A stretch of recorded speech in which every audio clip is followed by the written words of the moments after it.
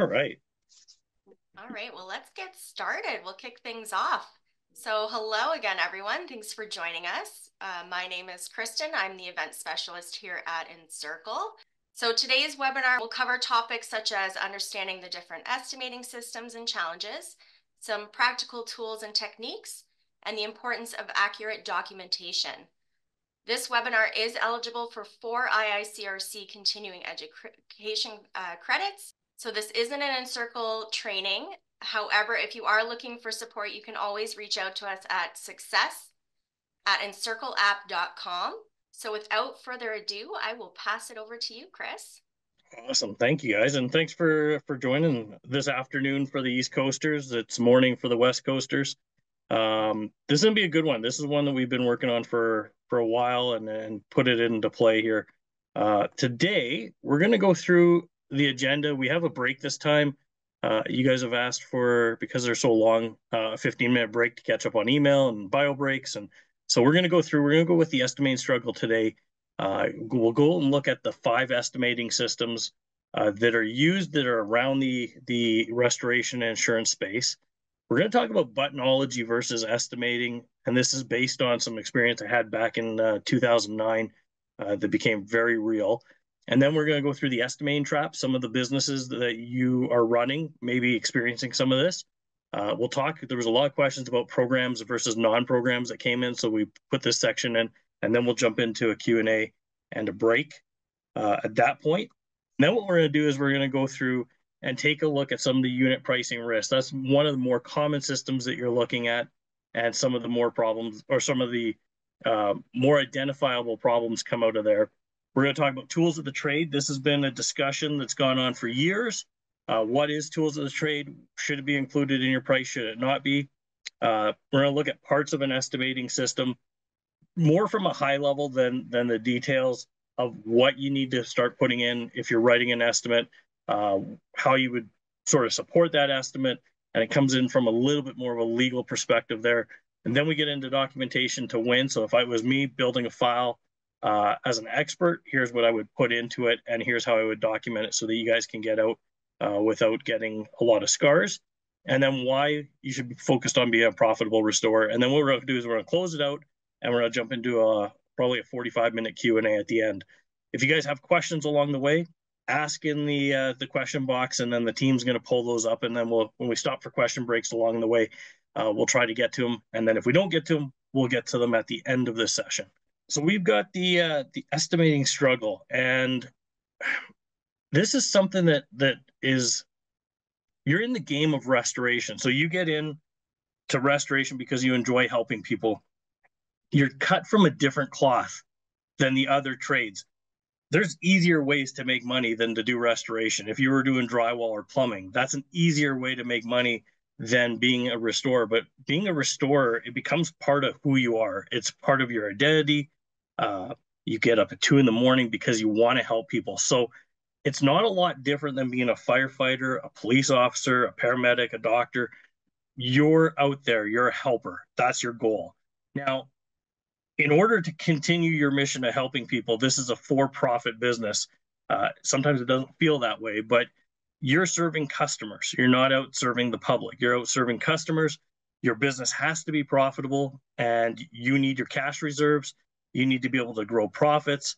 Uh, you need to be able to reinvest in your business, in your talent, in your equipment, in your facilities, in order to continue to serve that customer and that community. And so when we look at it, we try to figure out well, if we're running this business and we're generating these profits, what are we doing it for? And sometimes we lose sight that it's mostly to help those around us, your family. they're making sacrifices for you to be doing this business, and your employees' families are making sacrifices so that you can help people we sometimes lose focus focus of that because we're just there to help but there's a little bit of a sacrifice that we make that we need to get paid for and need to be compensated for.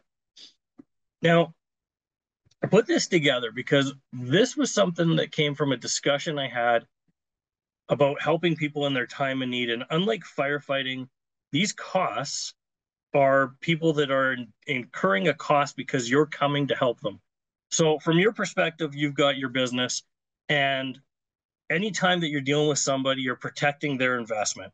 Effectively, when you show up after a loss has happened, they're now at a detriment. They've lost money. Uh, they're in a position where they weren't before, and you're putting your services back in to help them and their investment. And other trades have it easier than you do because other trades it is actually looked at as an investment by the customer. They're investing in their property value, they're updating their kitchen and they're creating a reno and they're getting something that they've desired for a while. You don't have that opportunity. You're repairing something that happened yesterday or earlier today, and they didn't expect that you were coming into the business. So what happens is you're running up against this insured who's in between you and that investment. And it's kind of interesting because they're not seeing you as an investment. They actually look at you and the insurance company looks at you and you're on the other side, which is like, hey, insurance company, without me, uh, you would be not able to serve your customer. They look at you as an expense. And this is the unfortunate truth is that for them, they're in the business of insuring property. For you, your business is an expense to them. And when you come into a loss, you're the savior for the insured. You have to be there for that customer. They're having the worst day of their life. You're the savior during the rebuild. You're probably the inconvenience and you're a nuisance. And that's the the life cycle of a of a job or a claim when you're involved in it. Now, here's what's interesting. Initially, everybody's happy with you. You showed up during the emergency. As time moves on, it's harder to get paid. And then as time moves on in the rebuild, it gets more difficult to keep that customer happy. But because you're an expense to the insurance company, what they do is they invest in all of these people to effectively ensure that their investments are fine and that they're not paying too much money to that expense that they owe. So they look at those other players as investments in protecting their dollars. It's a weird concept because they don't add value. Now, what's when we start to look at this, we look at what is the insurance company doing and they're selling a peace of mind contract so if we boil this whole thing down they're selling peace of mind to the insured which is saying if something bad happens to you we're going to respond we're going to provide the dollars that you need to be able to get yourself back to whatever the terms of the contract are and at the end of the day we're going to make sure that we have the right professionals there to help you if you want to look at it kind of think that you're outside that financial fortress and you're not allowed in unless someone opens the gate for you to collect your money and then you can leave. Reviewers, lawyers, consultants, TPAs, they're all on that side of the, the wall. They're holding the wall for the insurance carrier and they kind of have to. The insurance carrier is a financial transaction, financial transaction only. They are there to collect premium, they invest that premium, and then they pay out on losses and it's a numbers game it's basically they're hedging bets against the weather they're hedging bets against the losses and they have a good book of data to make those those bets you struggle because you're on the outside and so this can be emotionally draining i'm one of those people that gets their emotions on the sleeves and when i'm trying to get paid from the financial fortress and i'm running into resistance i get frustrated now i'm really good at submitting a good estimate and i'm really good when the fight goes legal I'm not good at that in between negotiation where everyone wants to nickel and dime. That's where I get emotionally drained. Uh, so I have people that would do that for me. But if you're the person that gets drained from writing the estimate, but you're okay negotiating it, that's where you got to pick your positions. And what's interesting here is that you're feeling like you're doing something wrong every time that you're submitting an estimate and someone's criticizing you it gets to you personally. And if it and if you're the right personality that isn't affected that way, you're head and shoulders above a lot of people. In this industry, it's hard because you're sacrificing your time from your family to go out and write those estimates. And the insurance company is is there and, and while you're a function of the industry or you're a function of that job, you're still an, an expense to the file. That for you should uh, sorry, let me let me reorganize my thought there. Being able to think about how you're going to go forward in your position as an estimator, you have to change your perspective. You're doing the right thing. You're charging the money for the company. You have to take care of your business. You have to take care of your staff. You have to take care of your customer.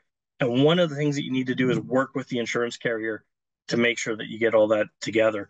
That can be emotionally burdensome. That can make your business feel that stress. And if you feel that stress, sometimes you do those unnatural behaviors.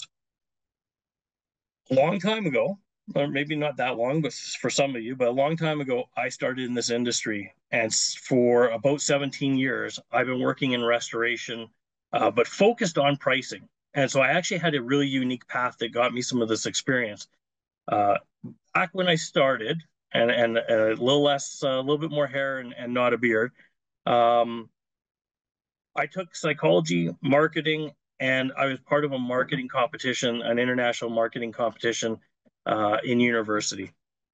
And what I became obsessed with was pricing and understanding how price affected market. In 2007, my role within this industry, I got to do a lot of that. And I got some technical training, and I started thinking about the technical courses as a path to become really proficient in this business. And any other business, if you're technically savvy, uh, and you understand the mechanics of the business, you'll make money. What's interesting here is that I started drinking through a fire hose. I took the water damage courses, fire damage courses, and I had no idea how to take all that obscure knowledge and compress it into how to make money in this business. Uh, time passed though, and I started to run larger businesses. So I got some more experience. I got to work with some different companies, and I became Canada's only independent Xactimate trainer. And for me, it was clicking around that time that in 2011, uh, I started to really understand profitability. Actually, it started in about 2008, 2009. And I started to learn systems that would allow you to absolutely get the benefits of the estimating system, but it came with a lot of hard, uh, hard lessons that came through it. In 2013, I was asked to be the head uh, of the RCOC's uh, estimating uh, uh, consultant. The RCOC was the Restoration Consultants uh, or Restoration Contractors Organization of Canada. When I did that, I represented 85%. We had to fix the pricing in Canada because coast to coast, prices were all messed up. And so we worked with an accounting firm called Deloitte. We I was the only outside consultant, and we broke down every price list from one coast to the other coast, and we got pricing uh, changes made, and we were able to identify real problems in the systems that we were using for the pricing. I later moved on to the RIA and I did some advocacy with them uh, in the estimating thing. But what happened is in 2014, 13, uh, I started to work in the business and really focus on helping other contractors get really profitable. But it was 2011 that I ended up meeting this guy, Ken Tucker, and I re-met him. And if you guys don't know Ken Tucker, he's one of Phil Rosebrook's old business mentors. Uh, he was the president of DKI Canada what happened here changed my life. Ken came in and said, Hey, Kris, you always use these words like, I always do this. I'll never do that. I'll never reduce an invoice. He said, You're talking like an employee, not like an owner.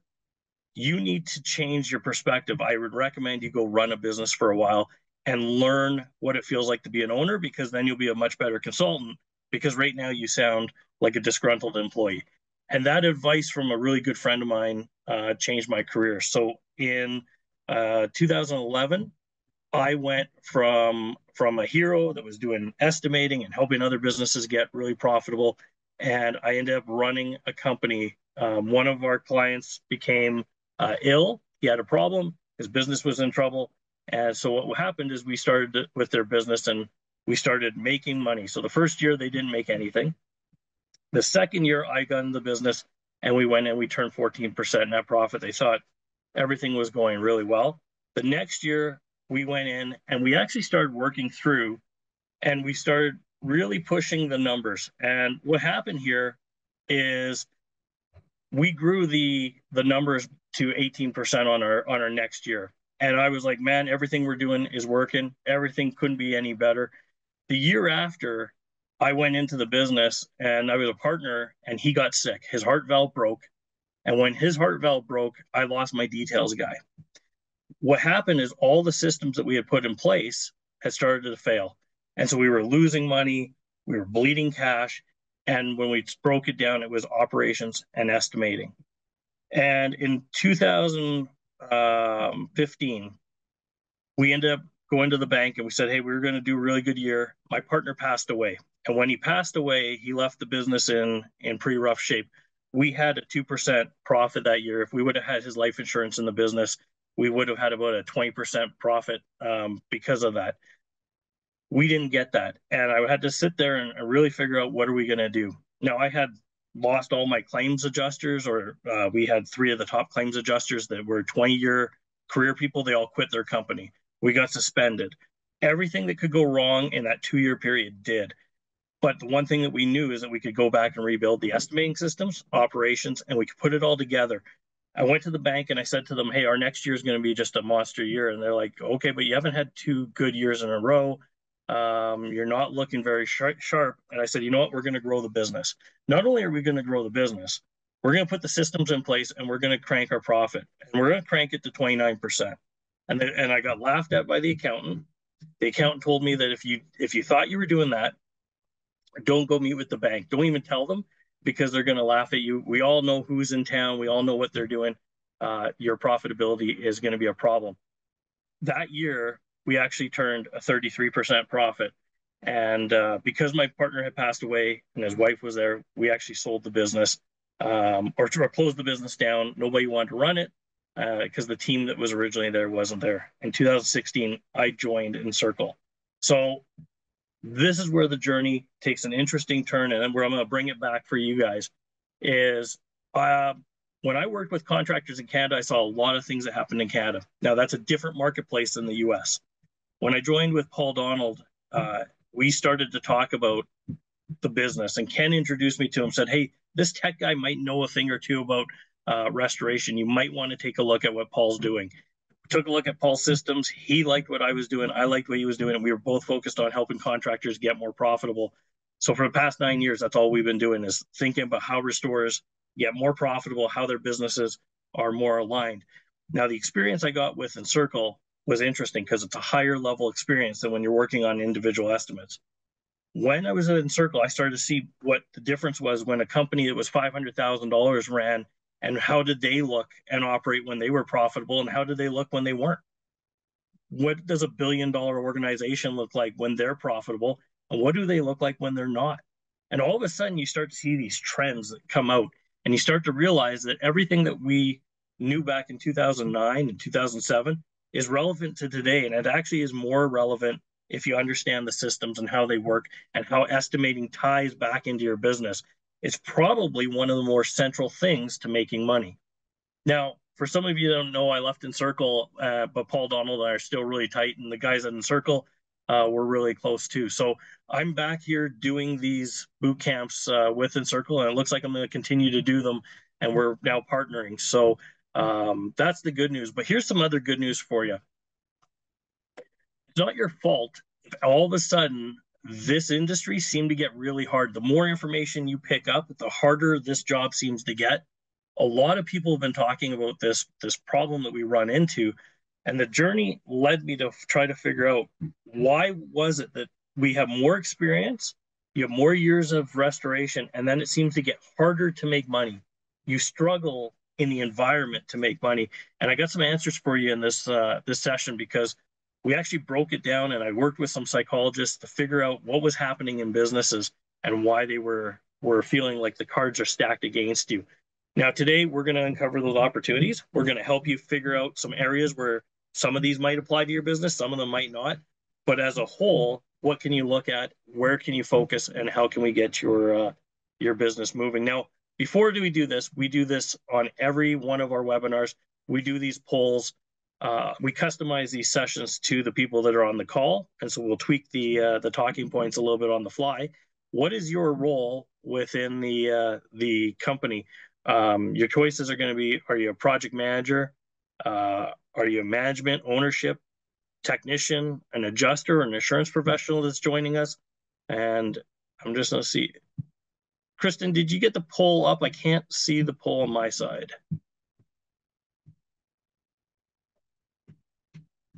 There we go. So there's your question, guys. What is your role? You're part of management, you're a technician, uh, you're a project manager, estimator, you're an adjuster, an insurance professional. Oh, we got a few of those guys on. Or uh, you're in a watch party with a bunch of people. All right. Oh, this is awesome, guys. Got a couple technicians on. This is great. A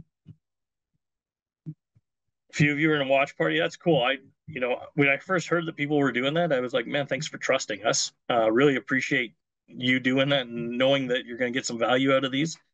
Perfect. So we got a really heavy, uh, uh, heavy split here between management and ownership and project managers and estimators. And then we got a little bit of technician and a little bit of uh, insurance adjusters.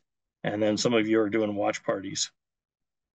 So that's a good split. We're going to talk about that. And then even for you insurance adjusters that are on or the insurance professionals, we're going to talk about this that's going to relate to you and help you understand some of the resistance, some, some of the frustration that the systems are creating you guys as well.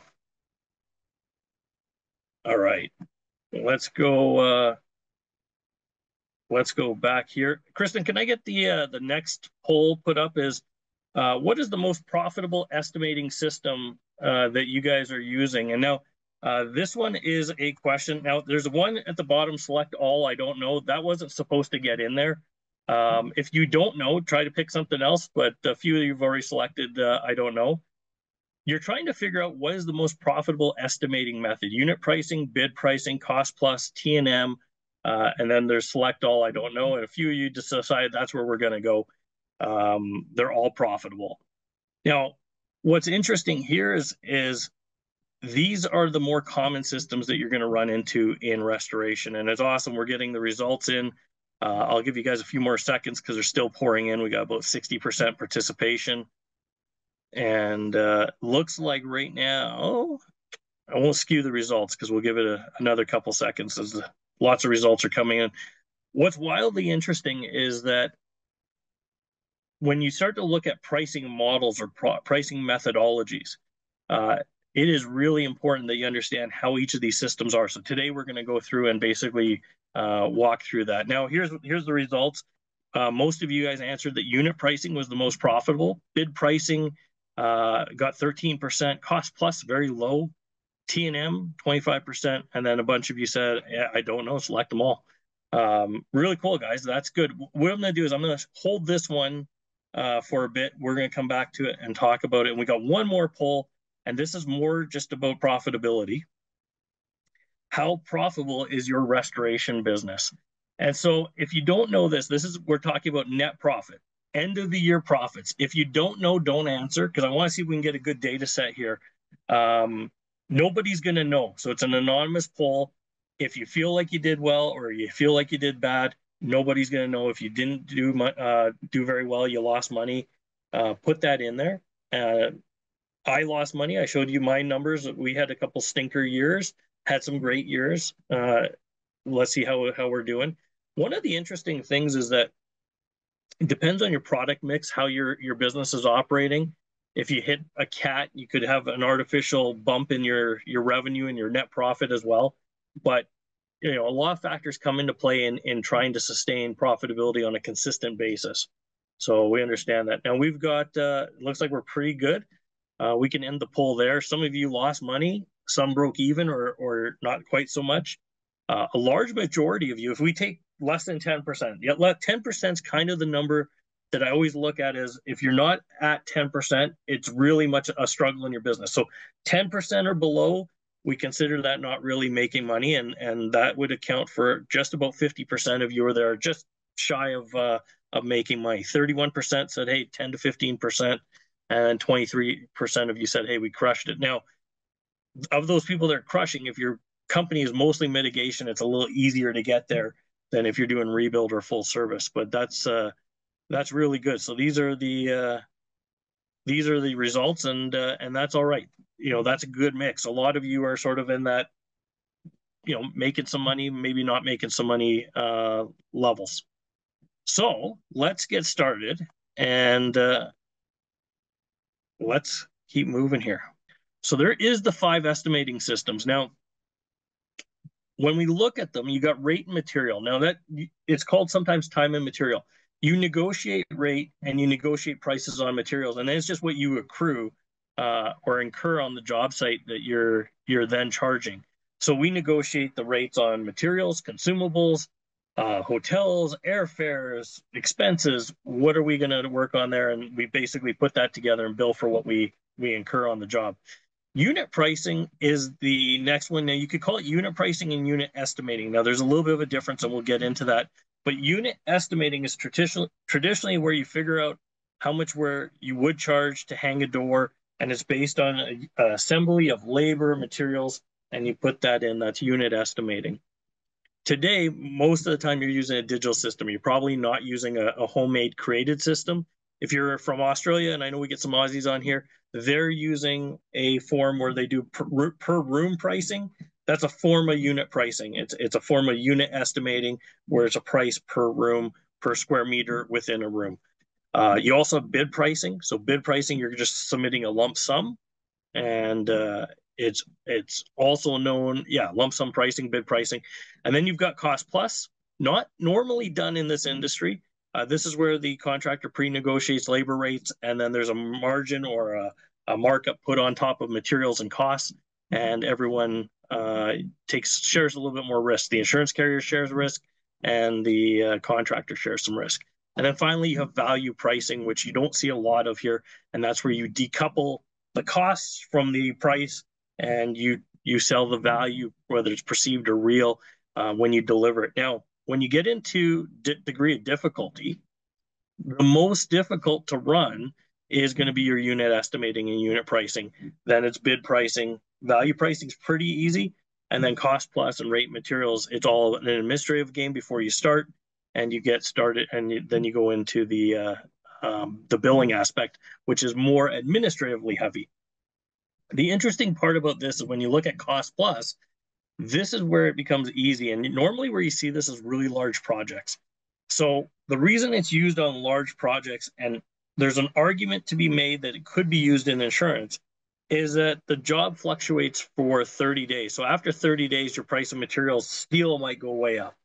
Well, I can't give you a hard number at the beginning. So a lot of government jobs, uh, highways, all of that is built on a cost plus basis. And that's why it's normally jobs that are longer term.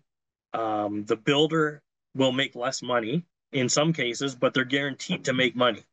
So they're not going to take a loss on here. The only thing they have to do is run the back end of the business more efficiently. But you kind of can do that because you know you have a, a billion dollar project or you got a, a hundred million dollar project or you got a $10 million project. You know that that's going to take a year and a half, two years to circulate. You know that you can assign administrative costs to the business based on that. Uh, on really large costs or really large projects or projects with a longer duration, you'll have that cost of inflation built in. So labor prices in year one are this, labor prices in year two are, are X plus the inflation rate or X plus 5%, something like that. That's how it works with cost plus. When we start to look at cost plus, though, you should be familiar though, a lot of the time you're bidding in government or you're doing with First Nations or you're dealing with military, you're probably going to look at cost plus as one of the models. And sometimes their bidding uh, requirements will say this is a cost plus program. You kind of need to know how to build that that program out if you're going to do that.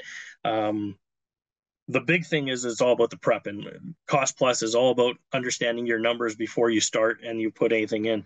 The challenge with, with this model is that you can put in your numbers and if you don't know what you're doing you can bleed your company dry as the project goes on. So if you're if you make a mistake on your pricing uh, you're going to live with that mistake for the pricing for a long time and usually there's a performance bond that has to be put in place. Uh, but cost plus requires a lot of uh, discipline a lot of strategy and it's one of the safest pricing models but it's also normally geared for high volume or really large projects the next one, and this one's where we start to get into this, is rate materials. It's a smaller job version of cost plus because you kind of understand what your costs are.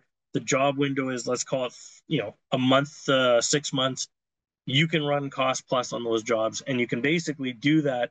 Sorry, you can run rate material on those jobs. You can do that because you can negotiate all those rates. You have an understanding of what your materials uh, costs are going to be, and you put that in. Now, the fundamental part here is a lot of restorers skim over building their price list. They take whatever they get from the unit pricing systems and they just roll it out. This system requires you to administratively be smart. You have to have a, a good knowledge of your numbers. You have to know what volumes you're running uh, to build a really good price list. And you have to think about this as kind of like calculating anything in your in your life. If you were trying to figure out if you sh- your kids should play soccer, you'd think about the time commitment to there. Be like, well, that's like four hours a week. Uh, it's going to be for 10 weeks. Okay, that's 40 hours of our time. Plus, we're going to have to go to the park and play some soccer. Uh, we have the cost of the ball. We have cost of registration.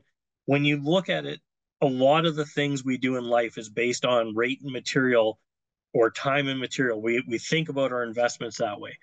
This is the foundation for everything you do in estimating. So if you don't understand this, chances are all the other systems aren't going to work for you. When we put this way, this is how I would look at it. And rate materials are the foundation for everything you do. You can't come up with a value price unless you know what your hard costs are going to be. You can't come up with a bid price unless you know how you're going to get to that bid.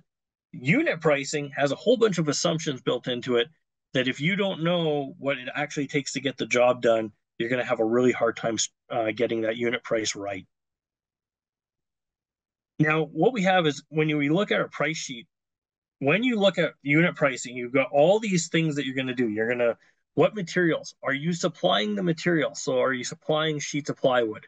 Uh, are you supplying antimicrobial? What's the cost on those materials? Uh, building materials. Maybe you have like um, window uh, sheathing for for doing um, um, lockup on a building. You got accommodations and meals. How are you how are you doing that? Do workers share a room? Do ever does everyone get their own room? Uh, vehicles and flights. What are we doing for cost? What do we do for truck rentals? Is it a cost plus a margin? Are we charging per day for company vehicles? Same thing with labor rate, consumables, and equipment. So when you start to get into this, you basically take all that and you create these price lists out. And you say, well, in the, in my my price sheet, we have all the things that we might do. We we have our equipment rentals. We rent an extension cord and it's ten dollars. We rent a broom to you and it's five dollars. Or maybe we sell the broom to you at thirty dollars. However, you come up with this pricing scheme, that's what you would base all of your estimating on your entire business on. Is how did you come up with your rate materials for what a job requires? Now, the one thing you might add in there as well is subtrade and vendors and a big thing that comes down to it is it doesn't matter what category you're in, every job you're going to look at, you're going to look at things like the type of labor, the type of material. That's going to help build your list. What's the rate or the price that you're going to charge for that that service? So if I'm going to send a technician regular hours, it's X. After hours, it's Y, and then holidays and stats and triple time it's affected on on this part. You have all that laid out, so everybody knows that when something's triggered, something else is going to get charged. We look at quality. Uh, what are the quality of the things we're using? What are the sizes? Uh, what is the quantity? How many units? And then what is the efficiency uh, and production downtime? So you might have a, a, a job where it's a let's say it's a four month job. It's remote, so it's not at a place of your normal business you have temporary workers that are staying in accommodations. They can only work based on this jurisdiction. They can only work six days of the week, and they need a seventh day off. If they can only work six and they get seven, who's paying for that hotel for that seventh day? When do we travel people in and out of site? Is it billable or do we have to eat it as a cost? If we eat it as a cost, have we worked it into our pricing? All of this becomes a really complex matrix of pricing that you have to sit down and really figure out before you get started. Here's when you would use it. So here's why you would use rate and material. Highly complex projects. Uh, if a project is really complex, how are you creating a budget of time and then charging it out based on an estimate? It's really hard to do. Uh, where you have unpredictable job costs, so you're dealing with stuff that you're not familiar with what they cost, you probably would want to use rate and material and then be like anything that's not on my list is 25 or 40% markup or 30% margin or 40% margin, however you word your contract, you're going to say on these costs, I don't know what they're going to cost. So whatever the cost is, I'll just charge you a, uh, margin on top of that. When the client doesn't trust you, you would use rate and material. Hey, I will just charge for what you use. Don't take my opinion on a bid. Don't take my opinion on a unit price. I will just charge you for for what we incur, and I'll show you the paperwork that we incurred it. And I would advise you that we put someone on so that they can watch us and the, this is called a clerk of the works. But if you do it in a private setting, you might have an employee of their company come in and sign the paperwork as you go. If you have projects that are going to go on for a long time, now this is where it's is it a year? Is it six months? It depends what you define as long, but you have long duration projects that you're going to run. Then you got mitigation and emergencies. Why? There's a whole bunch of unknowns in there. There's a lot of decision making delays that happen. If you get into like bigger uh, job schools, um, small small residential, small commercial, sorry, small commercial, large residential, you might use this as well. Where you have a vague or poorly defined scope. So if I'm dealing with somebody and I don't really understand what we're what we're dealing with, we're trying to figure out the scope, you're probably going to move into a rate material contract. Value pricing is interesting. You might not even be aware that you're a value buyer because if it's done right and you receive the value from this, I just got to fix my screen here. Even when you potentially didn't receive real value, you feel like you did. So you have a perceived value. Uh, most times, you'll not receive like there's no real value to it. It's a perceived value that you get from value pricing. It's peace of mind. Uh, it's status. It could be that you're paying for a brand promise. So uh, insurance is about brand promise that they will be there. You have no idea if they're going to be there, but you assume that they're going to be there. Brand promise is different than peace of mind. Brand promise is you get a sense that the brand represents who you are. The brand is going to be there for you. The brand is part of your, uh, it's your life. Um, if you were to look at it, Starbucks is a brand where there's a brand promise and it becomes part of what you are. Walking around with a Starbucks cup is a status symbol. So it's a little bit of everything that moves into there. Now, if you were to look at it, you get a cup at Starbucks, uh, you're paying for that status symbol. You're more sophisticated than someone who gets it from Dunkin' Donuts. Uh, the general, uh, the stores generally provide you the experience of more personalized service. If you were to look at this and compare it to like going to McDonald's, McDonald's has a board where there's a number. You're 364, 364. Yeah, that's my coffee. At Starbucks, they look for Kris and they're like, Kris, there's your cup. It's personalized, so you believe that there's more of a brand loyalty there. There's, there's a personalization. That value goes up. It's really hard in restoration to associate your services with a brand. The reason why is value pricing comes in where it's a perceived value versus real value. When perception can be changed is when you put people that are like TPAs and adjusters who don't have anything to do with the the purchase uh, or the experience of the product. They're only there to validate the numbers. And so that's a cost control the insurance carriers put in because perceived value, uh, the brand promise, doesn't necessarily resonate with the customer or with the adjuster. It does resonate with the customer. You're there on their worst day. You're there helping them get it through. When you submit a price, somebody who's not emotionally vested in that that success will then come in and review it the customer has to feel good about spending their money to spend more with you. So value pricing in insurance is not a really common uh, experience. Um, when you think about saving money, and that's where unit pricing comes in. I want that McDonald's coffee because it's still coffee. It's a dollar fifty for that coffee. We're not paying four dollars for your coffee. As much as it's probably nice, comes in a nice cup. We can get the same thing over there. That's the mentality of the insurance industry because they're not buying the value that you're you're selling. Uh, 20 years ago, though, an adjuster would benefit, or an adjuster contractor relationship would benefit from value pricing. Hey, this is a really crazy insured. The price is going to be higher. That was value pricing, and the adjuster would be like, "Yeah, if you can make that problem go away for me, I'll pay you a little bit more." The adjuster was tied to the value of the service you provided. You would see that if you uh, had a homeowner that was elderly and you're like, hey, this is going to be a little bit more handholding. We'll pay you for that time. So in the past, it was more pre- relevant. Today, you might see it with more higher end adjusters, uh, people that are doing complex stuff. They may still reward you for value. They may just say, hey, build it into your rate sheet if you're doing rate material. You get it a different way. You might not get it the same way we used to. When you start looking at restoration value pricing, uh, or or in, in the big scope of it. This is where you would start to look at what are your margins. And so T and M, you usually get a cost. Uh, you've got your overheads built in there. So let's let's use the blue as our overheads. Uh, the red is our job cost, our cost of goods sold. If we use T and M, your profit could be the top part. If we use unit pricing, you can the units are are I'll get into it later, but the units could give you more efficiency. So you could build in more profit into a unit price. When you start to look at bid pricing, uh, bid pricing is interesting because bid pricing, you can factor in that that homeowner is going to be a lot harder to deal with. So you say, hey, I'm going to charge some more value. Uh, I'm not actually taking any more time. I'm just, for my headaches, it's worth more. You would also value this in a bid. Is it, do you take on more risk? Are you dealing with hazardous or uh, or wild conditions that are generating more risk to your business? Uh, is the degree of difficulty higher?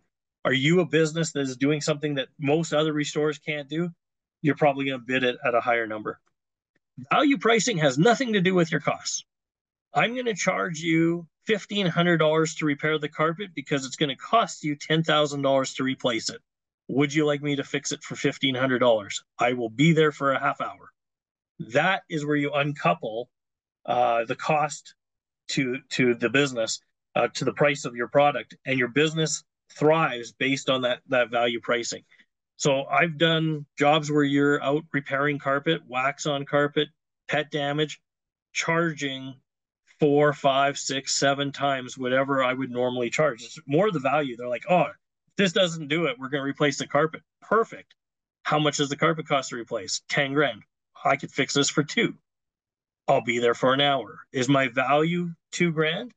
The perceived value to them is 10,000 versus two. So that's how value pricing can work in some scenarios in restoration.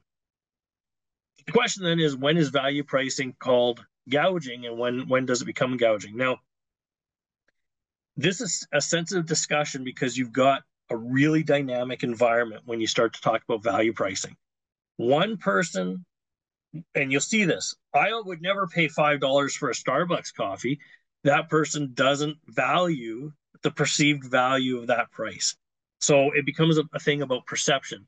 An adjuster might review an, an invoice that you gave somebody and go fifteen hundred dollars to fix the carpet. I could have done it for two hundred dollars. That's a ripoff. It wasn't to that homeowner because their other option was replacement. So its perceived value is about the person and what do they believe they got out of value. It has nothing to do with cost. The problem is, is as an adjuster, they're in a difficult but not impossible position. They have to review pricing on a regular basis. So they get familiar with pricing. Value pricing doesn't work when people know the cost of doing something. Uh, because then they might just come back and be like, well, Starbucks charges 10 cents for a coffee, or they make it for 10 cents, so I should charge $5. But there's a perception that coffee costs more to make. Once you know what they, their cost is, you probably become less inclined to pay it. And that's what the adjusters are and the reviewers. They're experts in cost analysis, even if they don't properly know everything they're doing on it. They start to see numbers and they start to see trends and go, hey, I think that's too much. It feels like gouging. Um, but at the end of the day, it's the perception. So if you sell to the public and someone's good with paying it, value pricing can be whatever you want. Is it price gouging in insurance? It depends on how you do it. I'll give you a real world example. Um, I was an adjuster. I spent two years of my career adjusting, probably not even a full two years, and not long enough to call myself an adjuster, but long enough that I got the experience of sitting in that chair. And so I had this job that, that my manager brought in. He said, Kris, he goes, this church flooded. Um, they got hit with this water that entered the building. Uh, it's pretty simple, pretty straightforward. They installed equipment, uh, they went in there Wednesday night before Good Friday, and the church has a, a huge revenue draw on that weekend, right? Easter weekend. Um, the, the restoration company came in, they set up all the equipment, they started drawing. They'd come back, they'd take all the equipment out for the service, and then they put all the equipment back in after, and they did this all weekend long. And admittedly, they did pretty amazing service, but we need you to cut the price because the invoice showed up and it's too much. And so the charges were about 25% higher on equipment, about 100% higher on labor. So at the time, I think labor rates were $50, it was $100. Uh, then there was overtime rates, so it was much higher than what they had seen. I looked at the paperwork, and the contractor had a contract that you could see they had value pricing, but they did it as a unit or like a T&M uh, price. They had the T&M list they gave the the customer a, a price. They said, "Hey, we'll do it for twenty thousand dollars, and then your whole weekend you can run." And so they came back with normalized rates that they said these are my normal rates. They put it into a value bid and they gave it to the church and said, Hey, we don't know if your insurance company will pay for this. So here's the risk. We'll charge you $20,000 and we'll take care of you all weekend long. Um, you don't have to worry. The quote will never go up. The price is the price. And at the end of the day, we'll guarantee that we will dry your building out and we'll take care of you. The perception and the reality is you probably could have got it for a lot less.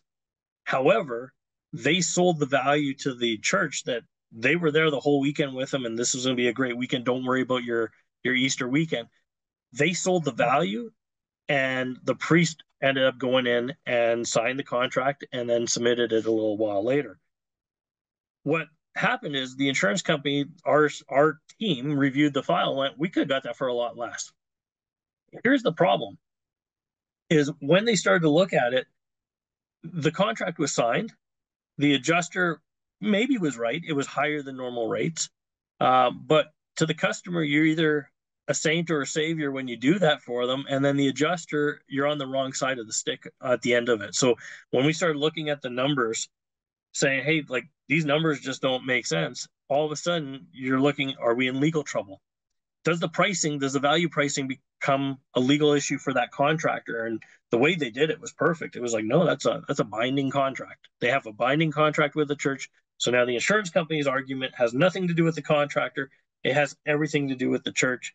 And when we started to talk to the uh, father, uh, it was interesting. In the specific case, when we met with him, we just said, "Hey, like we're trying to understand this invoice is pretty high," and he's like, "Oh, the value was amazing. They came in, uh, they took care of us. They were super passionate about helping us at the at our time of need, and I was able to focus on all my services. I didn't have to worry about wire damage. So right there, you knew the perceived value was really high, and as you start to work through, it's like, yeah, they, they had a contract, they did their job, they reduced severity. It just wasn't as reduced as maybe someone else could have got. Um, and what was interesting is as this file went up for review, the senior managers were like, yeah, it's contractually, it's it's a good contract, it's a value price.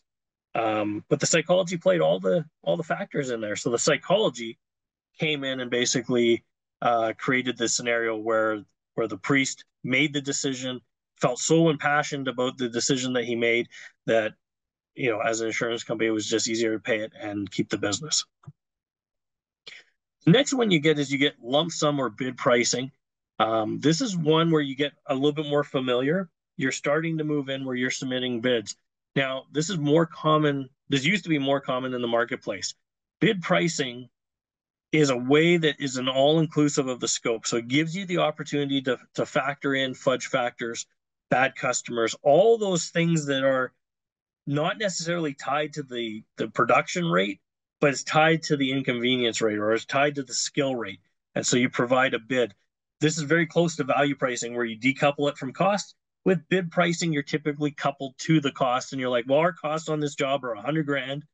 We want to make 50%, so we need to charge 200,000. And then you're like, wow, but we're on bid against this other company, so maybe we build 190,000 you start to factor in what your costs are and how much you need to make. And usually you have a bottom line, like what is your overheads? And so you you start running your bid price that way. Now, when you bid, bidding is kind of like gambling. You're controlling the odds in this gamble, though. You get to view the site, you get to play against the house, or you get to play against other other players.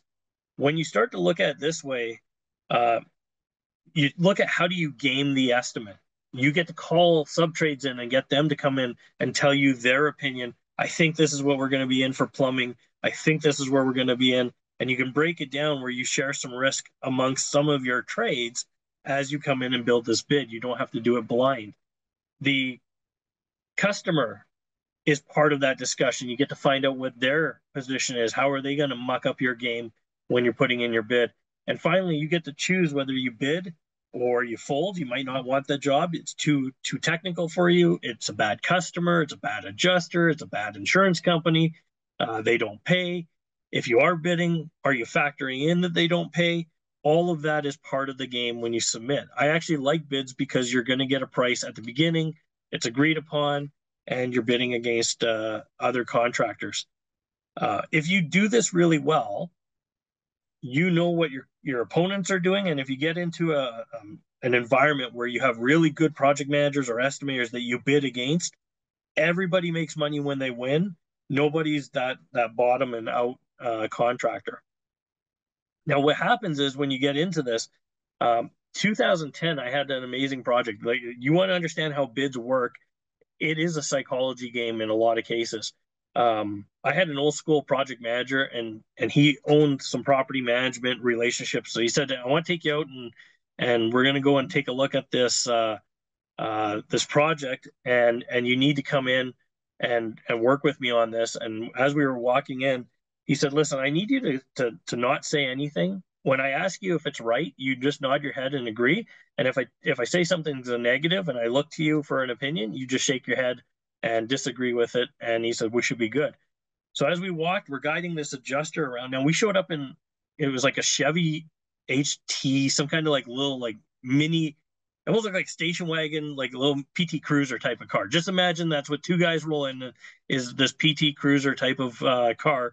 And so we show up get out of the PT Cruiser, and he's got a big smile on. He's wearing a suit. We're walking through, and as we walk the site, he's guiding the adjuster around, and he's talking to the other two contractors uh, on the on the job site. And as we walk through, he's looking around at concrete. He's creating, oh, you know, water impacts concrete in different ways, and it can get really complex on these high-rise buildings. And and as we're walking through all these plaster walls, these these are, are really difficult plaster walls that we're going to have to address. And he turned to me and he says, Are you seeing all this work? And I nodded. And then we started walking around. He said, Well, the degree of difficulty for for pulling resources to this job are really tough. And as we started to go, I, I nodded again and and then we got to an area and finally he said in the parking lot, he's like, Did you see the parking lot here? And everyone's watching him. He's like, There's not enough uh, not enough space for all the resources you need for this building. That's going to add time to this job. And he goes, Do you think I missed anything? And I went, No, no, I think that's that's right. We get in the truck. He goes, What do you think? Said, honestly, I thought you were a little high there. He goes, Yeah, me too. He goes, I absolutely know we're gonna we're gonna have a good relationship with this project or with the, the property manager. He goes, the other two guys have no idea what they're doing. So he was like, I just started to talk about how big this job is. They're gonna bid really high. We're gonna win the bid uh, don't worry about it. He goes, that's what happens when they send rookie uh, estimators to a job site. He was totally psychology, taking the psychology of the of the walkthrough and setting the adjusters' expectations for a high price. He set their expectations for a high price. He talked it up. He used me as a prop, and he's laughing the whole way back to the office. And sure enough, when the bids came in, we were a couple hundred thousand dollars lower than them, but our margins were really tight everybody on the job site had set the expectation that the job was really complex. Uh, unfortunately, passed away, but he he taught me a bunch of ways that we could sell obscure services to property management companies, and the stuff we did was pretty exciting. That one walkthrough, I was like, okay, I know exactly what he did and why he did it, uh, but he didn't tell tell me before we went in, and it was an interesting way to do it because what you happen to do is you're combining everything in there. He was doing a tally in his head. What was rate materials? What was unit price? What was the value that he was going to serve this this property manager and adjuster? Uh, what was the risk of underpricing or overpricing it? And was the increased margin tied to that risk? He basically had overlaid his thoughts and opinions onto others that they were going risk, risk, risk, risk, risk, and he's going experience. I'm I'm going to deal with this risk. Experience, yes, all the resources wouldn't fit in the parking lot, but they do if you stage the job in certain uh, processes. Only experience that would give him that, and so that's how he was he was working. Now, one of the one of the problems is with bid, it's a reverse auction. The lowest bid wins. So when you're in a competitive landscape where you're competing against other contractors that, who are willing to do the work for less, sometimes you're going to get those people that are are not as skilled and they sink the entire auction. They they underbid. The other thing that you need to watch out for is what they call a false auction. This is where the bidder is not a contractor. They are a consultant and they're bidding against you. You're the only one with real money on the table. A consultant is bidding against you on a bid um, process. They're not in the game. They have no stake. They have no opportunity to lose money they're literally setting a price saying, "Ah, oh, it's a hundred thousand dollars," and you're like, "No, I think it's like one fifty. You're the only one with real money on the table. So when you get into these high risk situations and you're bidding against somebody who's not prepared to do the work, be very careful that you're in a false auction. You're actually bidding against yourself and you're the only one that has the opportunity to lose something. No one else has any opportunity to lose. It doesn't happen as much, and, and let me know if it happens more for you guys. Uh, I, I haven't seen that trend happening as much these days. Normally, they're saying, "Hey, I think your your unit pricing is wrong," but a pure bid where you're submitting a number uh, in an envelope or or you're submitting a number by by a deadline.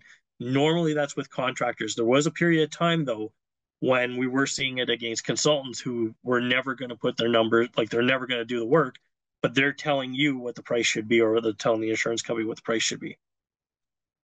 Here's why I would use it. If there's limited or no review process after the job, because when you submit the bid, there is no reviews that need to come. So I'm going to tell you what the price of the job is based on the fact that I have a pretty known set of, of uh, scope of work that I can deliver on. I don't need to be reviewed at the end. If you agree to this price, I'm going to do the work at that price. If there's ads, add-ons to the scope you're going to give you a change order, that's a great way to bid most jobs. That's the old way to do it. I think it was the fair way to do it. Everyone knows the price going in, but it delays the claims process. It delays the the the, the job cycle. Uh, if you know the scope of work, it works really well. If it's an unknown scope of work, not so good. I wouldn't do this in uh, unknown scope of work. Uh, you're battling contractors. So if you're battling people that are experienced, great. If you're battling people that are inexperienced, that's still great because they may underbid and lose their business. Uh, they may damage their financial portfolio portfolio for the year. If you know what you're doing and you lose, that's okay too. You don't want to be the contractor who wins 95% of all their estimates. You're literally underbidding the entire market if you're doing that. Um, and then you get paid for the soft thing. So if you all show up to a job site and that customer is super demanding, chances are everyone's going to raise their price to deal with that that customer or that adjuster or that insurance company. You have to use caution. Bid pricing, there's no checks and balances in a bid. You are going to go in there. It's like taking your dad's car out for the first time when no one's looking and you juice it a little hard and you, you, you lose control same thing happens in bids. These have to be really critical decisions that are made by a team. Man, usually it's the management team reviews the bid. What's our potential exposure? What can we lose? How much can we make? Why are we doing it this way? Uh, a whole bunch of questions get asked. The issue with bids is that sometimes that scope of change, that scope for the contract is really vague, and all of a sudden you get into a scope discussion um, where you're legally obligated to execute a bad scope of work and it can tie you up and, and really damage you. I've seen project managers who talk about their $5 million job that they wrote, but they literally made no money on it or they lost money. We had, we, I had one project manager, he wanted to tell me all day long about the $5 million job he did. When I looked at the job, he lost 12%. It was like the worst job you could do. We made no money. We didn't even cover overheads. So when you look at these jobs, don't get sucked into the big number you still need to hit the profit. Everything should be profit driven. Now, it's one of the biggest lures is that the big game, being able to play the big numbers, is an ego boost. Just watch that you're not putting your business at risk.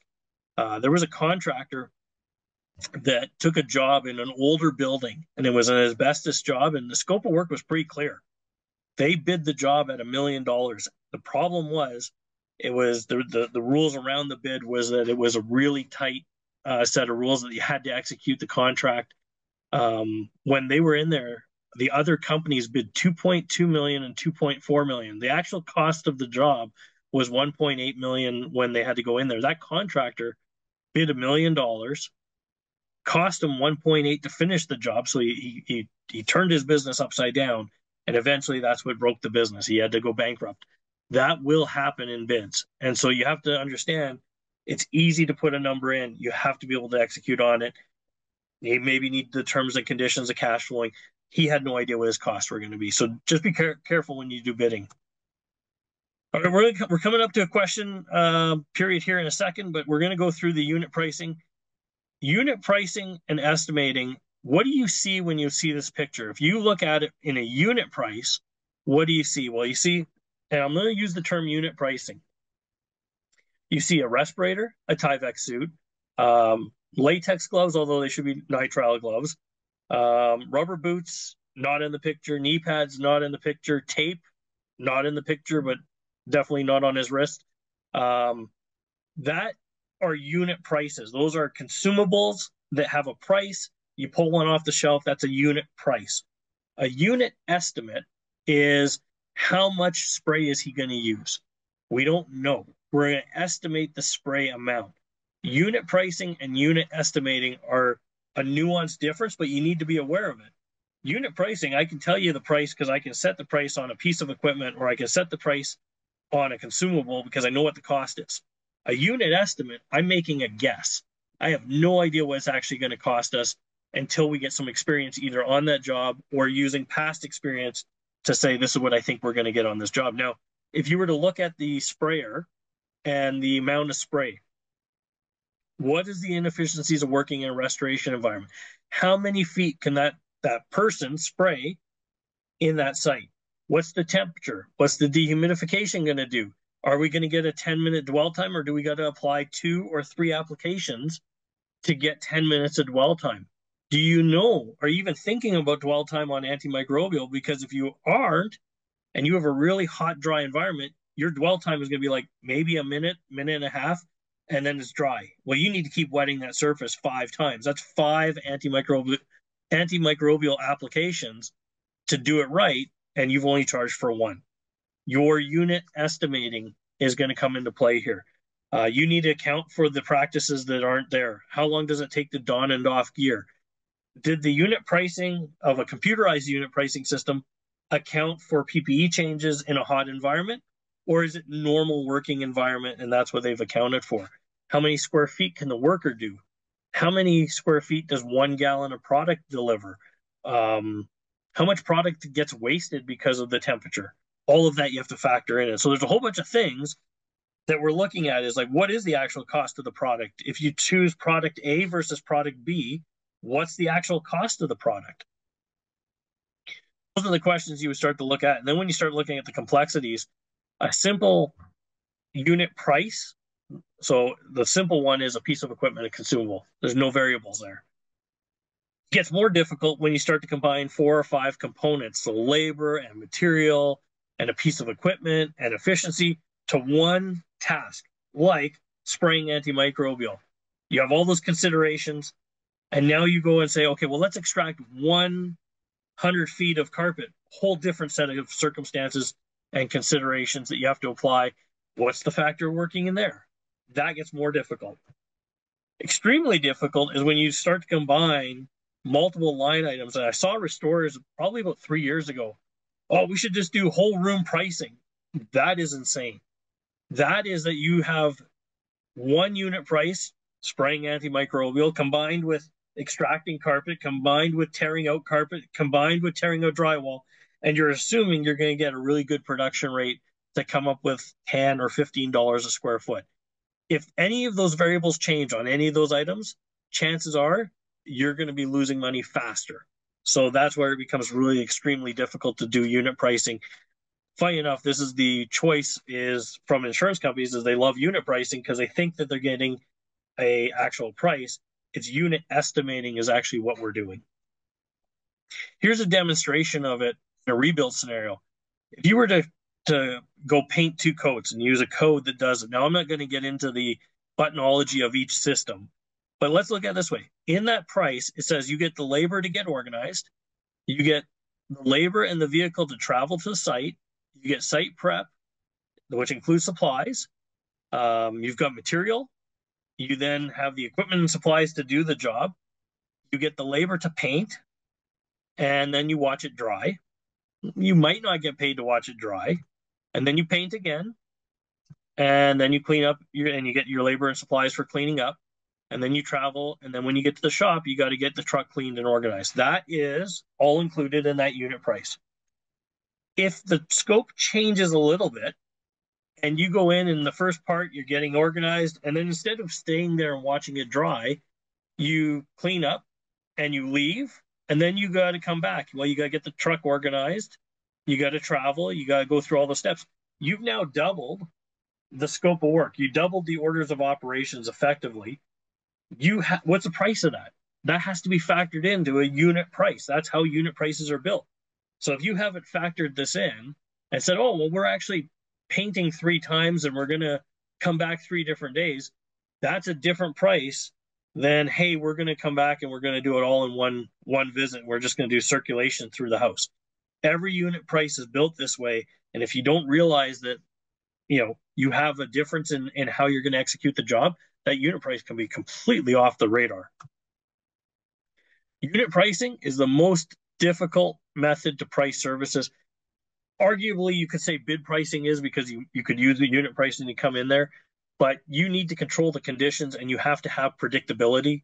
Uh, you must uh, control all the variables. So you have to factor in um, everything that you're doing. If you look at factory unit pricing, to produce 42 cars per hour at a cost of $10,000 a car, we know our production rate if we go on strike, if the car plant changes, if health and safety change, that cost either goes up or down. And so we don't really look at our unit pricing that way. And where you can tell is that we get into uh, conversations on Facebook that drives me nuts. What's the price for uh, in in this unit pricing system? What's the price for paint? What's the price for demo? What are you doing? You have to look at your unit price to come up with it. And so you're if you if you don't have the system pricing, chances are you're trying to just use somebody else's number and put it into your job. It doesn't work very well most of the time. Unit pricing in manufacturing is probably the easiest way if you want to think about this way. Your general overheads is your office. Everything inside of the plant. Now, we work in a service industry, so we, we leave our plant, but just think about it for a factory, just to wrap your head around this. Everything in the factory space, so if we put the office in a side building, everything in the factory is a cost of goods sold.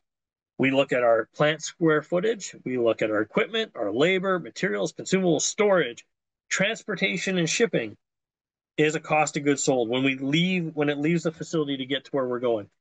And at the bottom, we look at net profit, and that's driven by volume, the margin, and the demand for our services. Price will impact whether we have huge demand or not. Uh, economy will, will determine whether we have it. Our customer book of business will determine whether we get that volume. But if you look at manufacturing and you compare it to what we do, it's very much the same. It's just a little easier to wrap your head around uh, a single plant. So if you want to wrap your head around it, use your restoration facility and go, what is my cost of goods sold to run this facility? And come up with some numbers there. It's an interesting exercise, uh, but it gets really complex. I came up with this quote. I didn't mean to. If you were trained on one system that is better than any other, uh, or better than another, you were trained to lose money. I, I said this in a class once, and Peter came up, and the next morning it was on my whiteboard, and he's like, "That's a classic quote." He's like, "I'm not gonna forget it." Um, I didn't know it was, but it was written down, so I now quoted it. Um, what's interesting with this is that bid pricing and unit pricing and then if you were to back it up to rate and material pricing, bid pricing is the hardest if you don't have any system to it. If you're just trying to come up with a number out of the air, most people have a system to a bid. Most of the time, you're not going to say, hey, that house is $25,000. You're going to say the plumbing is four. I talked to the drywaller, that's six. Uh, installation's another one. You, you come up with a methodology of coming up with your bid. But bid pricing, when you have no context or experience, that's the hardest one. Unit pricing is the next hardest one because you're not building the unit pricing. So it's arguably either one of those is the hardest one um, because if you're not building the unit price, somebody else tells you what's in it and what's included and what's not. That's a harder situation to bid in. Uh, we've actually got some great chatter and some suggestions on the question, um, but I'd like to see what your opinion is. So the question is, what is the best way to get an advance payment on fire losses? We have had adjusters agree to APs on site, but never follow through. What what's the uh what, what was some of the answers? Could you uh, and maybe maybe it's too far back that you couldn't you couldn't pull some of those answers. No, I have one. It says send an invoice stating site walk agreements and discussions and copy the insured. Include all protocols, i.e. claim number, policy number, insured information. Um, and then another one says site walks would be great. I haven't seen an adjuster on site in years. No, it's rare, isn't it? Uh, their models changed, and and it, you have to understand, insurance companies have switched. They used to just promote adjusters up and into the ranks, and now they hire executives that come in from outside the industry. So, you know, it's looked at as a cost. And if you were to bring an adjuster, and they'd be like, "Yeah, of course, we have to see the site to be able to come up with a value. You couldn't just give it to a reviewer." Um, but to get to the question, I like that. Uh, I like the invoice. Another part of it is it's actually part of your contract. Your contract will say, you know, what's the stop work process? And there probably is a clause. Not everyone has it actually. So here's a clause that you would consider putting in. Talk to your lawyer, but this isn't real legal advice. You should have a stop work clause. If they miss a payment date, they normally get X number of hours or days, depending on it, if it's an emergency, it's normally hours. You have 48 hours to correct this, and you'll issue a correction notice saying, hey, you missed your payment date today. Maybe it's Friday. And they're like, hey, check didn't come in. It should be there Monday. Okay, you have 72 hours to have a check in our hand uh, before we stop work. And the stop work, if there's safety violations that are coming from it, uh, that's all on you.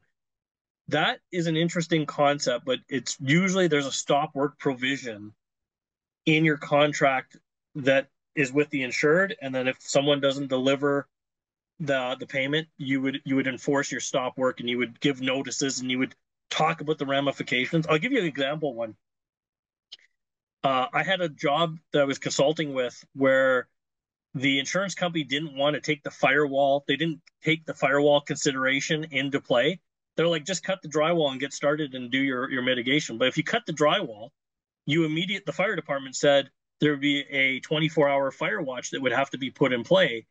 So you have a scope disagreement, but then it became a disagreement about price. Well, we're not, we don't need to have that. The AHJ enforced a fire watch. You need to then pay for the fire watch. And so before the walls were even cut, they had that discussion. But if they would have cut the wall, the company would have went bankrupt because they would have ran out of money. So that is a real possibility that you could run into. So yeah, I like it. You you you put those terms in. Um, when I was an adjuster, we used to pre-order checks. So if you talk to the adjust, like if you guys go in and talk to the adjuster, say, hey, we're expecting this to be like a million dollars or a hundred thousand dollars. I need five checks for twenty thousand dollars ordered. As long as they're in your office, we'll figure out the numbers and you can just drop them off when we hit the phases that works out pretty good. That that's a good system if you have an adjuster that knows what they're doing and they can play the game and their company rules allow it. But I, I like that. Yeah, I'd put that. I take the advice that you got in there, and that's uh, that's good advice.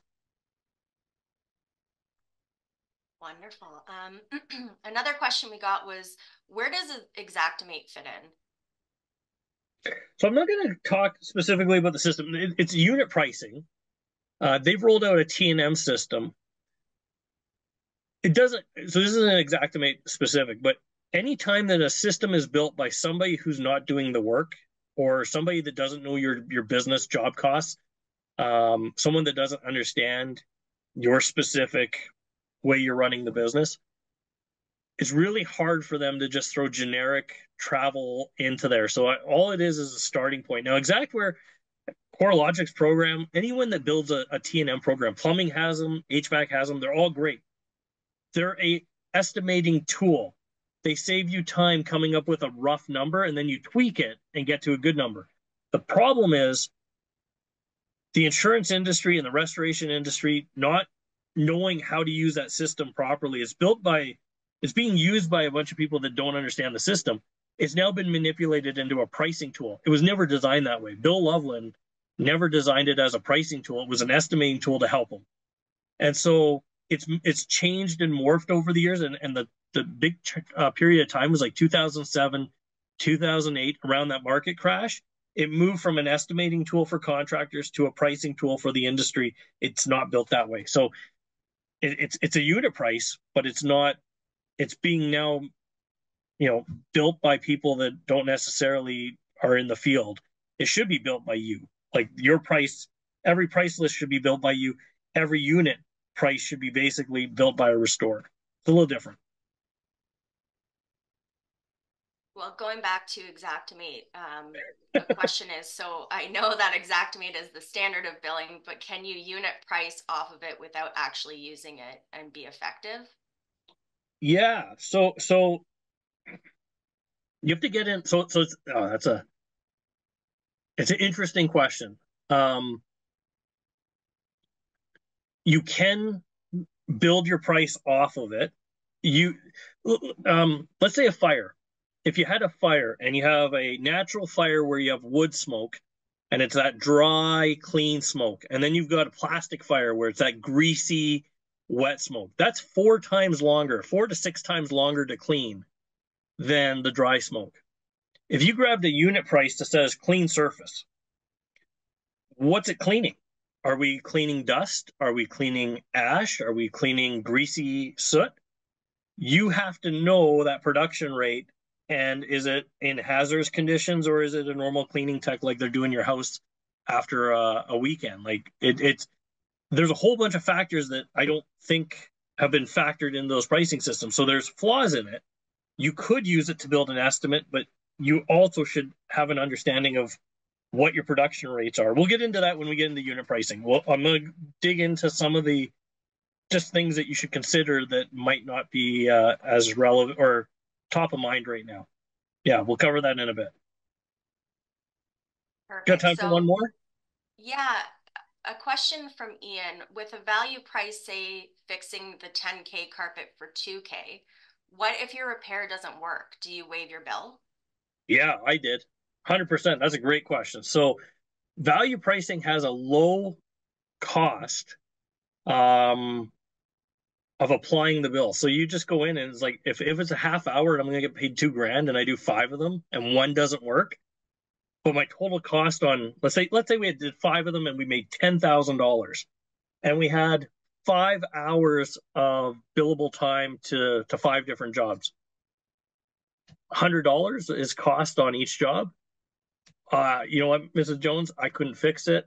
Uh, I'm gonna try. So you don't guarantee the repair anyway, but if it doesn't work and it's not to satisfactory, it, maybe maybe there's fade. Hey, listen, you know what? We did our best. It's not a good repair. Um, no charge, hundred percent. Like because you're selling the value. I, hundred percent guarantee that that repair is good. And when we put the repair in, it'll last the life of the carpet. Why? You charge so much, you have to get the perceived value there. It's yeah, it's really uh, um, there's a whole bunch of strategies around pricing value because it's totally different than everything else we do. Great question. Okay, let's jump in and and we'll come back, Kristen. Uh, I want to get to the break so these guys get a break sort of at the halfway point, and then we'll uh, we'll come back in and, and we'll go through this. Here's a, an interesting concept. Um, private equity changed my life back in 2009, uh, 2010. In 2010, I went for a, an emerging national company that was one of the first. I don't know if it was the first, but it was one of the first private equity driven acquisitions in Canada. Um, and I was reluctant to go there. Their headhunters did an amazing job of bringing me into this, the process to get me to go there.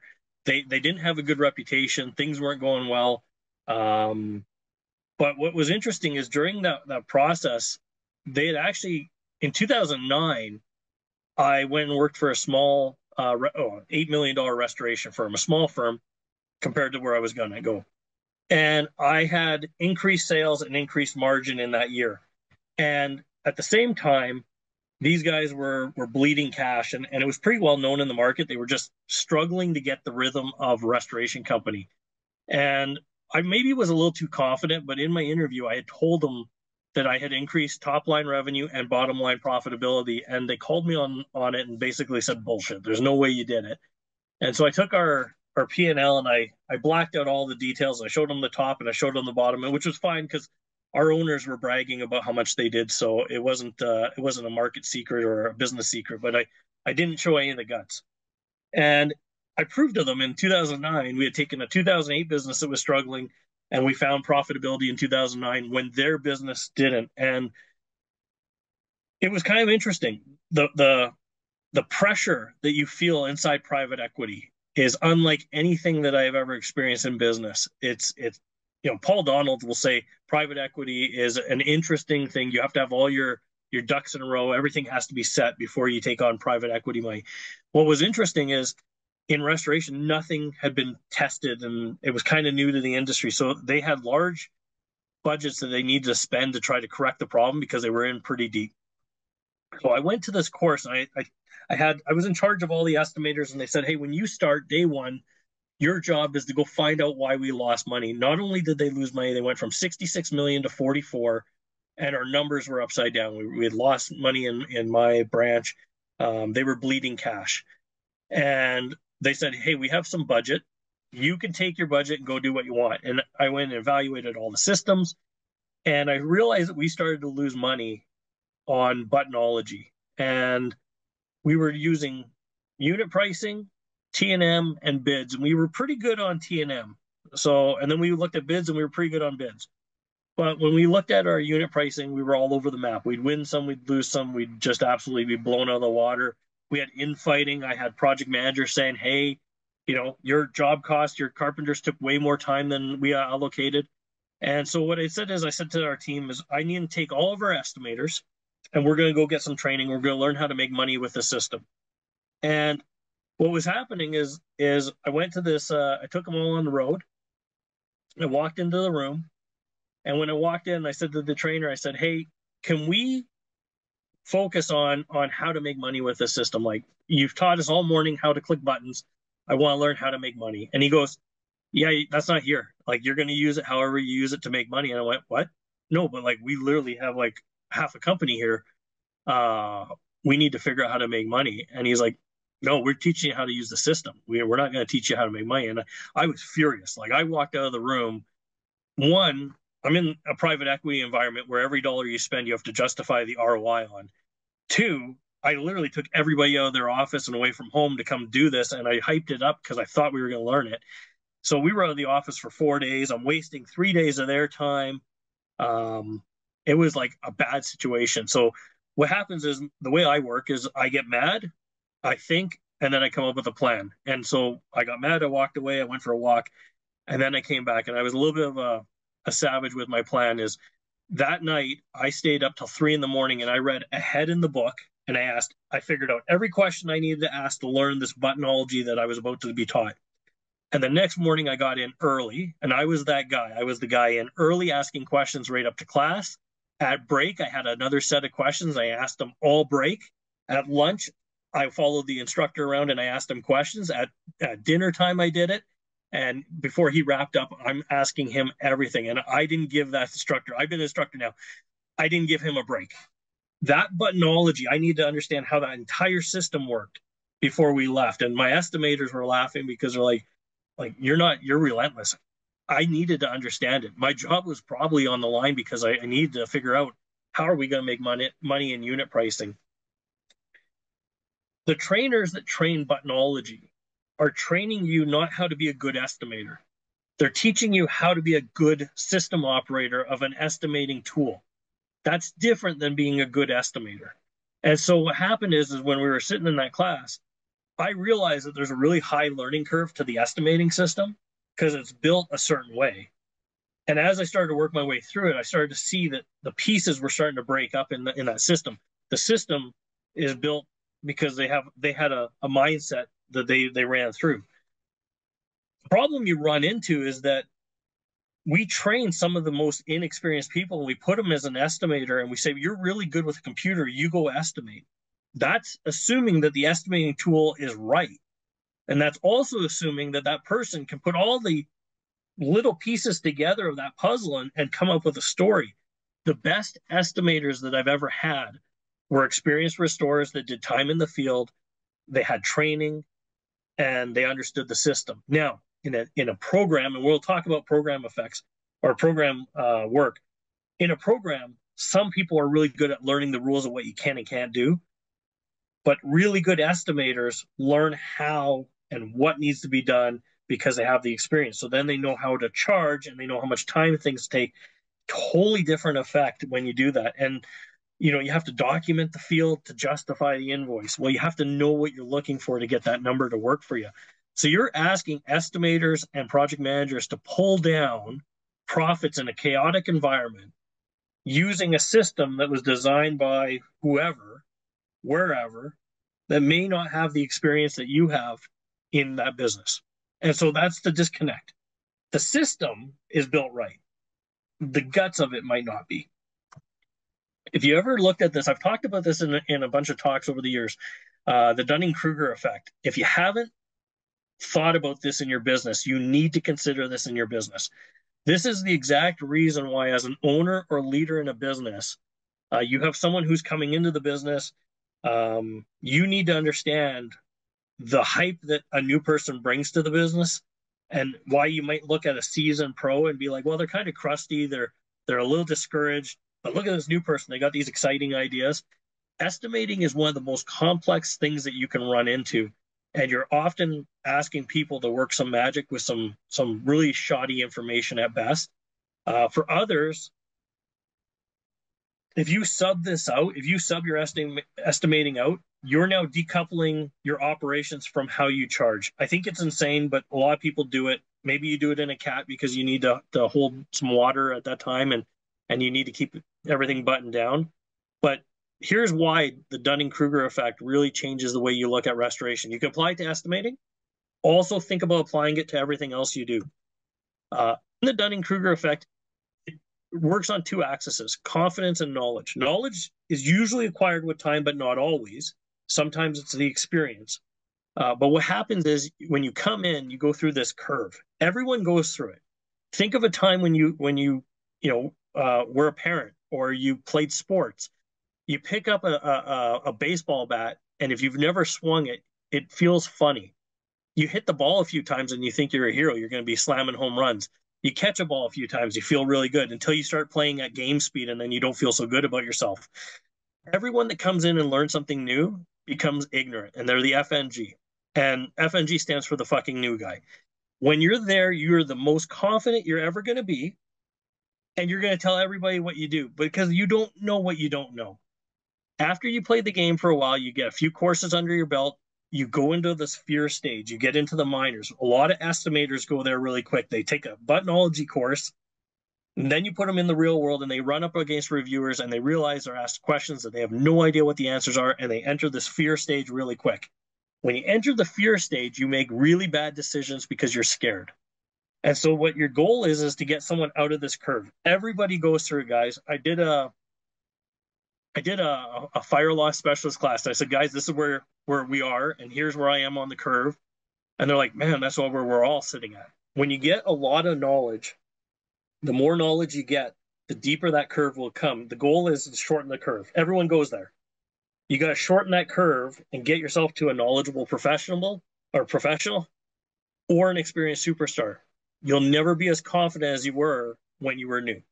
And so what happens is that confidence gap is where we see our old estimators or our older project managers that have experience.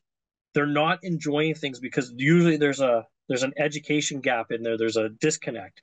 And so what you have to do is you have to realize that those people that are on the knowledgeable and professional side almost always turn a really good profit uh, if they're now they could be in the business 30 years and not have that that experience to have that so it's not just based on time it's knowledge if they're really knowledgeable uh, or they're on that experienced superstar state, they're going to turn numbers where other people can't. Where you run into hit and misses is when people are living in fear. And it's usually a lack of training or a lack of organizing the thoughts into a way that you can use it in the field. Then you get into the ignorant side. You don't know what you don't know. So you're just writing numbers in the system, hoping that it's right. That is a crazy spot. And that's where buttonology keeps you. They give you all the confidence that you know how to use the system, but there's none of the underlying information that tells you how the theory of estimating works or the theory of unit pricing works or how to apply it to the field. And here's where you're going to trip and here's what you need to look for. None of that's taught to you. So you're learning how to use a system thinking you're an estimator, and really you just learned the tool. You didn't learn how to estimate. When we start to look at that, we call it the false sense of knowledge. False sense of knowledge will hurt your business. Um, there's there's a a trap that I fell into is that I did buttonology with my team. When my partner got sick, I had to quickly ramp up and fill the void of of having somebody who was in the business. Uh, I gave my my people the false sense of knowledge. I gave them buttonology. So I came in and was like, "Hey, I'm Canada's only independent Xactimate trainer. Look what I can do!" And I taught them buttonology, and then I taught them a little bit about water, and I taught them a little bit about fire, and a little bit about asbestos and mold. And what I did is I basically gave them the false sense of knowledge that they were actually really skilled when really they're just at their infancy. They're just learning the concepts. They don't know how to put it together. They don't know where the risks are. I put our entire business at risk because I gave them that. And then because I lived uh, 17 hours drive, four hours flight away, I wasn't there every day to mentor them. I was in there once every other week. Um, my details guy was off sick, so I wasn't in a position to be there. So I couldn't mentor my team. So I had this really confident team that I thought was really confident. Uh, a bunch of young people doing good things, right intentions. I set them up for failure because I gave them buttonology and and I gave them that false sense of knowledge. We started to get into trouble with adjusters. We started to have adjusters complain, "Hey, why are you guys doing this? This is goofy." I review a file and I'm like, "I don't know why they did that." Well, because they thought they had everything figured out. And what happens is you see good contractors that can talk to people that are interested in constructions. They can actually do more without knowing the system. They can come up with better prices that buttonology is where you get yourself into some trouble. Um, yeah, it, it, it's a it's it's a problem. It becomes a bigger problem to your organization when you do this. When you surround yourself with peers who have a false sense of knowledge, you make yourself dumber and dumber with time. So if you're a leader in a business, that's okay.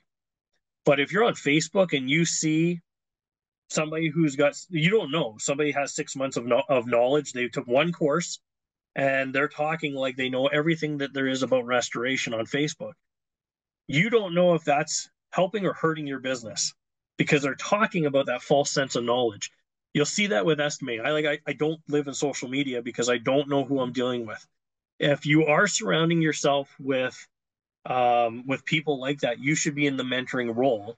If you're the experienced one, but if you're sitting there trying to take information in with that false sense of knowledge, you're like, eh, it kind of doesn't make sense you're going to lose your mind. Uh, today, I spend most of my time in a different group. I now hang out with the superstars and the experienced, knowledgeable people because what happens is when you hang around with that environment, you start to get better. You think about projects differently. You think about restoration in a different mindset. And so it's it might be a little harsh, but when you deal with people with a false sense of knowledge, your job is to coach them and get them past the minors where they're in fear and get them to a knowledgeable state. It's just it's interesting inside your business. You might have someone that's been in your business 20 years. They have a false sense of knowledge and they impart that on the rest of your business. It can bring your business down. Estimating is probably one of the biggest gaps that you see because it's hard to touch. Water damage, you can see the equipment placed. Estimating, it's hard to see a number on a screen and figure out if it was put there for the right reasons. Um, if you're here, you might have some of that false sense of knowledge. That's okay. You're here. You're, you're like, give me more. If you're in the minors and you have that fear, you're like, hey, give me some more information. I'm, I'm trying to put this together. From the sounds of the chat, we have experienced people that are like, hey, I may have some knowledge, but I also know there's things I don't know. And now I can help impart some of that knowledge on other people to help them because they're now in a mentoring part of their business. That's what you need to be careful of. And I never even realized that we had that in our business when I was running it.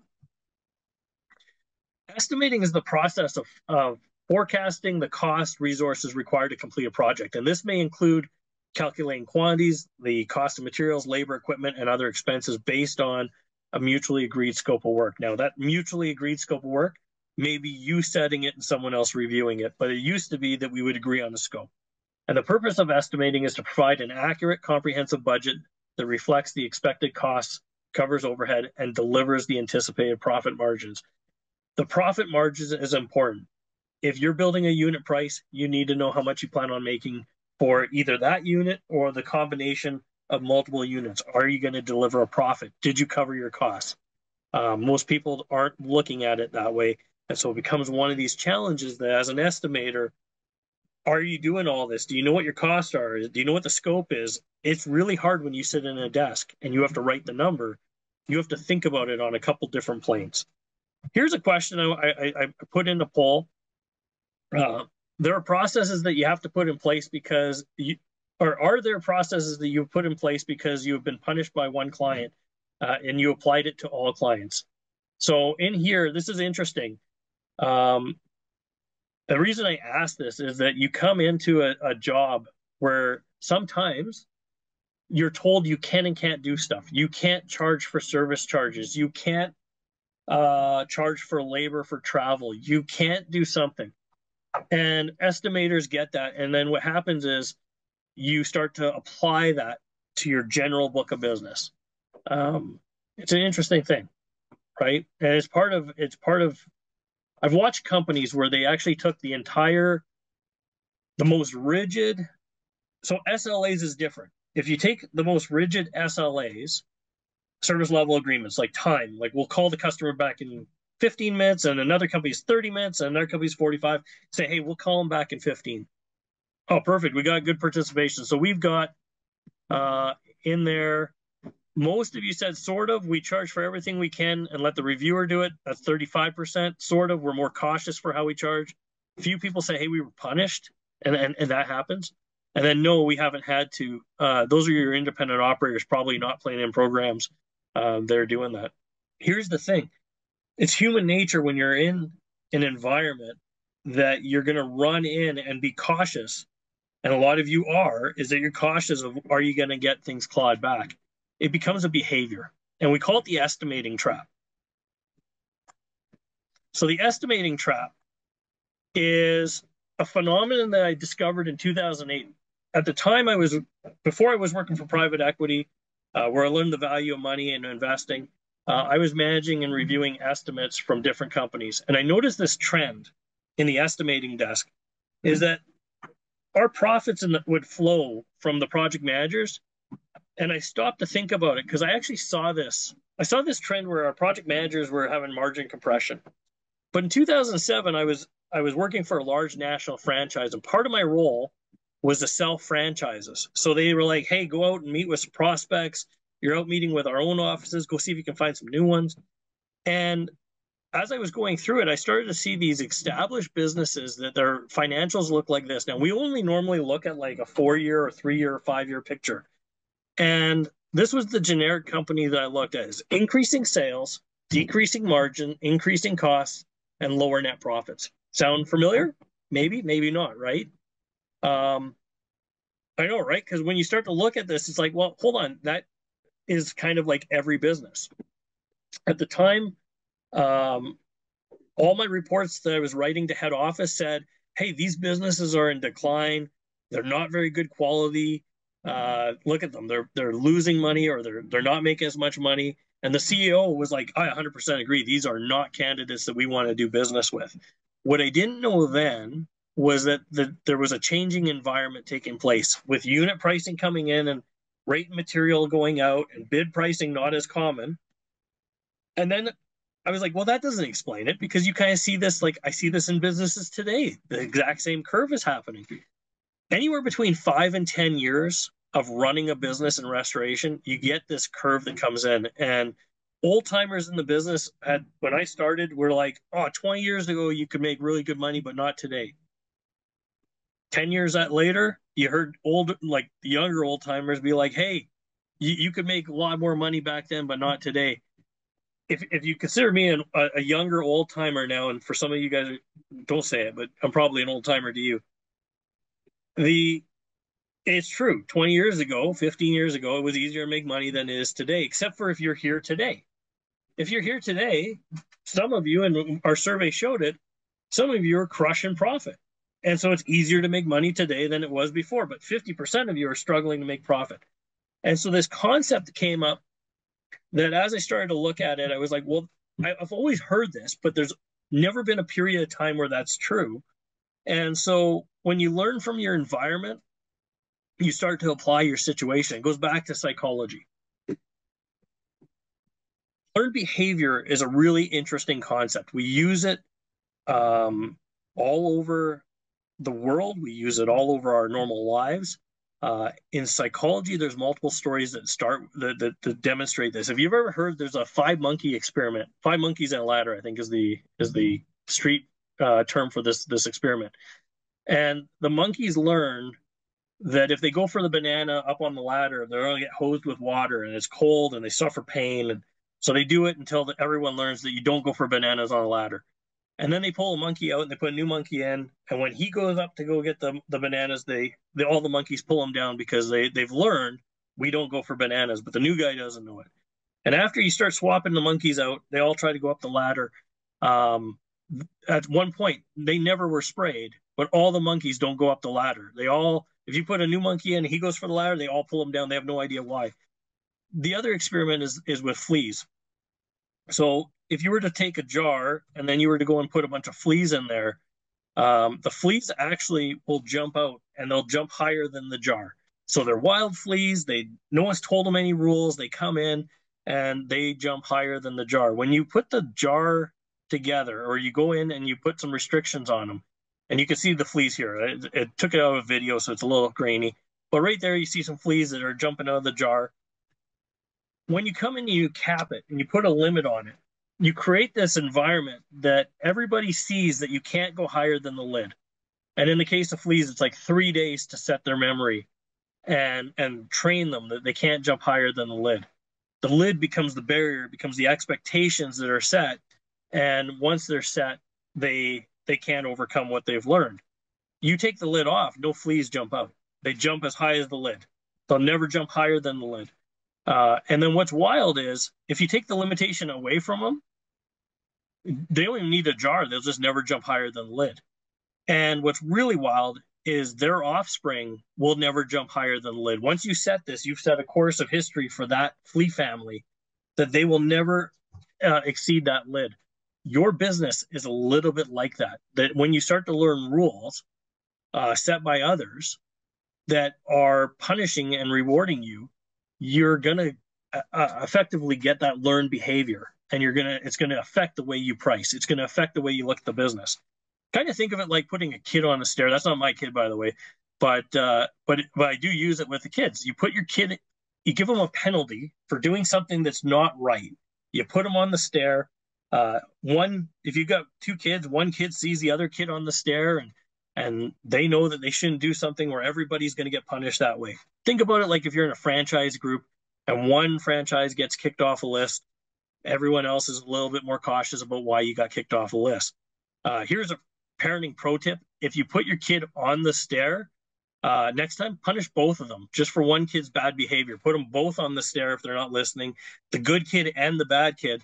And then when you leave the room uh, the good kid's gonna gonna make sure that the bad kid knows exactly what they shouldn't do. And if you really want to mix it up when the bad kid does something just put the good kid on the stair. And when you leave the room you know justice is going to get handed out and no more bad behavior is going to happen i don't know if you're going to get good kids with that but it's a pro tip. You can try it. And for those of you that are single or don't have kids and you're like, hey, that kind of sounds a little sinister, wait till you have kids and then you'll totally understand. It's a, it's a parenting technique. Click subscribe, follow for more parenting ideas like this. But these are like monkeys in a jar when you start applying it to different situations. We, as, as professionals in a really confined environment of restoration and insurance restoration, we are basically influenced by the rules that were provided. I'll tell you, this actually came up in a real world situation. So, um, in 2022, 2023, and 2024, I sat on the IICRC's S700. That's the new smoke and fire standard that's coming out. Um, that's actually not important. But what's interesting is that we had really good professionals that were working in this environment. And the language that you had from some people that had done a lot of program work for their career, years and years of being in programs, is that they had learned experiences that they that was their reality. And then you start talking to people that are maybe a little bit more free, a little bit more independent in their, the way they run their business. And so I would usually get asked a question about documentation. And the easiest thing for me to have said is yes, all jobs should be documented, and Encircle is a great tool to use. But the reality is, could you dry a job without documenting it? If you documented for a homeowner and they you gave them a wet check and they went around and they beeped the meter around the walls and you came in and you checked it and you got to a dry standard and you got your drying goals met, do you need to document it? You don't need to. You should, but you don't need to. Or sorry, it's recommended you do, but you don't need to. So when we talked about documentation, it was you don't need to, but it's it's probably recommended that you do it because you'll want some information to get paid. But what was wild is as we were talking, some of the people that were in program work were like, you must have photos of every piece of equipment. You must have photos of everything that you're doing. And it's like, wait, what? No, that's what a work that's what a field report's for. Like, why would you do that? That's what like no, you're not gonna like that's insane. What they were doing is taking learned behavior from programs and the program rules and applying it to that's how you do restoration. And it's like, no, you don't have to do that. But you do if you're in that jar. And so you learn those rules. Now, it's nothing wrong if you're happy and healthy and you're making the business run in that jar. And I came out of the industry where 95% of my work in Canada came from like a program, like a TPA environment, uh, carrier direct. You can make it work, but it's just that's not the only way to make it work. So you have to just be careful when you're estimating that you're not applying these learned rules. And a bunch of you on that last survey said, hey, we're doing our own thing just understand the only reason you're cautious is because someone else set the rules for you and then they imposed it on you. The estimating traps, I, can't get into the psychology exactly of, of this. I, I do, I can do it in a different format, but but right now, when you look at observational learning, there's a whole bunch of trends that go into to to get that behavior learned. It has to be a repeated learned behavior. Um, it creates margin compression. So if you always are told not to do emergency service call out and five of your vendors say or five of your carriers say no emergency service call outs when you get an independent job chances are you don't charge emergency service call outs you learned from five different carriers that you're not charging for it when you do work for a private company you probably don't charge for it either you give up that margin because you've learned it over here and you've applied it here that's one of the most common mistakes that a company makes is that they take learned behaviors from a environment without having some kind of neutral balance of, of where you are. Uh, conformity feels safe. Your estimators get beat every time they send something in that's a little different. They they feel that pain. So then what they do is they avoid pain by not putting in those line items. And even when no pressure is applied, you still follow those rules. That's true. So then when we get into program, a bunch of you guys ask questions about programs, which uh, I'm going to share with you a Canadian experience, but I know it's not. So that's my, my past history. But I know it's it's true for for non Canadians. I've I've worked with Americans and Australians, but this story puts it all together. Is that when you look at programs, sometimes they're incubators for bad ideas. Sometimes they're actually they can they can incubate really good processes for your business. Usually it's by accident. Like as a, as a general rule, an insurance carrier creates a program to protect their business, it doesn't mean that it's going to help you protect your business. You have to do that on your own. And you have to evaluate whether their rules and your rules are compatible.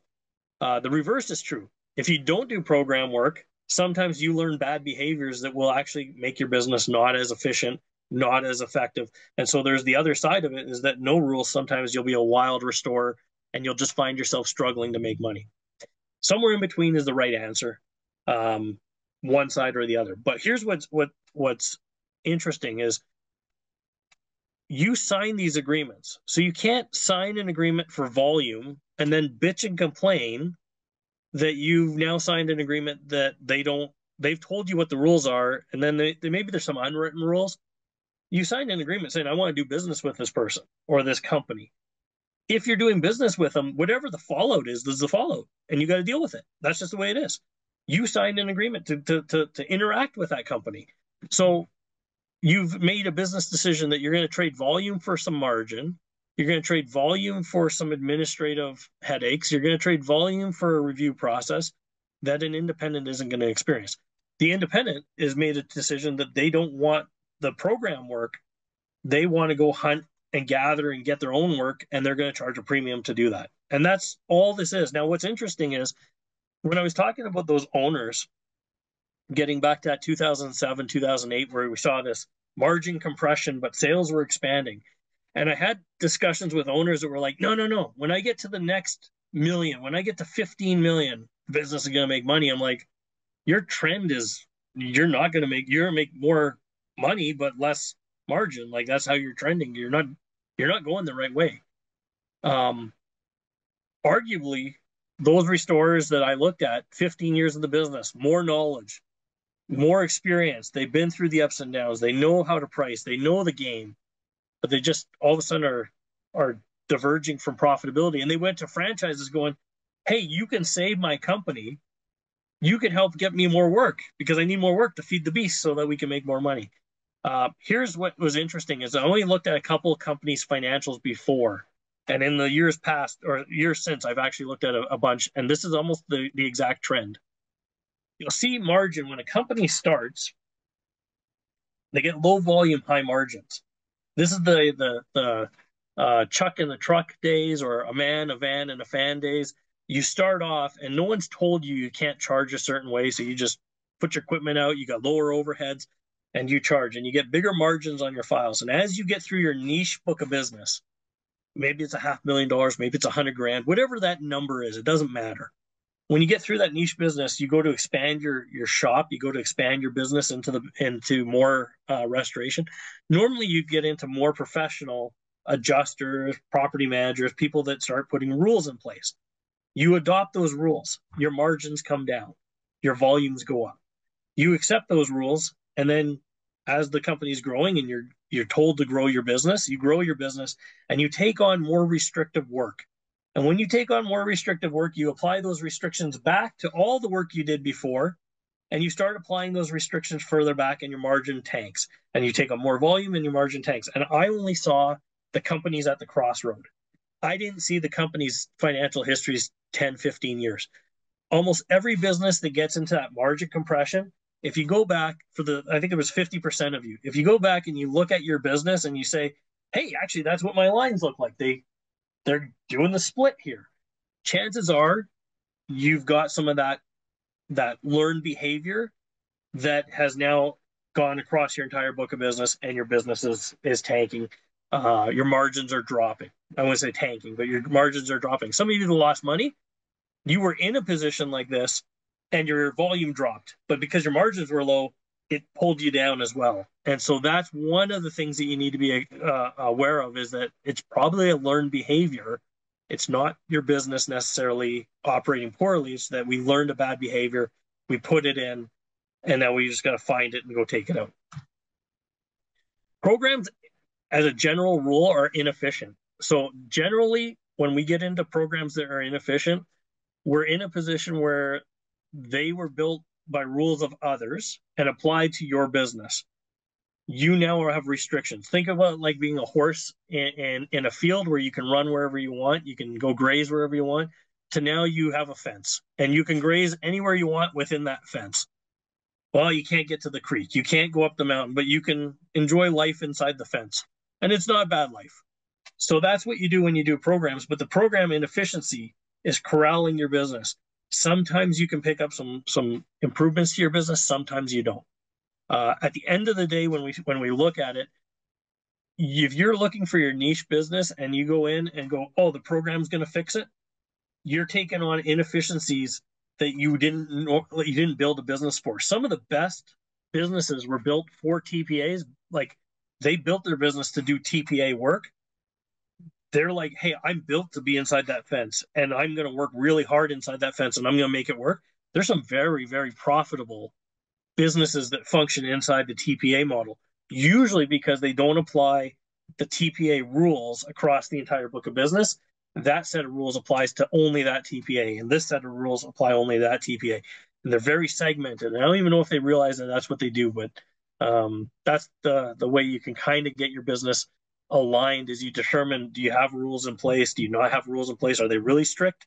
If they're that strict can we even make money here? Should we just jettison the uh, the volume and get back to a smaller restoration company? It's it's an interesting concept. All right guys we're going to do five minute question period uh question and answer period. I'm just talking to kristen because i don't think we have one on the screen so just so she's ready. No worries. Um so first question I work with third parties that are reducing invoices for the carriers. The most common revision request is above Xactimate pricing. I use a comment that Xactimate presents historical pricing data, but that we use regional market pricing. I give an example of a homeowner getting three estimates of work and choosing from that. Is there a better way to address that issue? It so without knowing the specifics, it depends. Um, if you're in a, a no, if you've signed a TPA agreement, and and I'm assuming you're not, but if you did sign a TPA agreement, then you can't do that. If you didn't sign the agreement, but all of a sudden a TPA shows up, technically they're not part of your contract. So the fact that you're engaging with them is is complimentary. Um, it's it's a consideration. You're you're you're you're trying to work with them, but the user agreement for Xactware is very explicit. It's that the prices should be changed. It can be changed. Um, I'll, here's what I'll tell you. It depends. It depends on how you set the contract up, and then it depends on how you built the estimate to get to the review. Because there's a whole bunch of things that need to happen first in order for you to get to the review and be like, hey, all the pre pre work was done. Now we're at the review and and look back at my contract and look back at the communications here. This is the this is how we're going to charge you. It, it just it, it depends. Um, what are your thoughts on using a third party company for estimating? It seems that with the points you're making, it's essential that our estimators understand our own pricing sheets, of which a third party estimating company probably wouldn't be able to do. What are your thoughts? So I like the third party estimators in the sense that if you don't have the skill and you need to buy, like it's a rent versus own. I'd rather own an estimator that knows our our operation than than to rent it out. It's kind of like if you were to like making pizza and you had a pizza shop and then you're like, "Hey, you know, I'm going to set the price of pizza." And you call a guy in New York and you're like, "What's the price of a pizza?" And they're like, "I don't know, like $40." like, "Perfect." And that's not the price of pizza in your market and that's not even the pizza you sell you having someone come in and price a job after you've done it makes almost no sense. Like unit pricing done that far out behind and it's now trailing. What are you billing for? Did you bill for anything that you did? Did they just go and find numbers and add it to the estimate? Because those numbers could be charged for. Unit pricing is a, a weird system that and, and and it leads to more audit, but it's a weird system because when you use third party estimators, unless they have a complete comprehensive file and you told them exactly what to do, they're kind of picking line items that may or may not have actually got done. So it's it's really tough to do that. I like I like having in-house estimators. Um, it's it it just to me, if you decouple pricing from operations, like now you've given up the the bit. If you're not making money in operations, the only place you can make it up is on estimating. If you decouple it, how do you figure out what your costs are, and how do you figure out where you got to get good at estimating?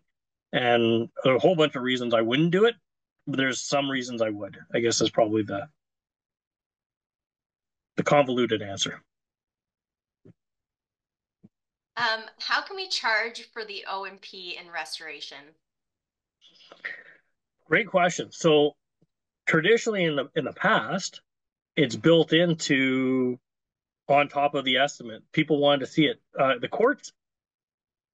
This is probably going back 30 years. O&P used to be that it was only like there was an argument, three trades. You'll see this sometimes. It's three trades, and then you can put it on, and you can't put it on. There's if there's only a few courts that have ruled that it's not applicable to the job. So almost all the time, even in contents, overhead, or sorry, not in contents, um, in restoration, O&P could be applied based on case history uh, in in the United States. In Canada, overhead and profit is if it's assumed that you're going to incur it, then you pay it. And so it depends where you are jurisdictionally through law. Again, not a lawyer, but I did stay at a Holiday Inn last night. So there's a whole bunch of things that you could factor in. I don't know why we show it. So in Canada, we show overhead and profit at, on mitigation. In the States, a lot of you don't. Uh, a lot of areas, they say, hey, you can't show it. Build it into the price. It's part of the price. You put your numbers in there. O&P is built in. It's a fake number anyway. It doesn't even matter.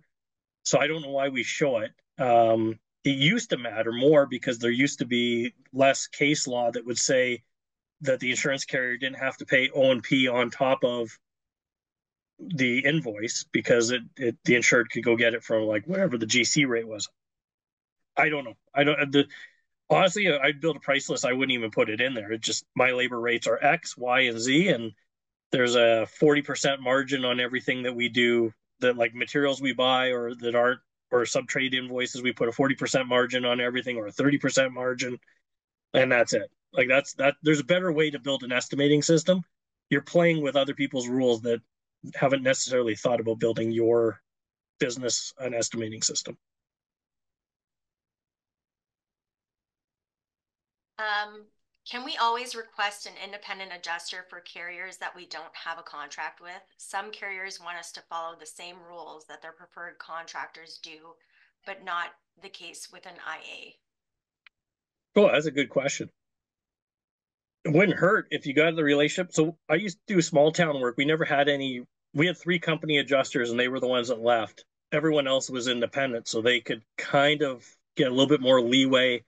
Uh, the rules didn't apply to them, so you could ask for that. Um, it wouldn't be a bad thing if you have a relationship with the independent adjuster, or you just you've had a bad experience. The other thing is, and and this is a tougher one, if you do work with a really a really poor uh, company that you know it's going to be hard, sometimes you might just want to walk away from those jobs. We had one carrier where I did not, I could not make it work. We just stopped taking the work. Like it was not worth the volume because the margins were so low. The margins were below our, our overhead costs. So every dollar we pumped into the into their book of business, we lost money. We just were like, we can't do it. We do, we'll, we'll shrink the company, we'll right size the company, but to not do your work think about it like rebuild.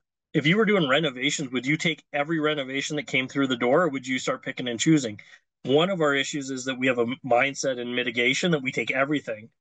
The reality is, I might not take it from certain carriers if I find out you're with a carrier for a certain area. Nope, I'm not dealing with that, and I'm not dealing with their garbage, and I'm not dealing with all the headaches that it's going to put into my business. I will go find work from these other carriers that I like to do business with that's a hard decision. It's easier said if you if you don't have if you have the volume. It's harder to say when you don't have volume. Um, but that's yeah, it's it's a request that you can make, and you don't have to follow the rules. By you know, your contract may say that you're charging ten and ten, and their their rules say, hey, no emergency service callouts and ten and five. Cool. I didn't sign a contract with you as the uh, as the carriers. No. Do you have a price list that can make it work? I don't know it's a it's a business decision. You have to get down into more like the the mechanisms of of how much is it costing you to to not do business. Sorry, it's hard to answer those questions without more information. Like I'm trying to answer them based on a set of facts that I have in my head, which may not even relate to what you're doing. So it's it's hard to answer those specific questions, but you know, it's an answer. It's maybe not the right answer. We do have a couple more questions. Um, yeah, let's do that, and then we let's do three more minutes of questions, and we'll take 15 minute break. Beautiful.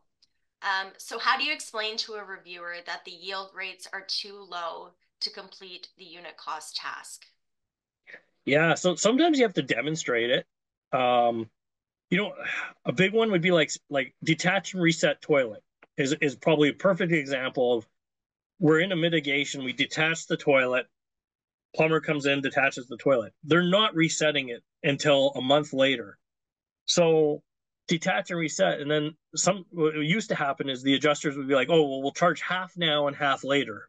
Well, that doesn't work either because one, it takes less time to take it out than it does to put it back. Two, it's not it doesn't represent the the the actual event that's taking place. So you have to use two line items to do that, detach and reset.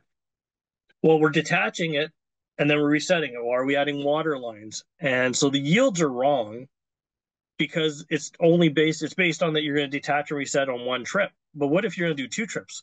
Well, now you're into two service minimums. If you're just doing toilets, you got a $300 service minimum charge to take it out and a $300 service minimum charge to put it back in.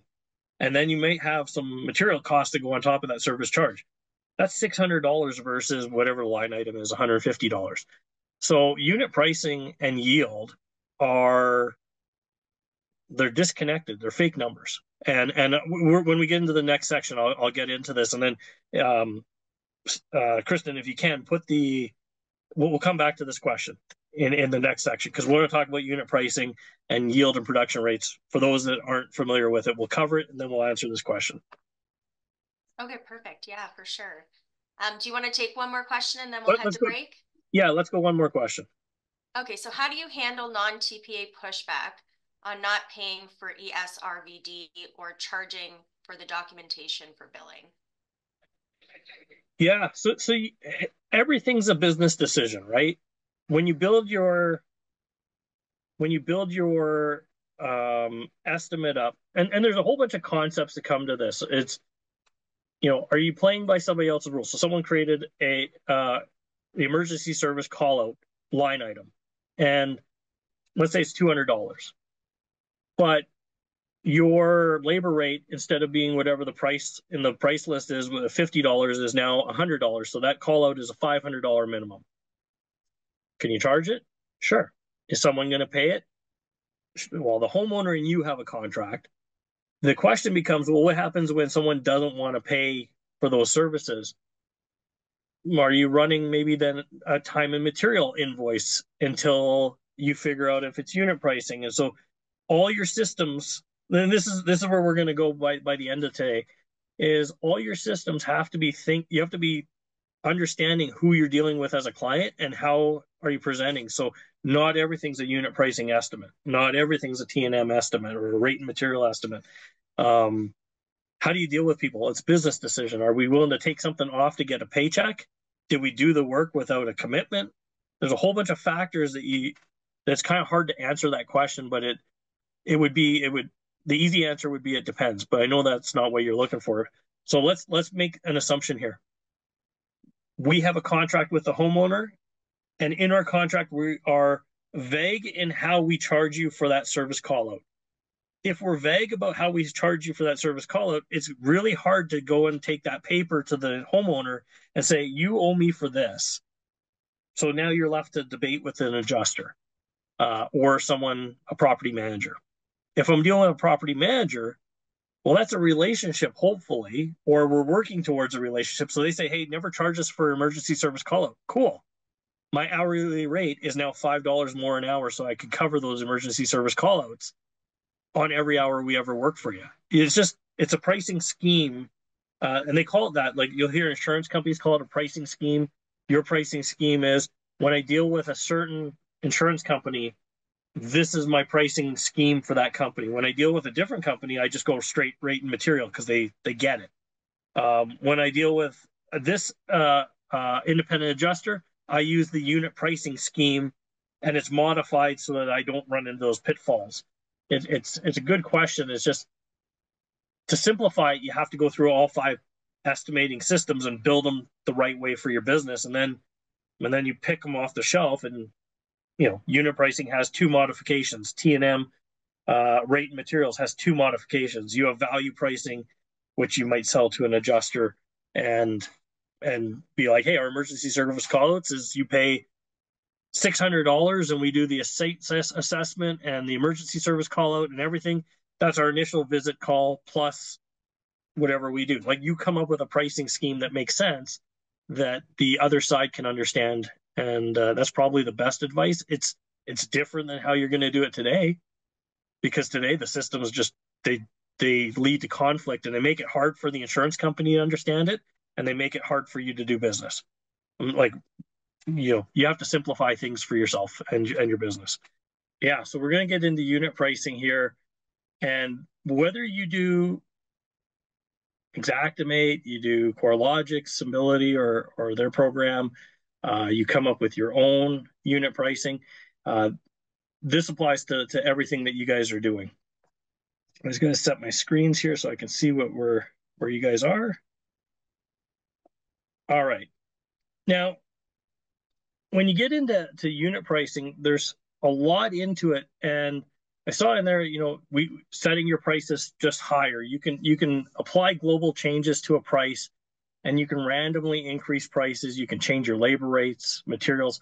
I'm a big fan on building a price list that has a lot of structure to it. So not necessarily that you go in and, and you just make some some quick modifications because if you change your unit pricing list and you don't change everything else in your business, uh, your rate materials to align with it, effectively what you're going to do is you're going to get something that doesn't feel feel right and it's hard to defend.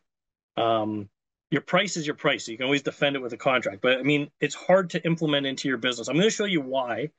Uh, I take a different approach than some of the others in the industry uh, when it comes to pricing. I, I'm a big believer you set your own prices. I'm a big believer you need to know what your costs are. And so you effectively are building out a margin based on volumes and a whole bunch of stuff. But there has to be more strategy to it so that you know where your negotiation zone is. You know where you can't negotiate. Um, you need to have all that dialed in. But when we get into unit pricing, uh, I'm going to go through some of the basics and then dig down a little deeper and, and tell you what's what's going on inside some of these. All right, I gotta minimize that and move us. There we go.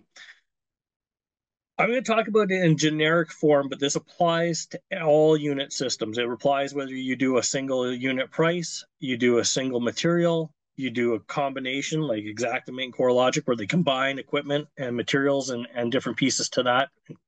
Um, if you if you put multiple unit estimates together and you combine to create a components group or or an estimating group, you might do extract, carpet, uh, remove pad as a group of, of line items, and you just say, you know what, six dollars for that, and and I'll we'll go through the the risks of that when you do it. In here, when we look at unit pricing, you look at unit prices as a singular unit. So the easiest thing that we can do is look at a commodity something that we add no value to, uh, something that doesn't change, buying a piece of material. So this was Home Depot pricing the other day. Uh, two by four by eight is three dollars and thirty five cents, and this was in Washington State. Uh, funny enough, if you went to Jacksonville, Florida, there's it's one cent more to transport that wood all the way across uh, the U.S. So it's three dollars and thirty six cents in Jacksonville. What we're looking at here, though, is you've got a commodity. There's no value added to the lumber. You can buy it at any store. If you buy it from this store, it's three dollars and thirty-five cents for that two by four by eight. When we break it down, we break the materials down. And so almost every unit price is by the foot, either square foot or linear foot. So you have to make some assumptions. If you're doing a square foot where you're framing a wall, you're saying this wall is being framed with a 16 inch on center, and for every square foot, we can do the math and figure out how much material is going to be uh, used in that in that wall. We could also say that this is an eight foot wall, and we're going to charge a linear foot, knowing that every 16 inches we have so much material there. The pricing mechanics of how you build that price out has to be known to, to your estimator because if you're sitting here going, we're going to build uh, a two by four wall and it's going to be 16 feet high, it could be different because you're going to have a different labor component. You might have a different material uh, rate component in there that's going to change how you look at the uh, the pricing. In here, for this piece of material, it's three dollars and thirty five cents for an eight foot piece. Uh, we're going to say it's forty one point eight seven cents or forty two cents a foot uh, for every foot we got a poll here. This is a question because we're dealing with a commodity. How much should a two by four by four, half the cost or half the uh, uh, length, cost if a two by four by eight is three dollars and thirty five cents? Uh, Kristen, can you throw that poll up? There we go. So how much should a two by four by four cost?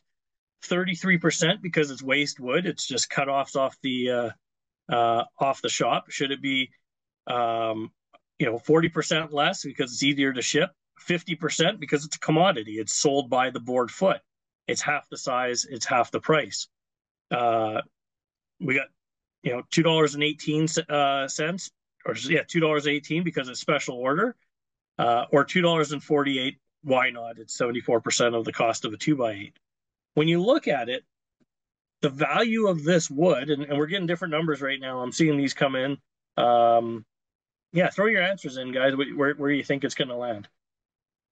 When you look at it, it's a two by four. So at the mill, if I'm milling a 12 foot length and I get a 14 foot board, I might cut the two feet off because I need the 12 foot length. I need the longer, more um, billable lumber to go into the pile. and then we've got these shorts. Maybe that's how they do it. Maybe they come in and they cut it. All right, here's the answers we got. We've got the uh, the poll stopped, and here's the answers. A lot of you thought it's just waste wood It's 33%. Uh, it's easier to ship. So you got some people saying that it's smaller. Uh, it's 50%. It's less size. It should be half. And then a bunch of you said, hey, it's special order. We're going to put a little bit of a premium on there.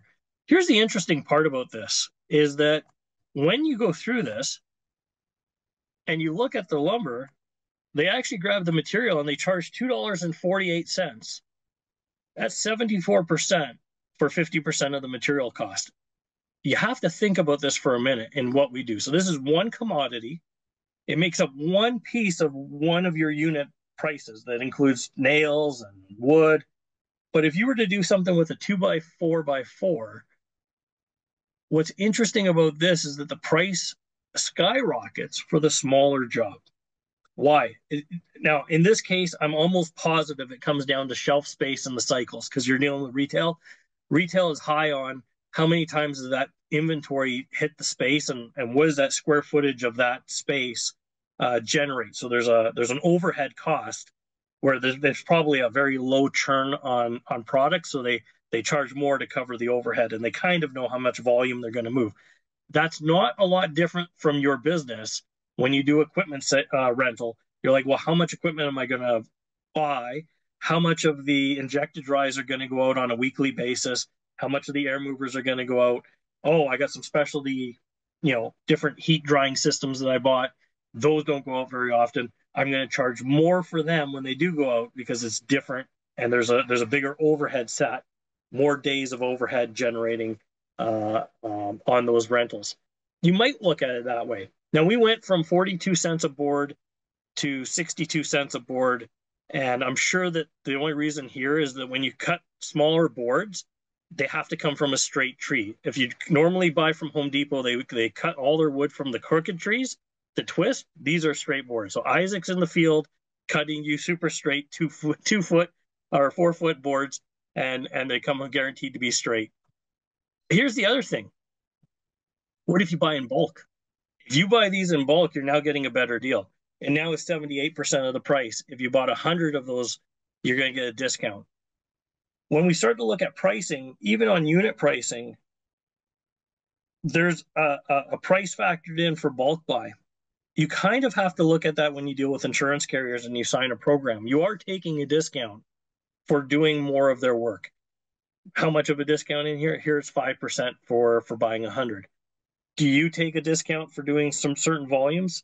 Well, we give the discount away before we get the volume usually. So usually you don't get the discount unless you give us the work. When we deal with insurance, we give the discount. We hope to get the work.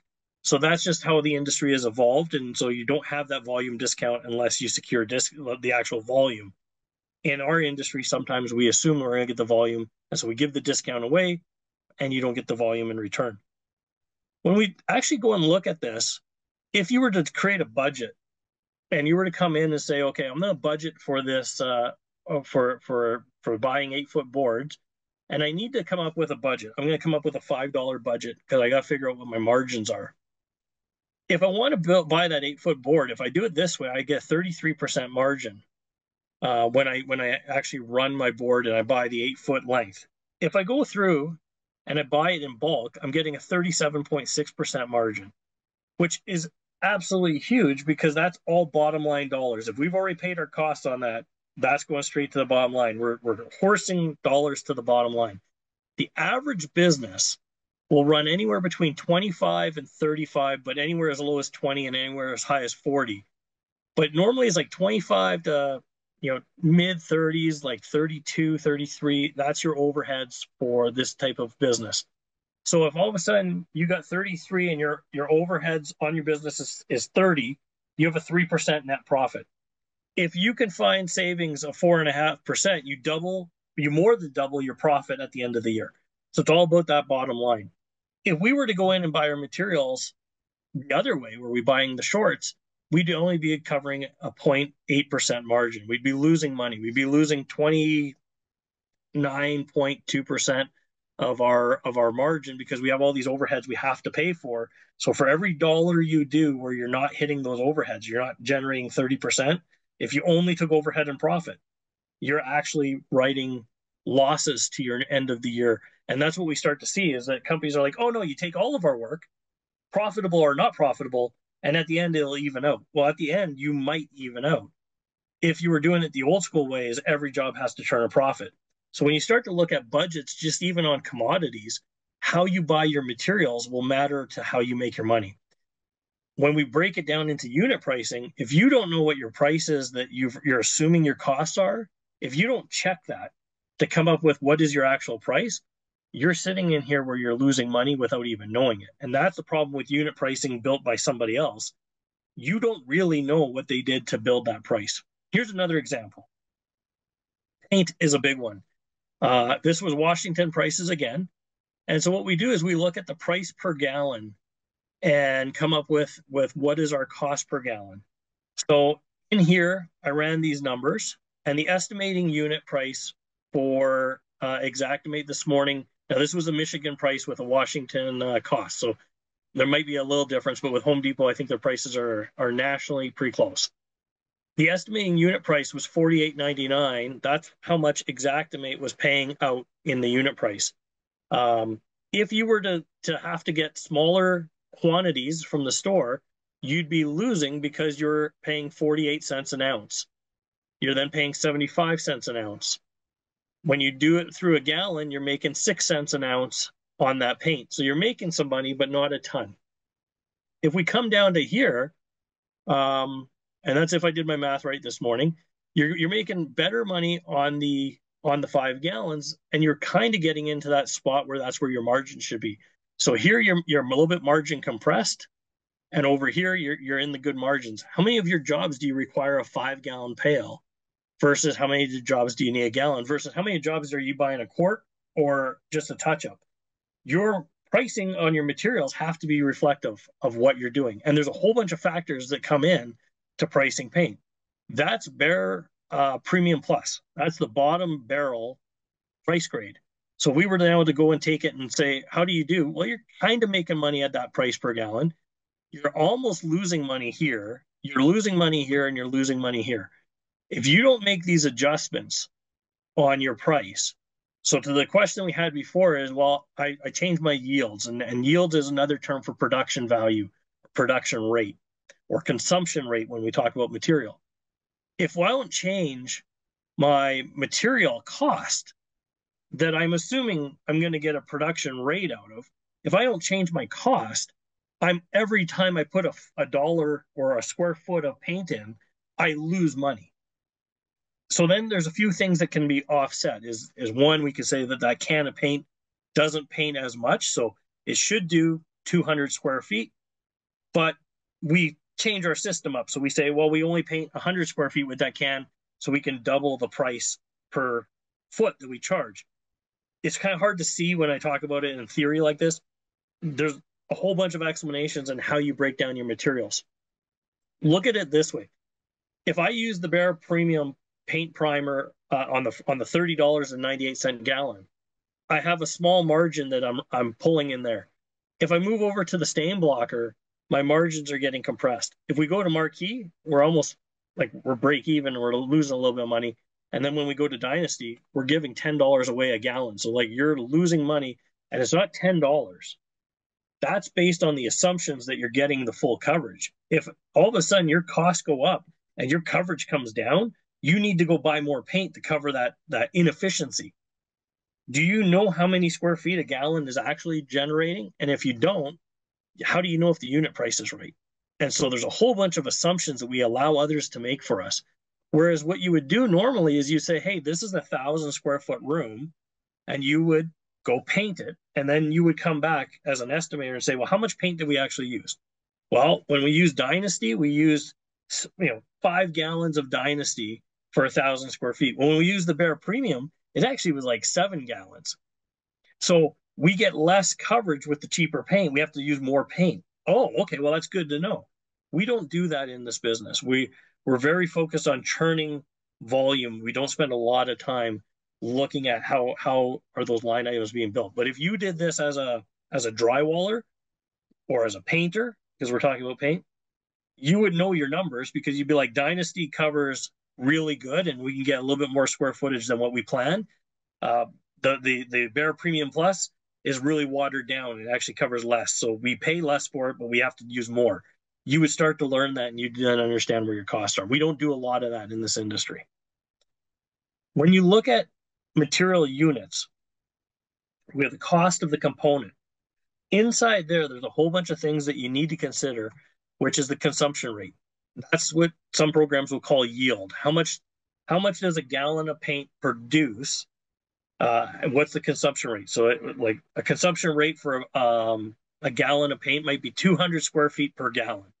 That would be the consumption rate. But if you're doing fresh drywall, maybe your consumption rate is 100 square feet per gallon because that prime and paint is getting absorbed into that wall. So it's not, it's like half as good if you're painting over other paint. Well, that's going to affect your your your installation numbers. Now, you're hoping the estimating system is accounted for. We mostly paint fresh drywall. But if you're going into a new home and you're painting, you might find that your paint number is going to skyrocket. Your your consumption number is going to skyrocket. You're going to need more gallons for a brand new build than you do for an existing home because that that wall will not absorb the paint. So we look at consumption rate and say, well, what's our what's our production rate uh, for the paint? We then look at consumption waste. So every time we pour a little into the tray and we we don't empty the bucket out, we lose some waste. What is that per gallon? Normally, you'll see things like five and ten percent.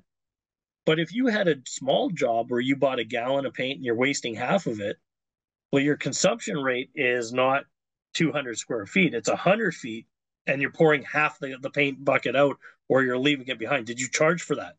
Most of the time when we get into small projects, we don't charge for that. And then it compounds.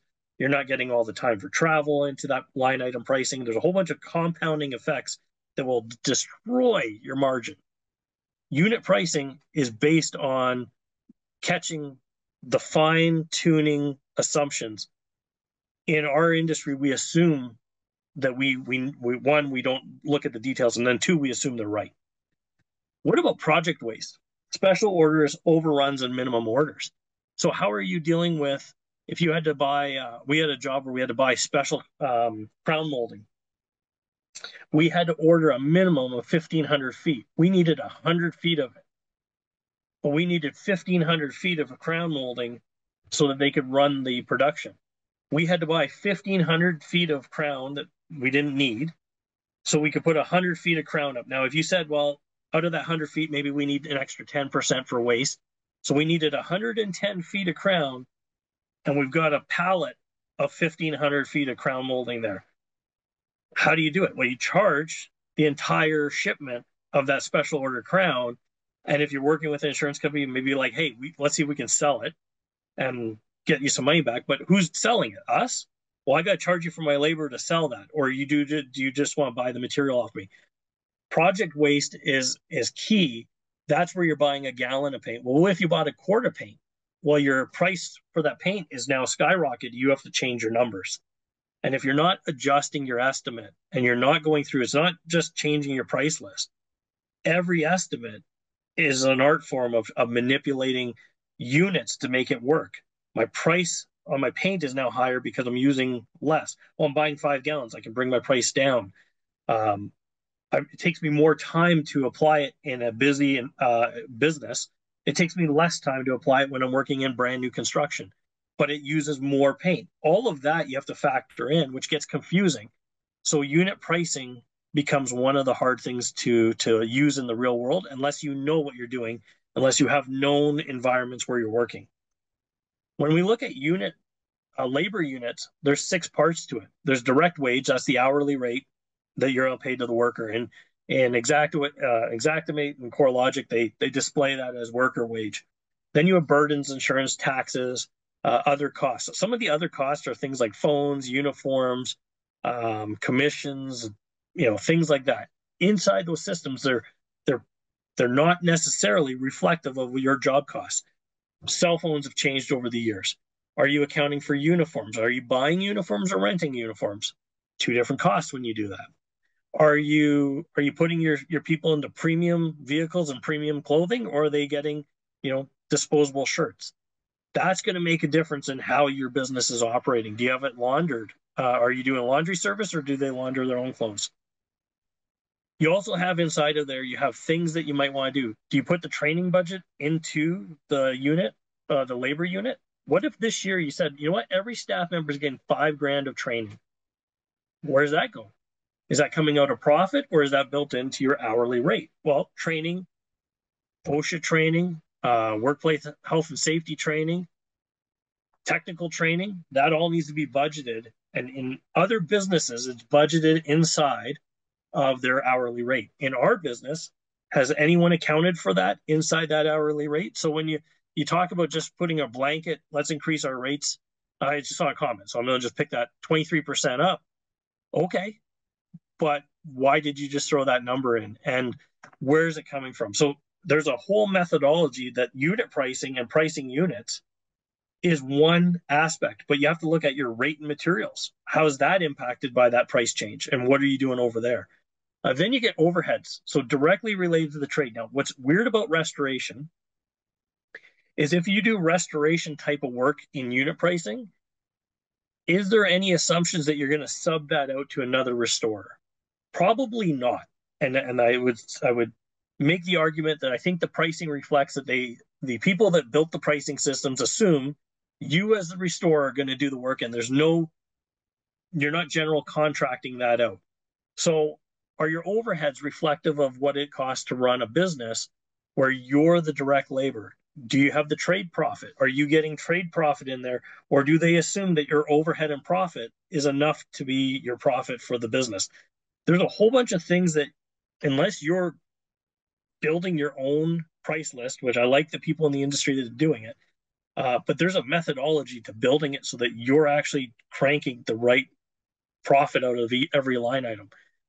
If you're not doing that, or you're not in a system where you can do that, you have to then look at how are you going to work inside of a program rule where you can make the money so do you have to charge for more line items? Well, now you get into a little bit of a, a gray area where you're charging for things that maybe you're not necessarily doing. At the end of it, you got contractor overhead and profit. And that's where the question came before break is what do you do with the overhead and profit when someone says they don't pay it?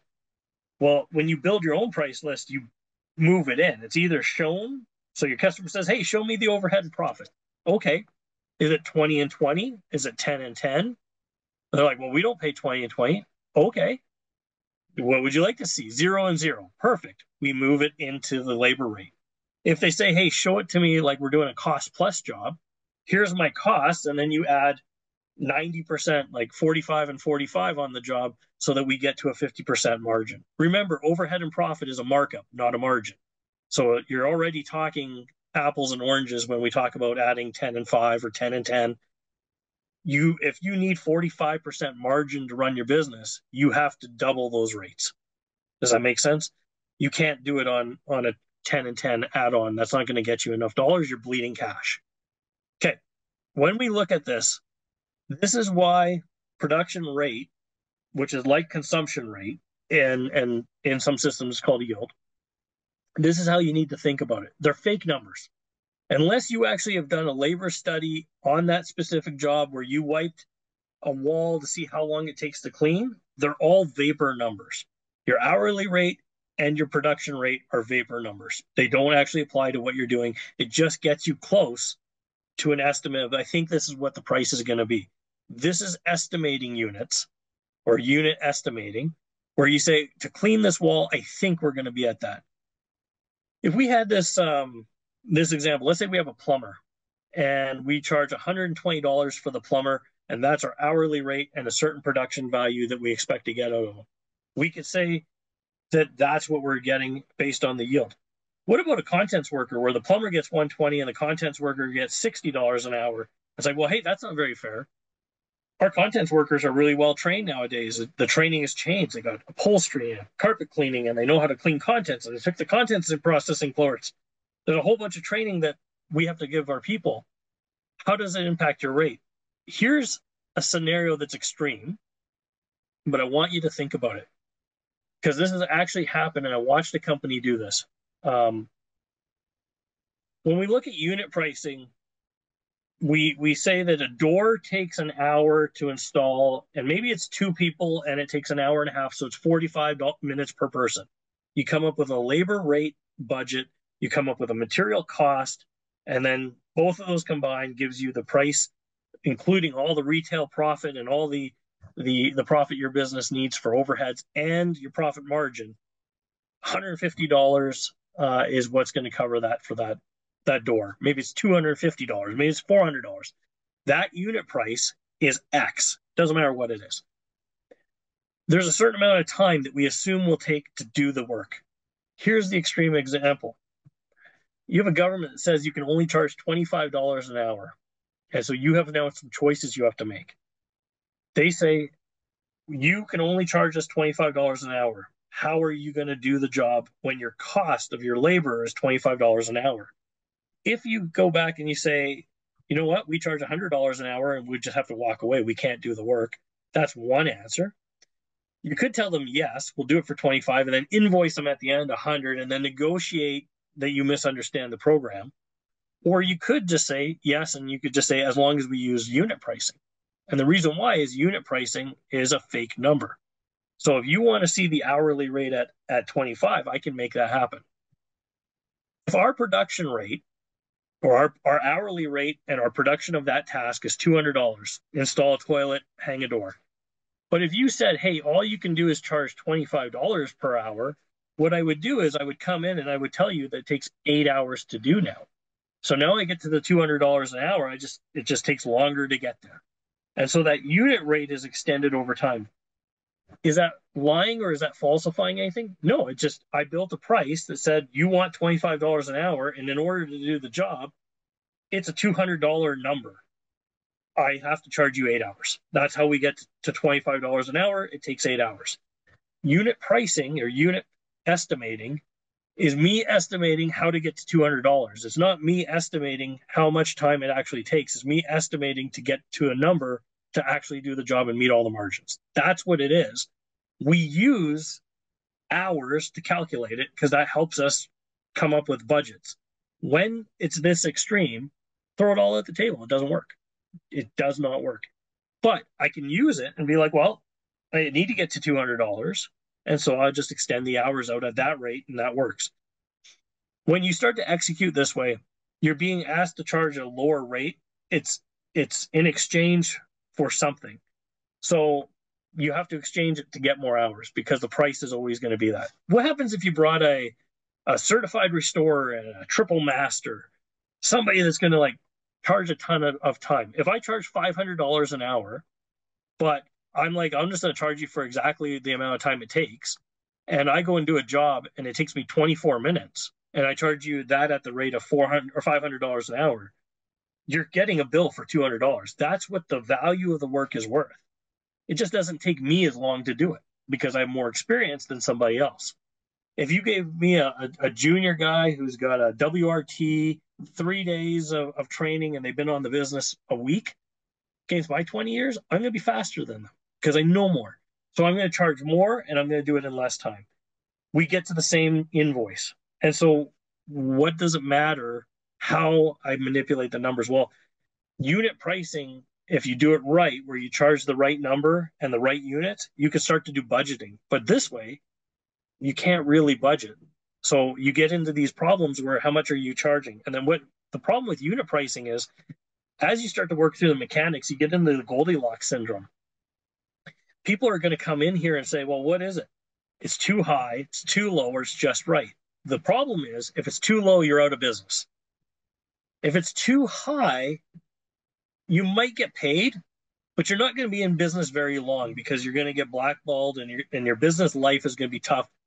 It's easier to be just where you need to be, just right, and just above. That's your your window of opportunity whenever you do estimating.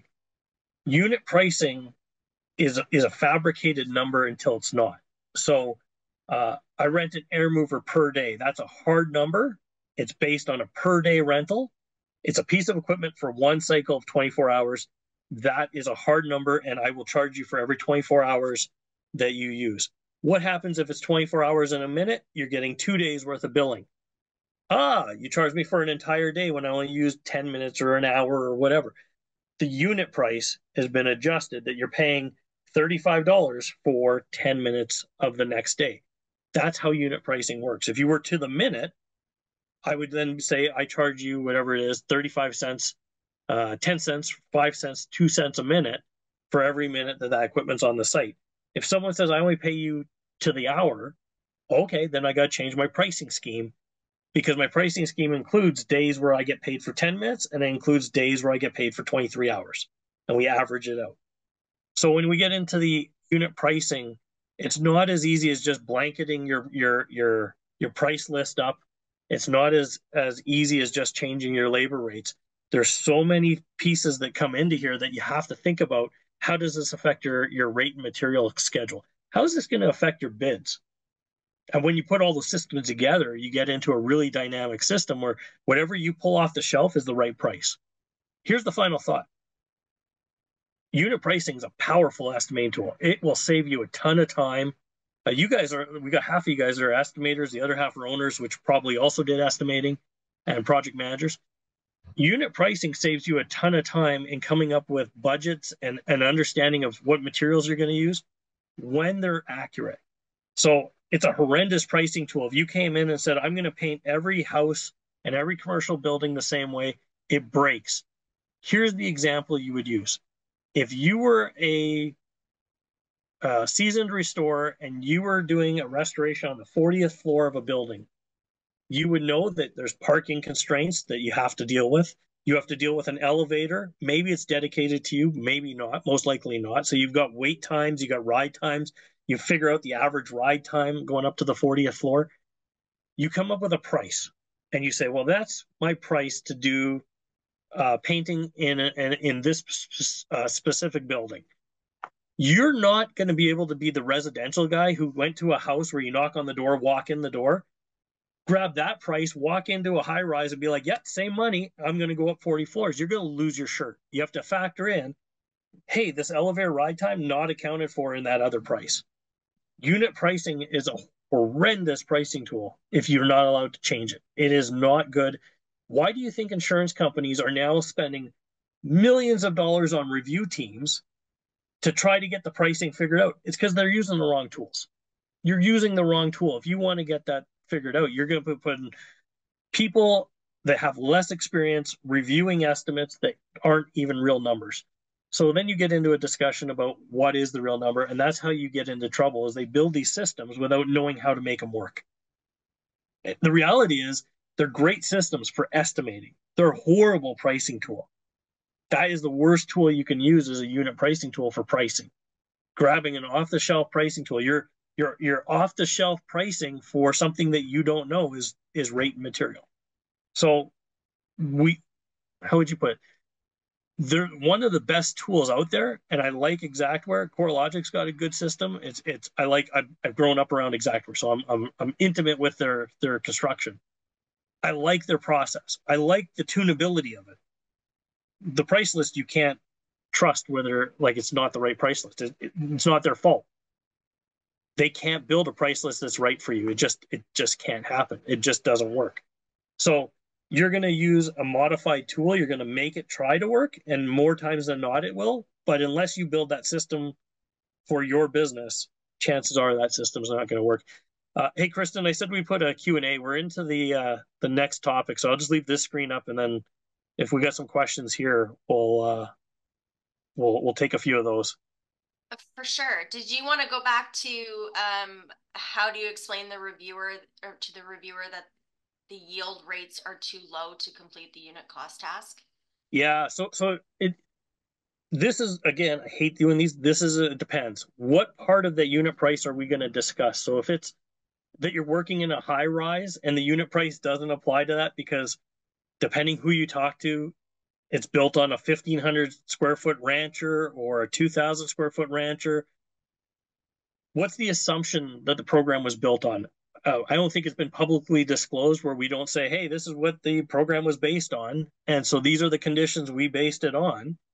you you have to go back and say, well, the production rates don't work. But part of it is is is you have somebody who's learned that it's a it's a pricing tool, not an estimating tool.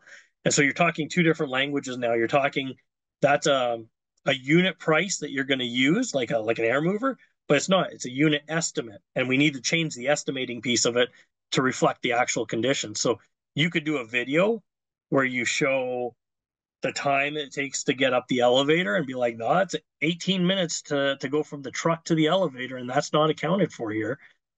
It's a tough discussion, and it depends on the context of how you're having it. The biggest thing is, is that when you get into a number that's like so far off, you might be better off to go back and say, I can't do it for the unit pricing for this building. I already know it's wrong. I'm going to give you a bid number for it because I can account for all the stuff that I need to do, and I'll give you a scope in the unit price. But there's sometimes when when that price list and your job will never even be remotely close that you can't make it work. There's a whole bunch of uh, circumstances like that that you need to pick a different system. And if you've only been told that your unit pricing is the way and you can't modify it, you can't do the job that way. It's just it's it's impossible. It's not a pricing tool. Good a good question. I I wish I could go deeper into it. It, it requires a little bit more context in into the question, and it, it requires more context in the answer. Um, I've dealt with adjusters that flat out wouldn't pay for work that was needed and performed. At what point do you bring this to the customer's attention? And at what point do you get an attorney involved? Oh, good question. You're a contractor. So here's the hard part as a contractor, mm, so, so there's a couple circumstances here. I'm assuming you're an independent.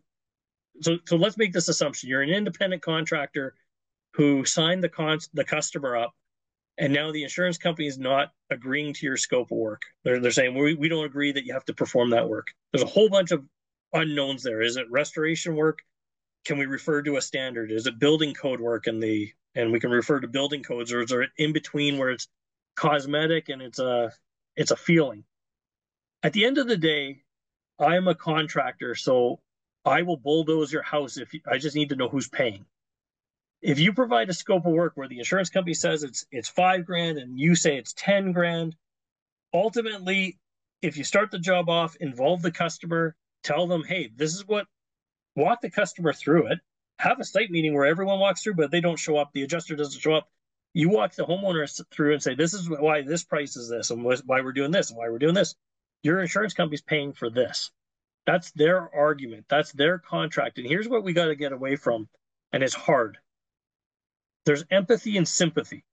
Empathy is that you understand that they bought shit insurance and that they spent no money on the premium. So therefore they get no coverage when they have a loss. Sympathy is when you take on that burden of them making a bad decision and you own it yourself. Uh, where you might be talking about the problem with that is if someone buys cheap insurance and their insurance company jerks them around because the coverage isn't very good, that doesn't mean that you need to go and own the emotional uh, burden of it. It's like, hey, you save money at the premium side, so now you have to pay out of pocket. That's kind of like going to the dentist and them telling you that you're only covered for 80% of the dental procedure or 50 or whatever. It's the same thing. Uh, for me to do the job right, it's this. If you want me to deviate, write a change order uh, and I'll, I'll do it for you. The problem is there's a whole bunch of what ifs in that question. And so I'm, you know, as a general rule, you might be talking about is it tortious interference or is it um, some kind of a law where they're interfering with your contract, that's a little tough to prove because you both have contracts with the customer. So it becomes the insurance company protecting their number, which they're free to do. Um, they're free to interpret their policy however they want. It's the homeowner's right to go and argue that. You, as the contractor, you don't have a, a, a dog in that fight. Your deal is get the job paid for. Insurance is given the homeowner half the cash the the part we get confused on is it's like, well, they owe us for our work. No, they don't. They don't have a contract with you. They don't owe you shit. They owe the homeowner to indemnify them for the cost as per the words of the contract.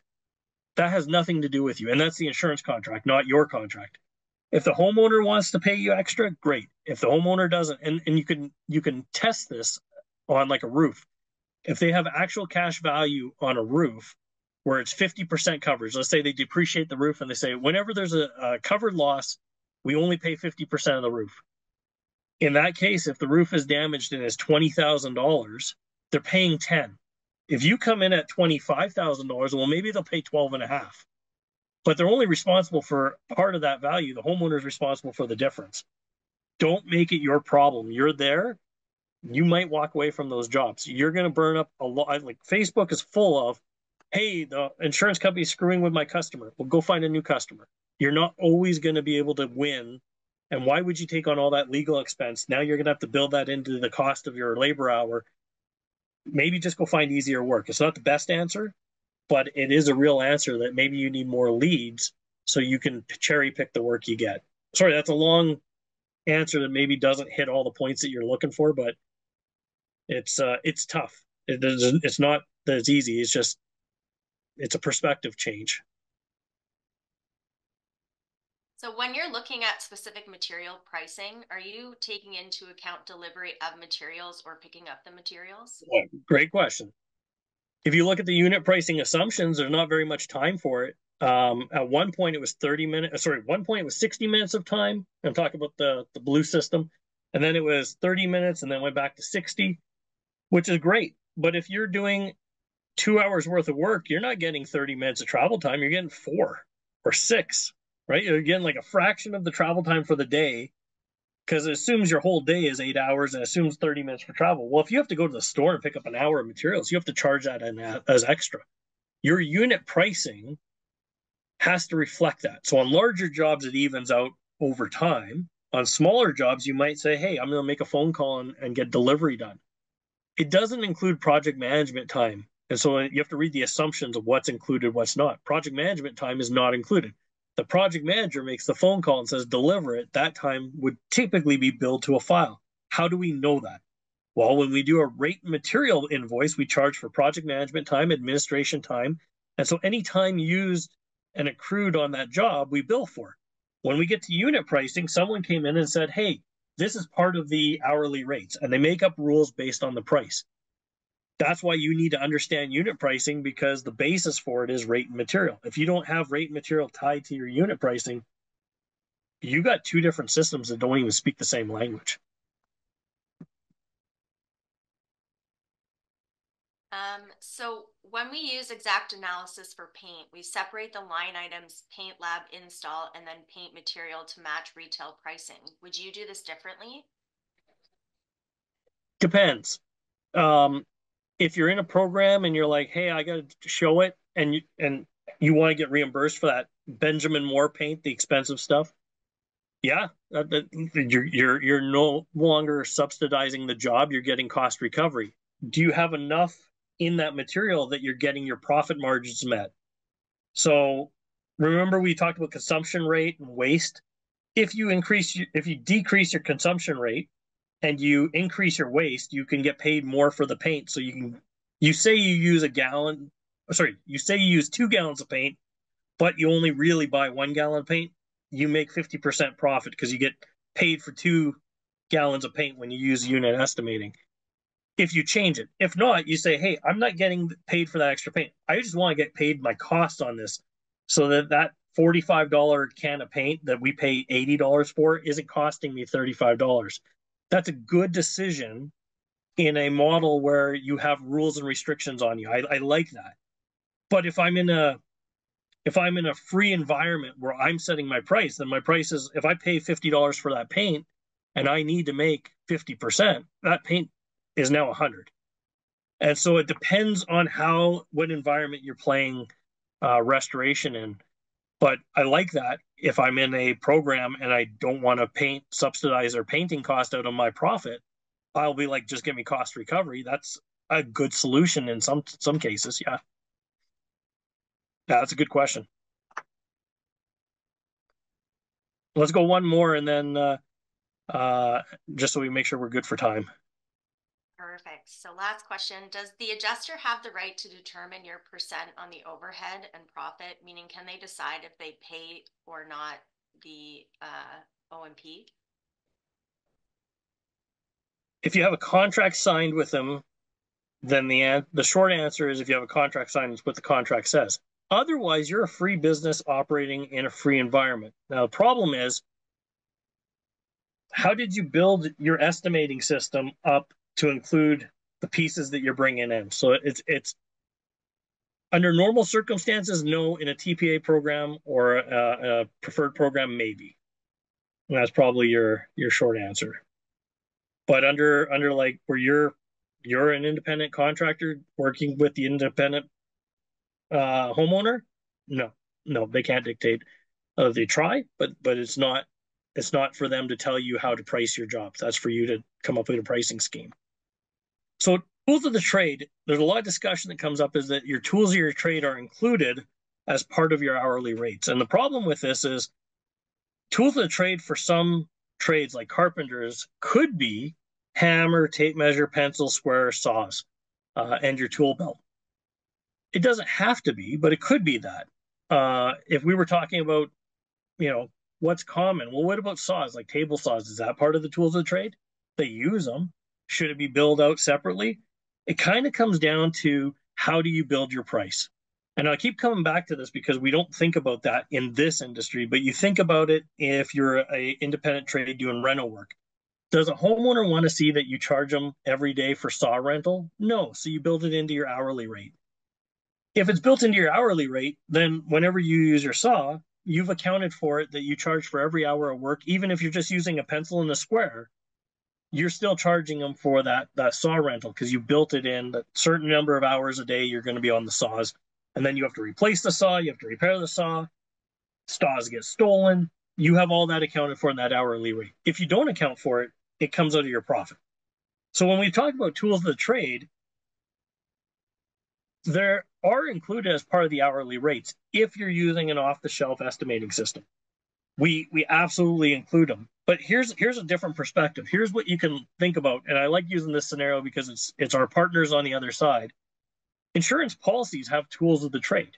They insure your house, the uh, uh, you have building, you have additional living expenses, some of these policies will say we cover jewelry, and let's say that all policies say we cover some portion of jewelry. Well, is it ten thousand dollars of jewelry? Is it hundred thousand dollars of jewelry?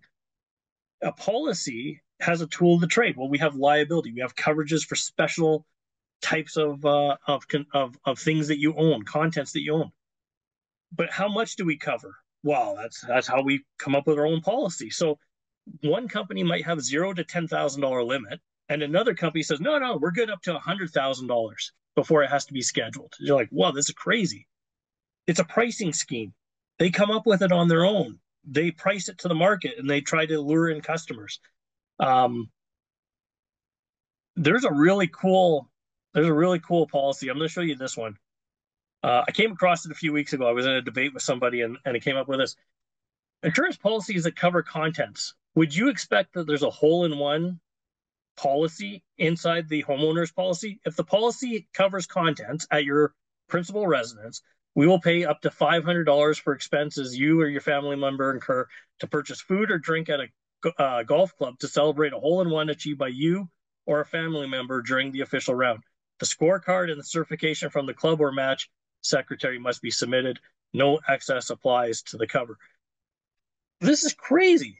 So inside a, a normal insurance policy, well, a higher end insurance policy, someone put a hole in one that if you sink a hole in one, you're going to get $500 and we're going to pay up to $500 of your food and drink bill. So if you have a thousand dollar bill, we're giving you 500 bucks. If you have a $350 bill, we're giving you up to $500 for those expenses. We'll give you $350. This is insane, but it, they created their own tools of the trade and they said this is what's covered. This is what's covered in that insurance policy. When you pay that premium, that hourly rate, this is also covered in there. Could you imagine being a fisherman and they're like, "Hey, we're going to sell policies to fishermen because we think they're a good customer base. If you catch a state record uh, in your home state, we're going to pay for the mounting of your fish." And that was your insurance policy. You'd be like, "That's a cool policy." I would probably do business with that company because they believe what I believe. So, tools of the trade is about how you build your price and what you have factored into the hourly rate and what you've left out. Uh, that was a Chubb homeowner policy uh, out of Australia. It's kind of cool to read. They also have these. What is the tool of the trade in insurance? What's liability or or or coverage? They're only going to cover up. They pay five hundred dollars for a hole in one, but they only give you up to two thousand dollars for cash that you lose in a named peril or a, a peril at the house. Uh, if you have watercraft spare parts, they'll give you up to five grand for spare parts, but you get five hundred dollars for something that has nothing to do with insurance. So their tools of their trade is that they put stuff in that they accounted for, and they were like, "Hey, we want golfers, and that's who the high end people are are focused on." If we grab another insurance policy, they also include uh, watercraft parts, but they only include five hundred dollars, a thousand dollars, or two thousand dollars. If you were a customer, you say, "Well, no, no, no, no. Five thousand dollars is covered in all of your policies because the other guys cover it." That's not how it works this company built their policy based on these assumptions and that's the rate you pay and the other company said no we'll cover you up to $5000 why their boats are probably a little bit bigger so therefore the prop is probably $4500 where these boats are a little smaller props maybe 450 bucks all it is is a pricing scheme and if you're not in control of it you're getting it swayed back and forth you're getting it pushed and pulled and so people are telling you what is and isn't covered. It's no different than insurance policies. They tell you what they're covering, you read another one and it's completely different. You judge the premiums and decide which policy you want. Now, that's a peace of mind contract, but it's just something for you to, to look at. You're in the same business. Do you charge for your FLIR camera or is it built into your hourly rate? Did you build it into the hour, hourly rate or did someone tell you that 20 years ago they considered that FLIR camera part of that hourly rate? Do you charge for ATP meters or just the tests? All of that can be built in. And when you build a rate and material price, you probably charge for that stuff. All of a sudden in unit pricing, it's all built in for you. Well, okay, how much are you, are you charging for that tool? Oh, it's not in the price list. Then you probably didn't impact it or didn't put it into my price. Parts of an estimating system. So I, I talked about this before and it's not necessarily the formal contract it's how you frame your paperwork and then you take it to your lawyer so you have your client contract this outlines all the rules that you're going to follow and you're going to make sure that it it it meets the needs of the insurance industry and what you're trying to do your contract is your rule set it says that you need to pay me in 15 days well you know gary might have a, a contract that says that you pay him in 60 days that's just the rules of the contract. Well, he charges more per hour so that you can pay him later, whereas I charge you in 15 days and then I charge you interest until you pay. That's just how we're doing business. The contract is is the rules of engagement with the client that we're going to do business with. To the question of if the adjuster doesn't pay, it says here in, in one of our rules of our engagement is if the adjuster doesn't pay for the uh, contract, we're going to, or for for the damages, we're going to charge you directly. We don't deal with your insurance company, but we will wait for them to give us a check and then you pay the difference. That's fine. That's a contract. That's what you need to have in place because that's the rules that you're going to have. Our overhead and profit is 20 and 20, 40 and 40, 50 and 50. What it, it's your contract. If someone signs, you've made an agreement on that. The insurance company has the right to say, hey, we have rules in our contract that we might not pay that that doesn't mean that you can't charge the customer that. It's a, it's a really weird environment. It's different than if we were doing renovations and you said, yes, I, I would like this kitchen. You buy the cabinets for 20 grand, but you charge the customer $50,000 for the cabinets. It's no different. You've added value to it. You told them the price, they accepted it. When you throw an adjuster in, it changes your contracts a little bit because the homeowner might not get reimbursed for it. One of the big things is do you are you telling the story? So floor plan and sketches, even if you're doing rate and material jobs, this is something you need to have. You need to have a floor plan of what you're dealing with. That's going to help predict how where your your cutoff points are, where your containment barriers are, where your site protection is. That's giving somebody who's not on site, who's who's back in an office, an understanding of why you did what you did. Which room were you working in? Oh, I was working in the living room. Oh, okay, that's a big room. Why is that there's so site uh, so much site protection? Because it's a big room. Oh, you're working in this bathroom. Okay, well that's why you had to protect all the hallways. Floor plan is huge. Um, it saves time if you're using unit pricing. If you're using exact, Encircle has floor plan where you take it with your camera. You save a ton of time doing it. It used to be an art. Like you, as estimators, we used to pride ourselves on how good our sketches were. You can rip 3,000 feet in six minutes now, and three hours later, it's in your estimating system ready for you to tune it up. There's no point in doing it uh, anymore. You got huge accuracy, 98, 99% accuracy. It makes sense to do that. Now you focus on scope. Scope is where you make and lose money. Estimating, as long as your measurements are right, you're you're gonna you're gonna be able to put in the system. If you're using rate material, you need a very good floor plan to be able to discuss it. So the one on the left is the floor plan Encircle gives you. If you were doing a, uh, a rate material job, you would be putting it into that, and that's what you would submit. If you were doing it you would get this if you were doing unit pricing, you would get the one on the left and then you would convert it to the one on the right. And then you would tune the doors up. That's not an Encircle issue, that's an Xactware integration issue. The bread and butter is your scope. Where, what, when, who, why, how, how are you doing the work? So this gets to the question about what what if the adjuster disagrees with the scope? Well, have we done a really good job of articulating why we do it? Do we have legal requirements, the law? Do we have uh, uh, standards requirements? What's the order of operation? Hey, we're detaching the toilet on Monday. We're resetting it four months from now. There's going to be two minimum plumbing charges on that job. Well, we don't pay minimum plumbing charges. Cool. Pay the plumbing invoice then.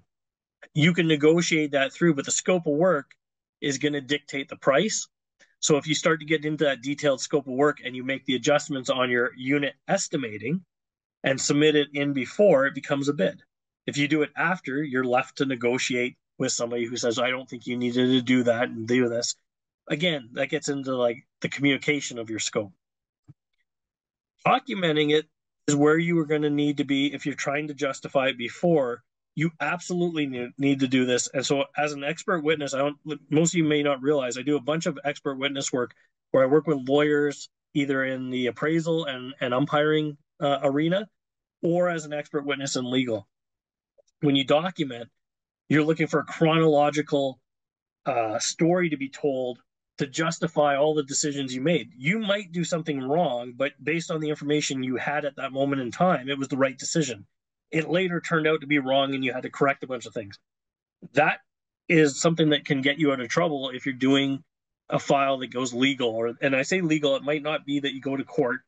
You might be in a deposition or you might be uh, just in a in a, a, arbitration or mediation. You might just be dealing with a claims manager up the, the ranks. You might just be dealing with a reviewer or the adjuster. Somewhere along there, you're in a conflict resolution uh, process. Documentation is key.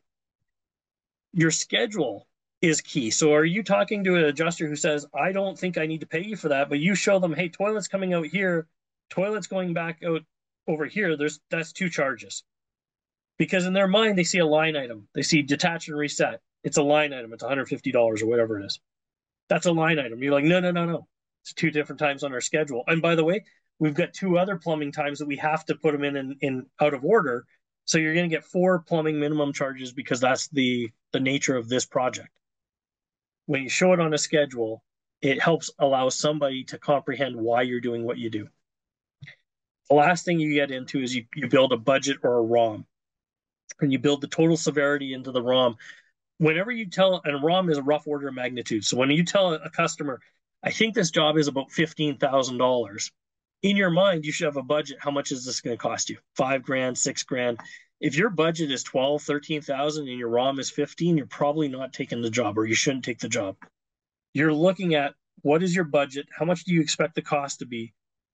If you're doing a unit pricing estimate and you don't know what your cost is before you submit the number, how are you knowing that that's a good number? Like it's it's insane. When the year that you saw us lose money, and I I gave my people that false knowledge base, um, that false confidence.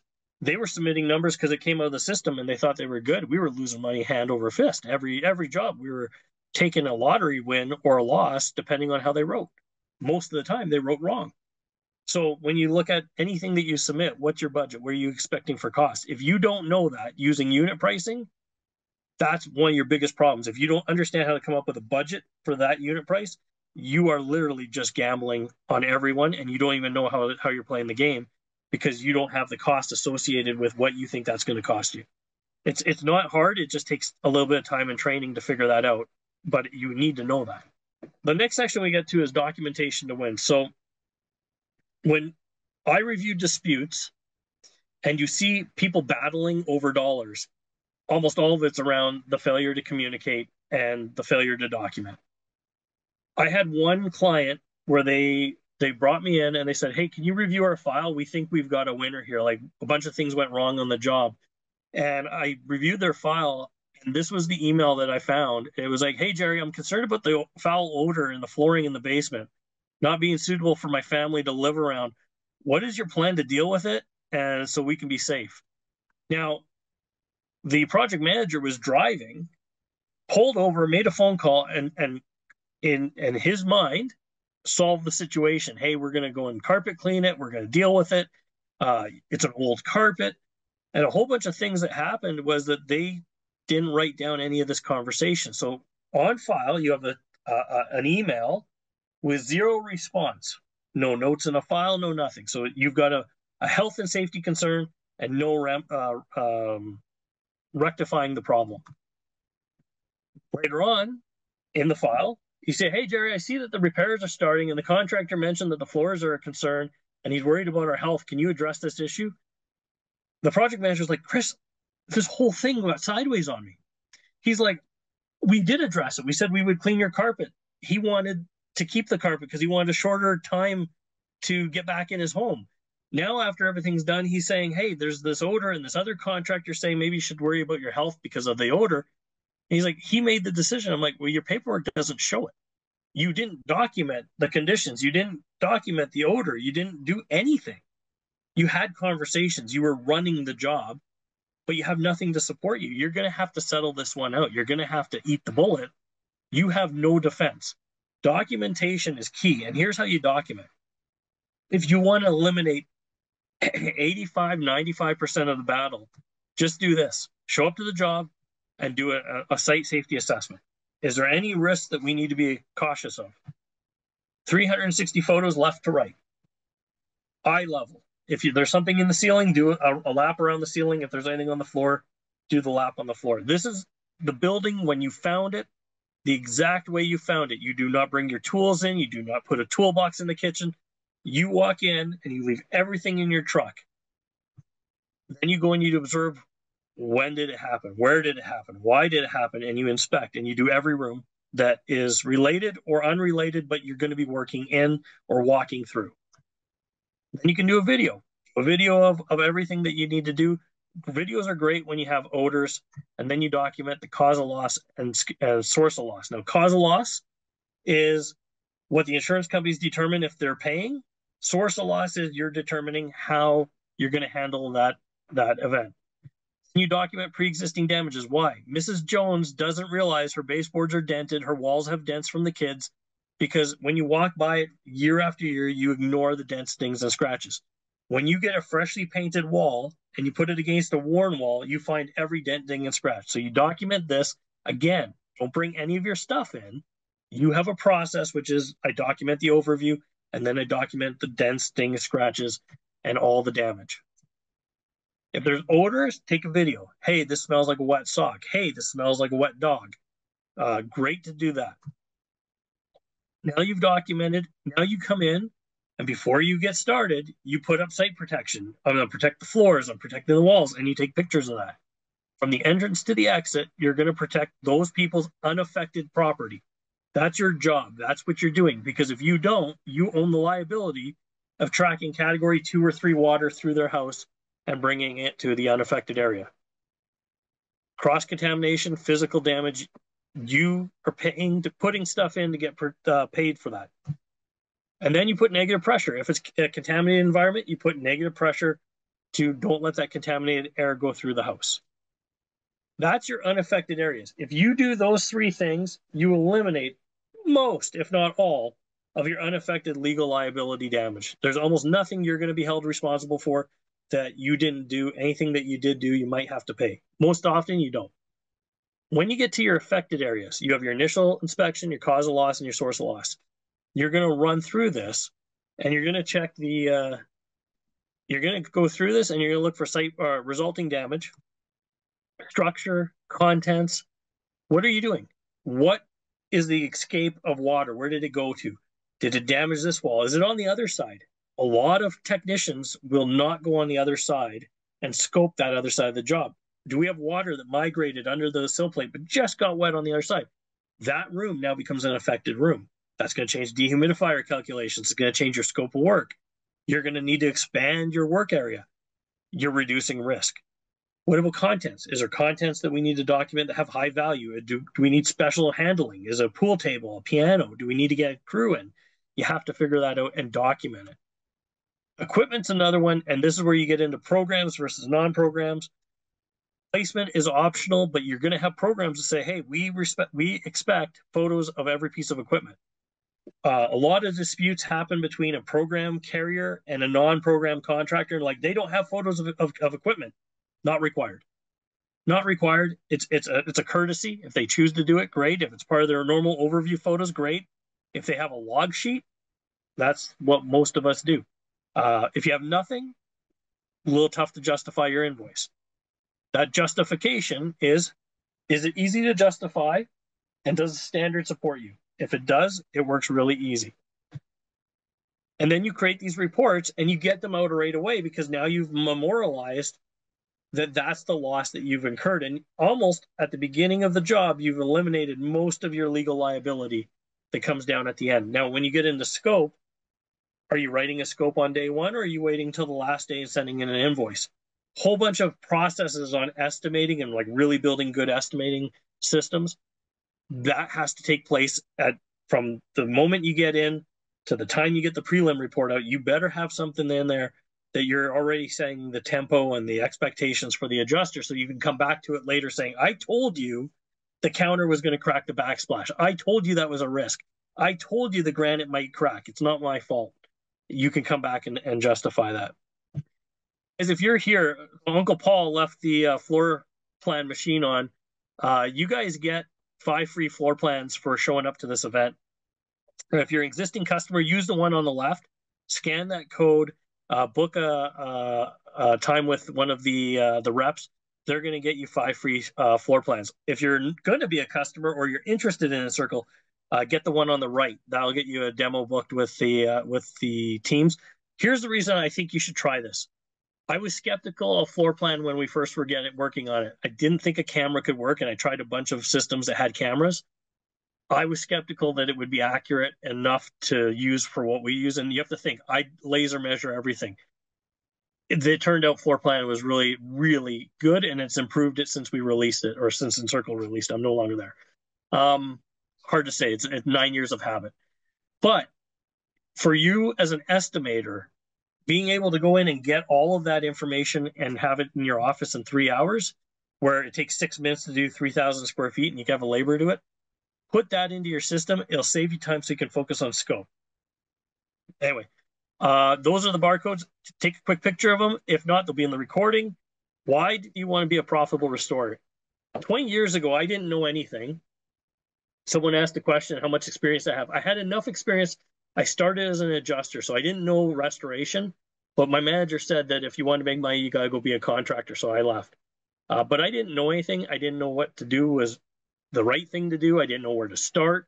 I literally went and started working in the marketing department for a national uh, franchise, and I still was naive. I thought if I learned the, the technical knowledge, if I became a very technical restorer, uh, I could make a good living. I could, you know, adjusters would call me. They'd be trying to figure out Kris, how do we do this? Because you're technically sound. It never happened. Um, I th- saw people that had three days of training get more business than I could get for for my teams. And so what was interesting is I thought I would have a I thought credentials made made you a better restorer that would get more work. It makes you a better restorer so you can have bigger earning opportunities. It's not necessarily going to translate that someone's going to give you more work because you have a credential. They assume that you are fully trained and ready to go. And so in the last five years, I had a little unique position where at Encircle, I got to, to see things from a higher level. So I'm outside the trenches. Uh, I get to see things from a higher level. And what happened was interesting. Those lawyers, adjusters, claims managers, property managers are all there and you think that they would recognize your credentials. They don't. They they they don't care whether you're on your second course or your third course or your 20th course or whatever. It doesn't really matter. They assume you're a professional restorer. If you have a truck and you have equipment, you're a professional. They look at you like plumbers and HVACs um, companies. Now, they might not put you on the same pedestal, but they look at you the same way. The fact that you're in business, they assume that you went through some rigorous uh, training and screening process, like a plumber, like HVAC, to be able to get that truck and that equipment. And restorers have a, a little bit distorted view of the role you serve. We're there, we're helpers. It's, it's just who we are. We're helpers, we're out there, we're helping people at their time of need, and the insurance carriers want to work with us. They do, but you're an expense to the file. You're not really a savior. You're you're kind of a fraudster at times. We don't know how to how to control costs, so we have to we have to put a bunch of people in front of you, and we have to try to catch the losses as they come through because restoration companies in, uh, effectively chew up the biggest part of the budget when you look at the expenses of claims. Similar to being an estimator, I thought they would re- respect my level three estimating certification and literally they could care less. I have a guy that I was dealing with had no certifications. He's self-trained and he he's talking like he's a pro. And I'm like, hey, I'm level three. I proved myself. He could care less. I could care less. There's that conflict. What's interesting about that is nobody cares about your credentials. So I'm a professor at Humber uh, College. Uh, I instruct students in restoration. I teach the IICRC RIA courses. Um, you would think that people would be like, "Oh my God, we're amazed by your credentials." No one cares, and and and you shouldn't either. It's it's a designation that you go get. It's a credential you go get. That's not where the worth is. And there's some good people. Anna from Encircle is uh, as a uh, uh, an instructor there. No one's drooling over credentials.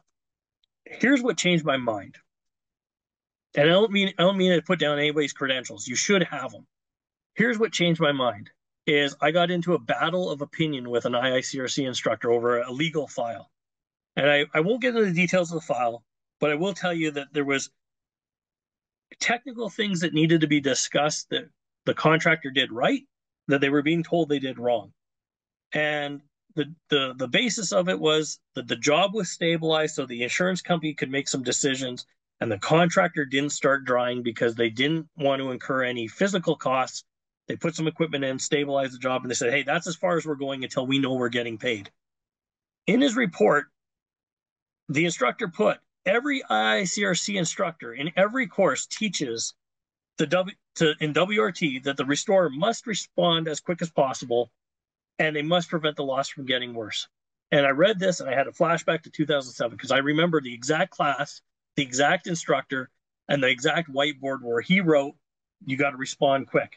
And when I was reading the report, it dawned on me that he was actually right. That's how we were taught. And I had to ask myself one question, and I had to get up and go for a walk. What if everything we learned about restoration was wrong? What if what if we learned restoration the wrong way? And here's the hypothesis behind my my epiphany. The problem with the IICRC is that it's an ANSI certification. So that means the American National Institute uh, Standards uh, American National Standards Institute, and the IICRC is the Institute of Inspection, Cleaning, and Restoration Certification.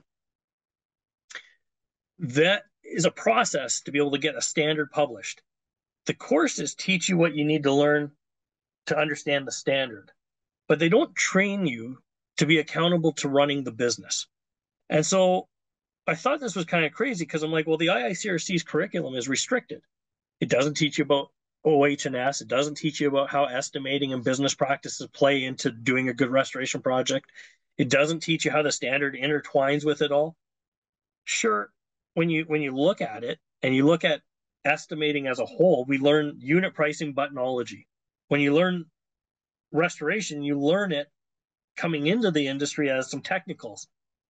You don't learn it as how does it impact a business? And then you're learning what you can and can't charge and you watch your margins drop. And so i started to run the perspective through is that you know we're we're starting a restoration job with the wrong priorities in place. We're rushing out to take care of somebody's needs which is important but we're not doing it in a systematic approach to generate the most profit for a company, to deliver the most savings to the insurance company, and to deliver the best service to the customer.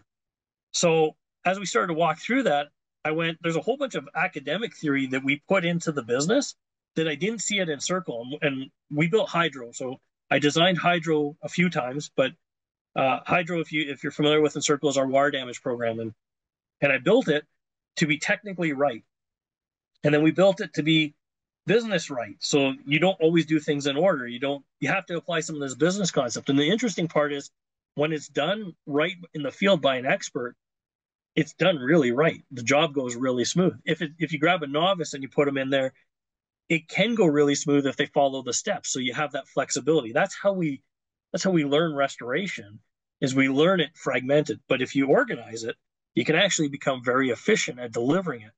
And in 2016, I started to put all those pieces together when it came to Encircle, and it started to make a lot more sense. Um, when you drive buildings or you deal with fire losses, it just it just seems to straight line. So as we started to look at things, and I started looking at from a technical perspective, because we had troubles getting people to adopt water damage, even though everyone does it, people would be hesitant to move from pen and paper to digital process. And the reason why is because every decision and every investment in the business should be about increasing profits, but it's not. We're trying to live up to some kind of academic, technical, right way of doing things. That's not going to turn a profit. So when I started looking at that, I was like, okay, my perspective changed. Would you buy seven dehumidifiers that are on sale that are imported from overseas, or do you buy four really high end, high performance machines? Well, you might buy seven because they rent out and you can make more money on a on a, a lower quality basis. But if I'm looking at, at the business, I'm like, I'm buying better quality machines because I'm going to try to figure out a pricing model that I can make more money and do do better service for my customer. And it's interesting because you start to go through understanding how all this intertwines. And I realized that a lot of restorers bought into the technical, be technically savvy, and your business will come to you. We've had friends that have killed themselves because their businesses have absolutely gone the wrong way. I've had friends that got divorces because their businesses went the wrong way. And what we we understand is we can move quickly to get to the business needs met. Sorry, we move quickly to get the business needs met before we can restore the property faster. If we change the way we think, and we say we want to eliminate all that frustration in the business, we want to eliminate the resistance from adjusters and lots of it, you need to put the business needs up front and then the restoration needs are they become what they are. We do it the opposite. We put the technicals up front and then we try to figure out how to fit the business into it. It's a perspective change. So I came up with that why be a profitable restorer.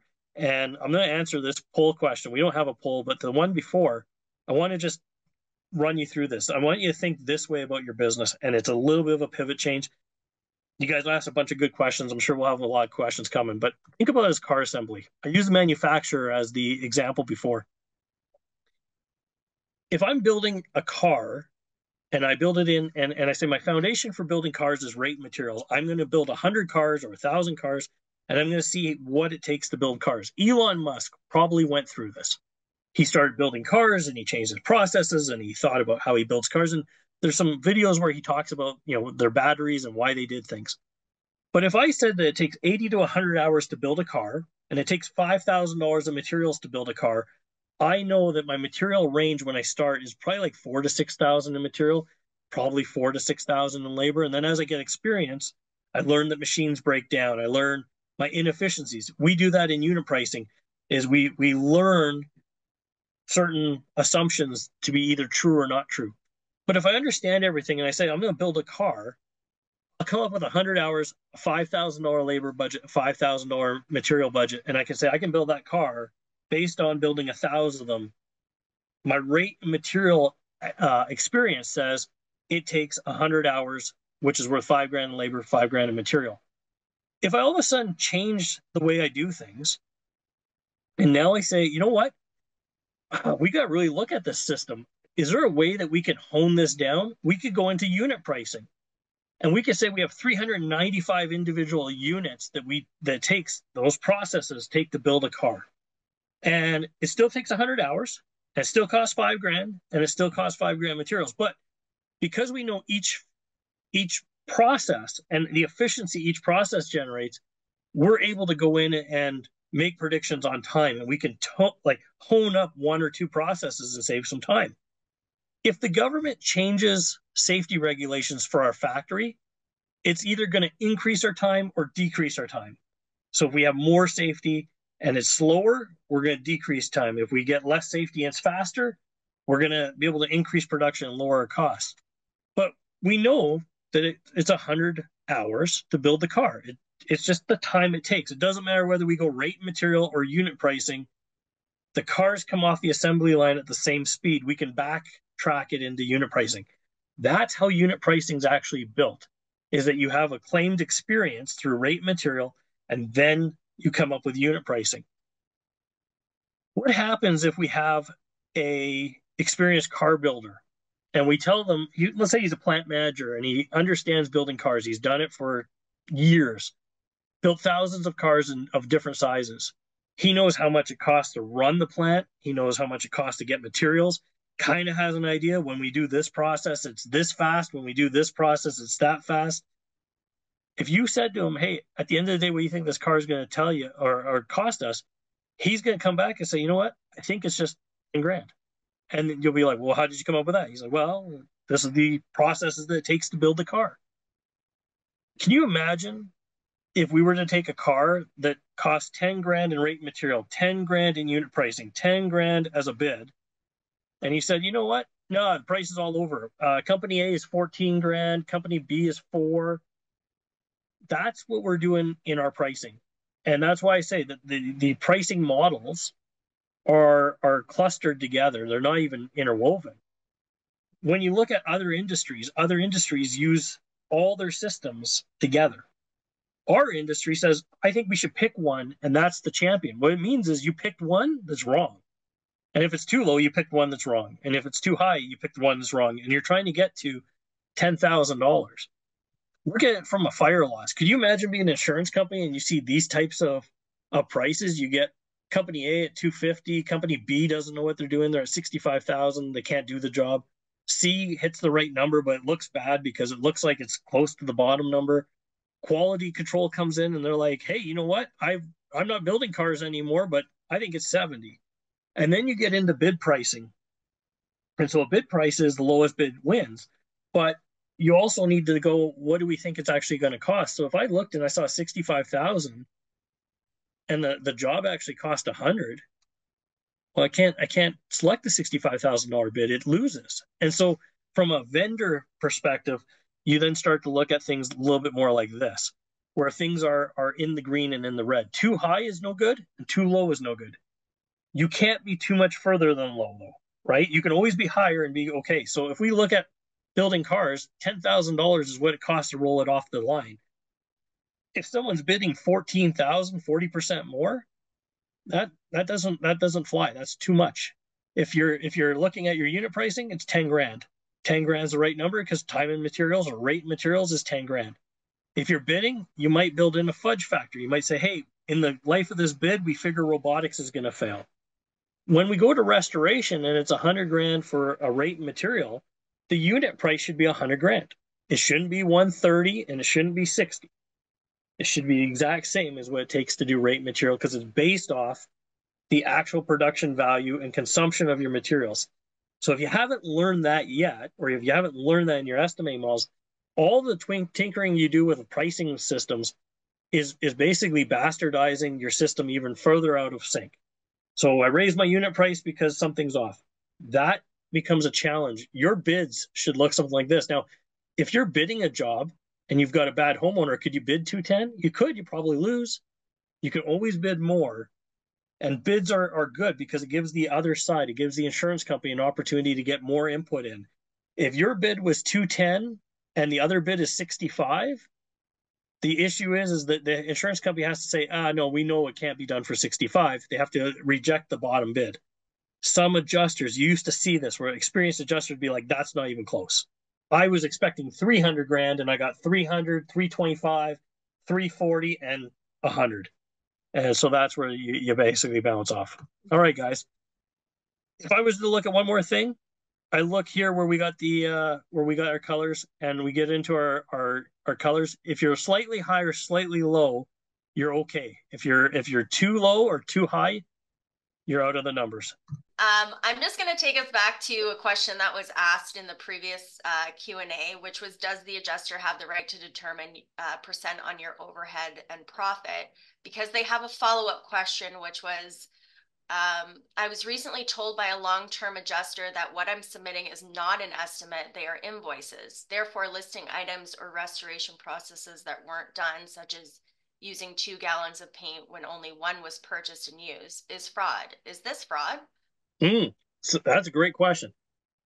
Is it a unit price estimate or is it a unit price invoice? And so the adjuster is not technically wrong. You said I'm going to charge you based on the units. And by doing it after the fact, it becomes, well, what was the actual scope? And so if I were to do unit pricing estimating before saying, I think I'll use twice as much paint, that's an estimate. I give it to you and say, that's the number I'm willing to do the job for. When you do it after, you technically are supposed to come back and tune it together. But then if you're going to do that, why are you using unit pricing?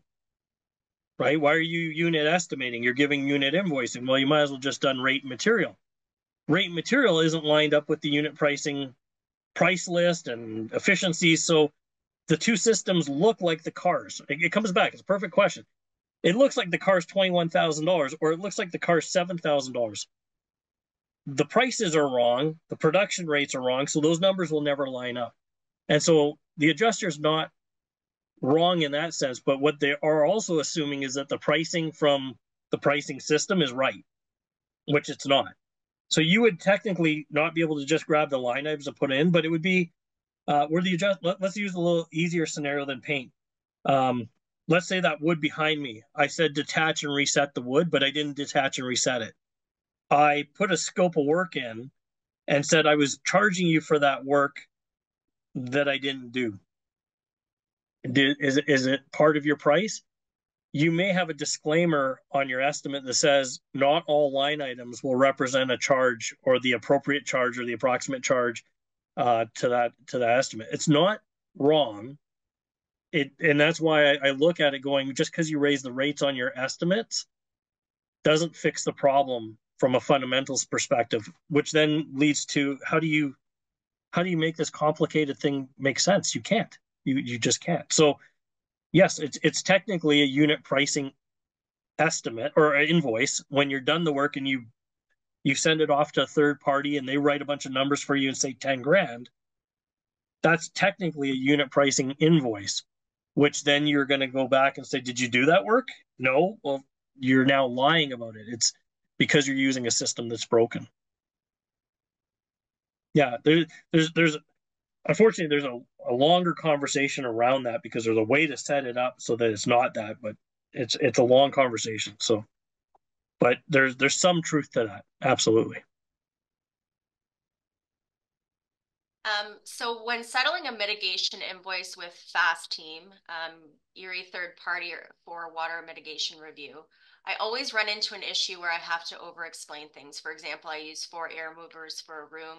Their calculators call for three so they try to knock our estimate down based on calculations. Also, they argue that O&P is not allowed in mitigation or emergency estimates invoicing. Sorry, slash invoicing. Yep. How would you go about um, addressing these items, or have you ever ran into any of this sort of issue with third party?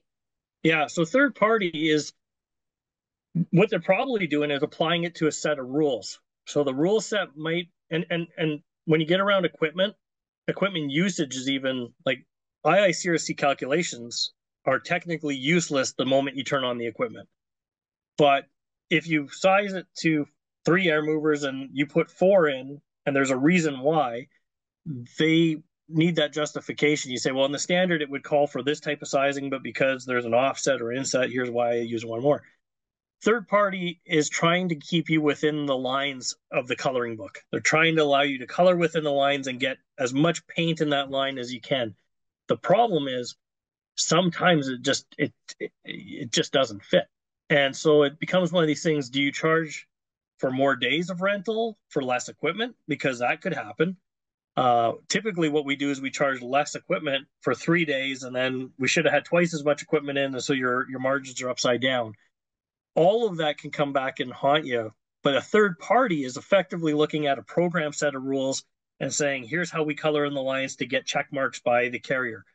It's kind of gets back into that uh, learned behavior is that they just deal with yes, no all day long, and now they're saying to you, "Well, you can't do that in the field." you could if you're not in a program. So it probably comes down to program rules. Looks like we might have time for a couple more questions. Um, so when using Xactimate and you submit to insurance, is it an estimate or an invoice? The adjuster disagreed. I say estimate. Ah, is it is it before or after the work's done? Because if it's before, it's an estimate. If it's after, it's an invoice. The you're not giving an estimate on something you've already done. So the adjuster could technically be right is you didn't tell me how you, you maybe said I'm using unit pricing to price the job. Okay. Did you give me a rough scope of work? Did you give me a ROM? Did you say this is 10 to 12,000? We don't do that. Like there's a whole process that sets the job, sets the table so that at the end you get the number you get what happens is we come in and we say we assume that the adjuster has a good understanding of how we do things in the field they look at numbers. They may not pay attention to how you do it. Like they're maybe they're day one maybe not. And then they're at the end they're getting a piece of paper and it says hey i need the price of a car. If you haven't explained to them how they got to that price they probably start in with a red pen and start cutting numbers. So if you didn't give an an estimate up front it's not an estimate at the end, it's an invoice. So the, the adjuster would be technically right, but it would depend on how you set the table when you started the job. It's a good question. It's a it leads into it's, it's like it's like playing chess, right? You're you're setting the table for your your next four moves. The adjuster from an experienced position is technically right. You never gave me a number to start. This is technically not an estimate. This is your invoice, and if you didn't do the work, why are you charging me for it? And it's because you're trying to get to that number. You're trying to get to the car example, you're trying to get to 10 grand. However, you get to 10 grand, the job is worth 10 grand. You're just using line items to do it. Or you could use rate material to do it. Or you could just put a bid in to do it. The price is 10 grand. That's what you're trying to do. You're using line items to get there. Sometimes we build our estimates, which is actually an invoice, using line items and we don't know what the price should be and that's where we get ourselves into trouble if that makes sense it's not trying to be um not not trying to belittle it it's just sometimes we don't know what the number is so you have to have that value of like what is this job worth before you start writing could we do uh what what what's the thoughts on on allowing people to leave and then just stick on for like another 15 minutes because I, I think there's a few questions yeah, for sure. Um, we can do that. If anybody wants to drop off, we really appreciate your time. Um, we'll still be on here to answer a few more questions if you'd like to stay. Um, another question that was submitted is why is there no uh, O&P allowed in mitigation with insurance? So it depends where you are. In Canada, it's standard that O&P is on all mitigation. Uh, some parts of the U.S., it's it's on uh, mitigation, and then on independent contractors that are doing their own work, whether they're getting it through plumbers or other avenues, you, they'll put it on. So when someone tells you, you got to be careful. And this isn't just an O&P question, but when someone tells you that everyone else is not doing it, it's kind of like when I put my kid on the stair and I tell them that their sister doesn't get to stay up late, but she does, and she's got to go sit on the stair because it's her bedtime it's kind of the same thing. You don't know what other people are doing, and and for the adjusters that were on here, sometimes like as a former adjuster, I'll be like, yeah, we sometimes allowed higher pricing from some contractors versus others, but in order to control the cost, you just be like, hey, we don't allow that, and it tries to tamp it down. It's just adjusters will say things that like O&P, O&P could be on there. Or you could build it into your hourly rates and not have the discussion and say zero and zero. No different if you did a rebuild and you did all the pricing in line items. You got to the end of it. you added $50,000 to your, your unit pricing and you submitted as a single, uh, single number bid and said, for this scope of work, this is the number I'm doing it for.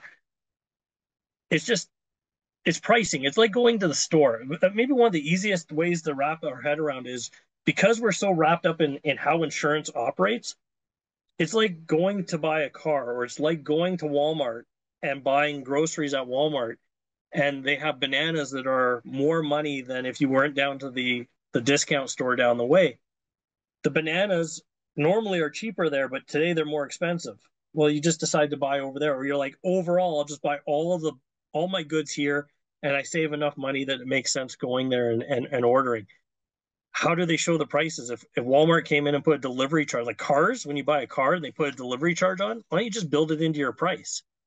Like, why is it a negotiating point? Maybe it's because they want you to focus on that to negotiate so that the rest of it, they don't have to negotiate. Maybe your O&P is your negotiation point and you've changed your prices so that you're not counting on getting it. There's a whole bunch of schemes that you can put together that allow you to get rid of some friction.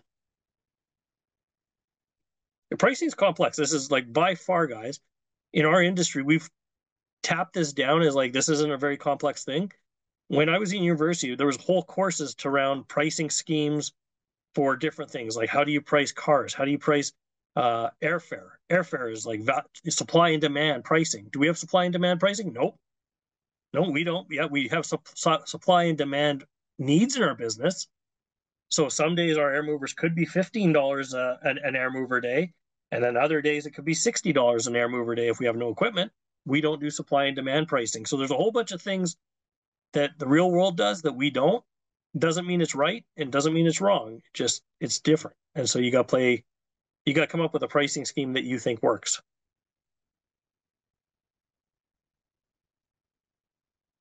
So um, this one is with you being a former adjuster. Would it be a good idea to send the insurance um, or adjuster a preliminary report of loss and ask them if they agree or disagree with the scope of work?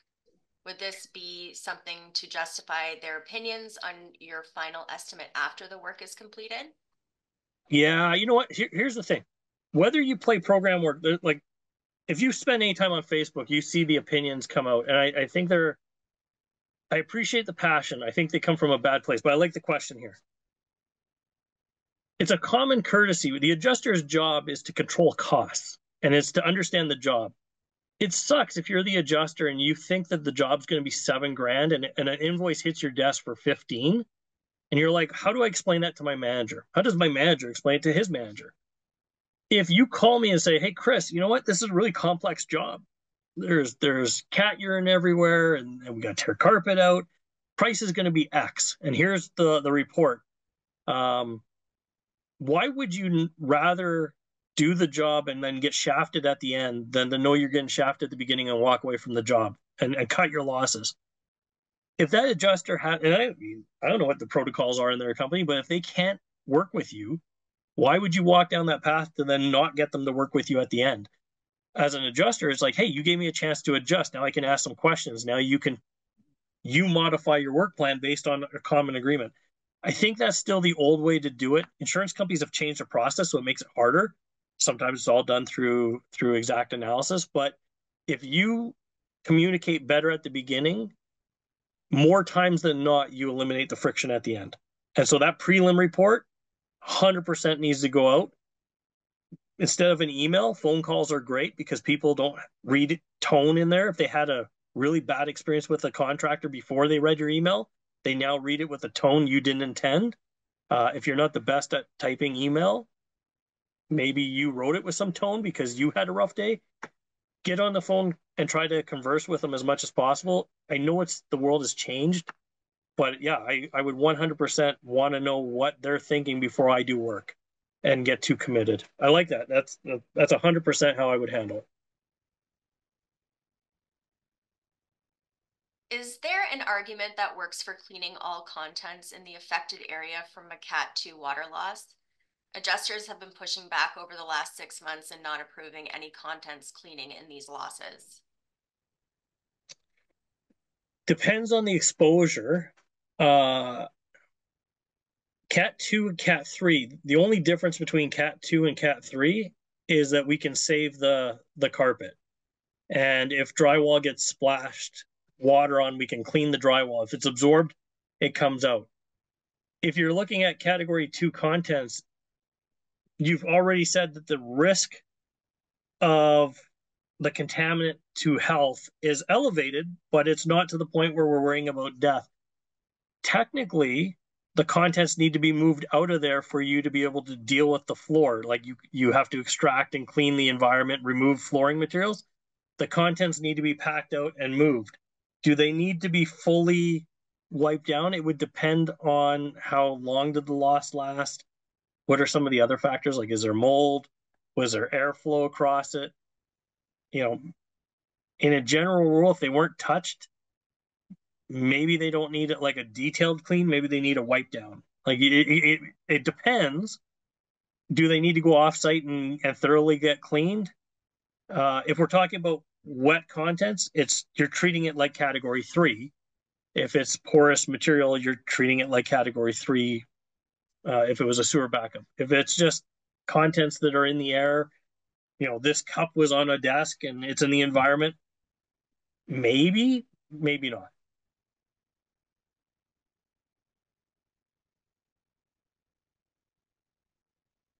Um, what is the best way to handle an adjuster not getting back to you ASAP for accomplishing sharing the scope?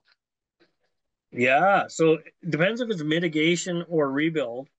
Uh, if you're looking at mitigation, you may stabilize the job and be like, I can't afford to put labor on here if I don't know if we're getting paid. So you stabilize and and protect the rest of the building from being contaminated.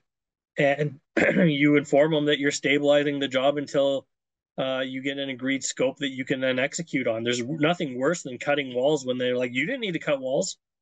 Now, having said that, the standard's going to probably protect you if you understand how to use it. You're gonna you're gonna be able to defend yourself. But there is times when you're going to run into that where that scope is not being returned. Can you call the company and ask for a manager because you need to get a decision? Like there's maybe you have the homeowner call and be like, hey, you need to make a decision it's your insurance company. So the homeowner ultimately has control over the property.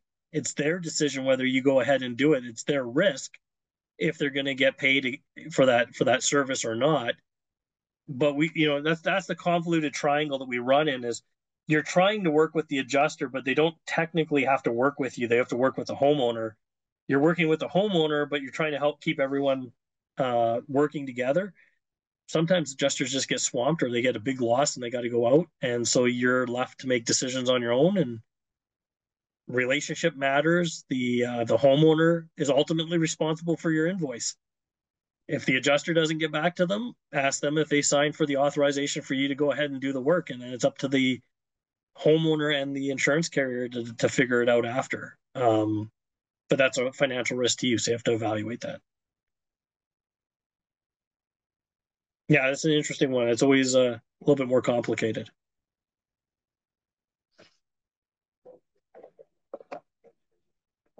So would you agree that Xactimate pricing data has not kept up with the current market labor rates? Depends.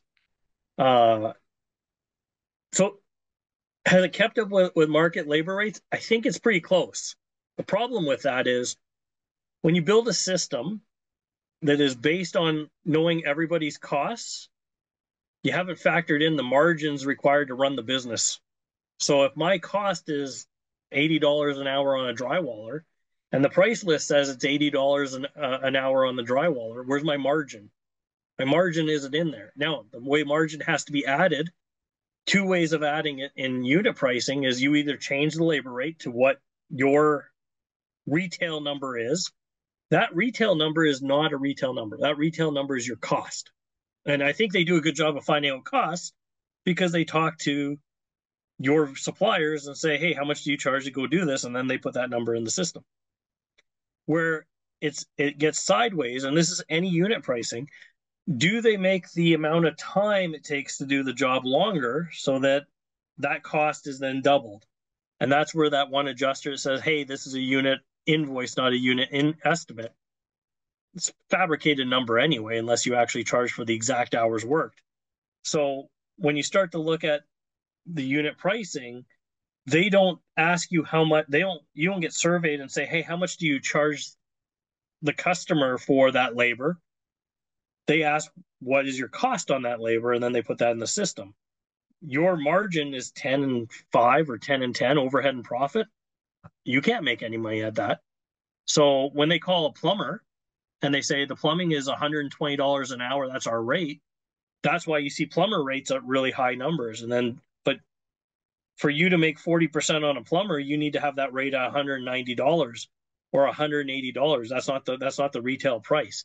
So the estimating system has flaws that have to be corrected if you want to actually use it as a proper estimating tool. Good question. That's that's the problem is is you have all these fragmented pieces of information without a consistent plan on getting you to estimate writing an estimate to invoice and people that are making some of these adjustments don't understand the market. That's the reality of it. So this is actually more of a water categorization question so i think this is a good one. So touching back on the iicrc standards again what is your opinion of if there ever a cat one after water has touched flooring framing drywall garage floor bathroom floor etc a lot of independent contractors never have a cat one loss. The standards say to consider all possible contaminants from the building makeup. Mm, that's not what it says. Hold on. That is i happen to have a standard lane here. That is not what a category one is. So you have to look at the definition, and there's one, and the reason I grab this is because there's one word in there that is is very specific. Category one originates from a sanitary water source that does not pose substantial risk to dermal ingestion or inhalation exposure. So it doesn't say no risk; it says no substantial risk. And examples of category one water are, are you know melting snow supply lines. Uh, category one can deteriorate to or two or three. Category one water that flows into uncontaminated building does not constitute an immediate change in category. So they forgot to read the second part, which says water that flows into an uncontaminated building does not constitute an immediate change in category. Now, what is contaminated? And the definition of contaminated you would have to go and look at, but it's that it's it's uh, let's do that because we're here.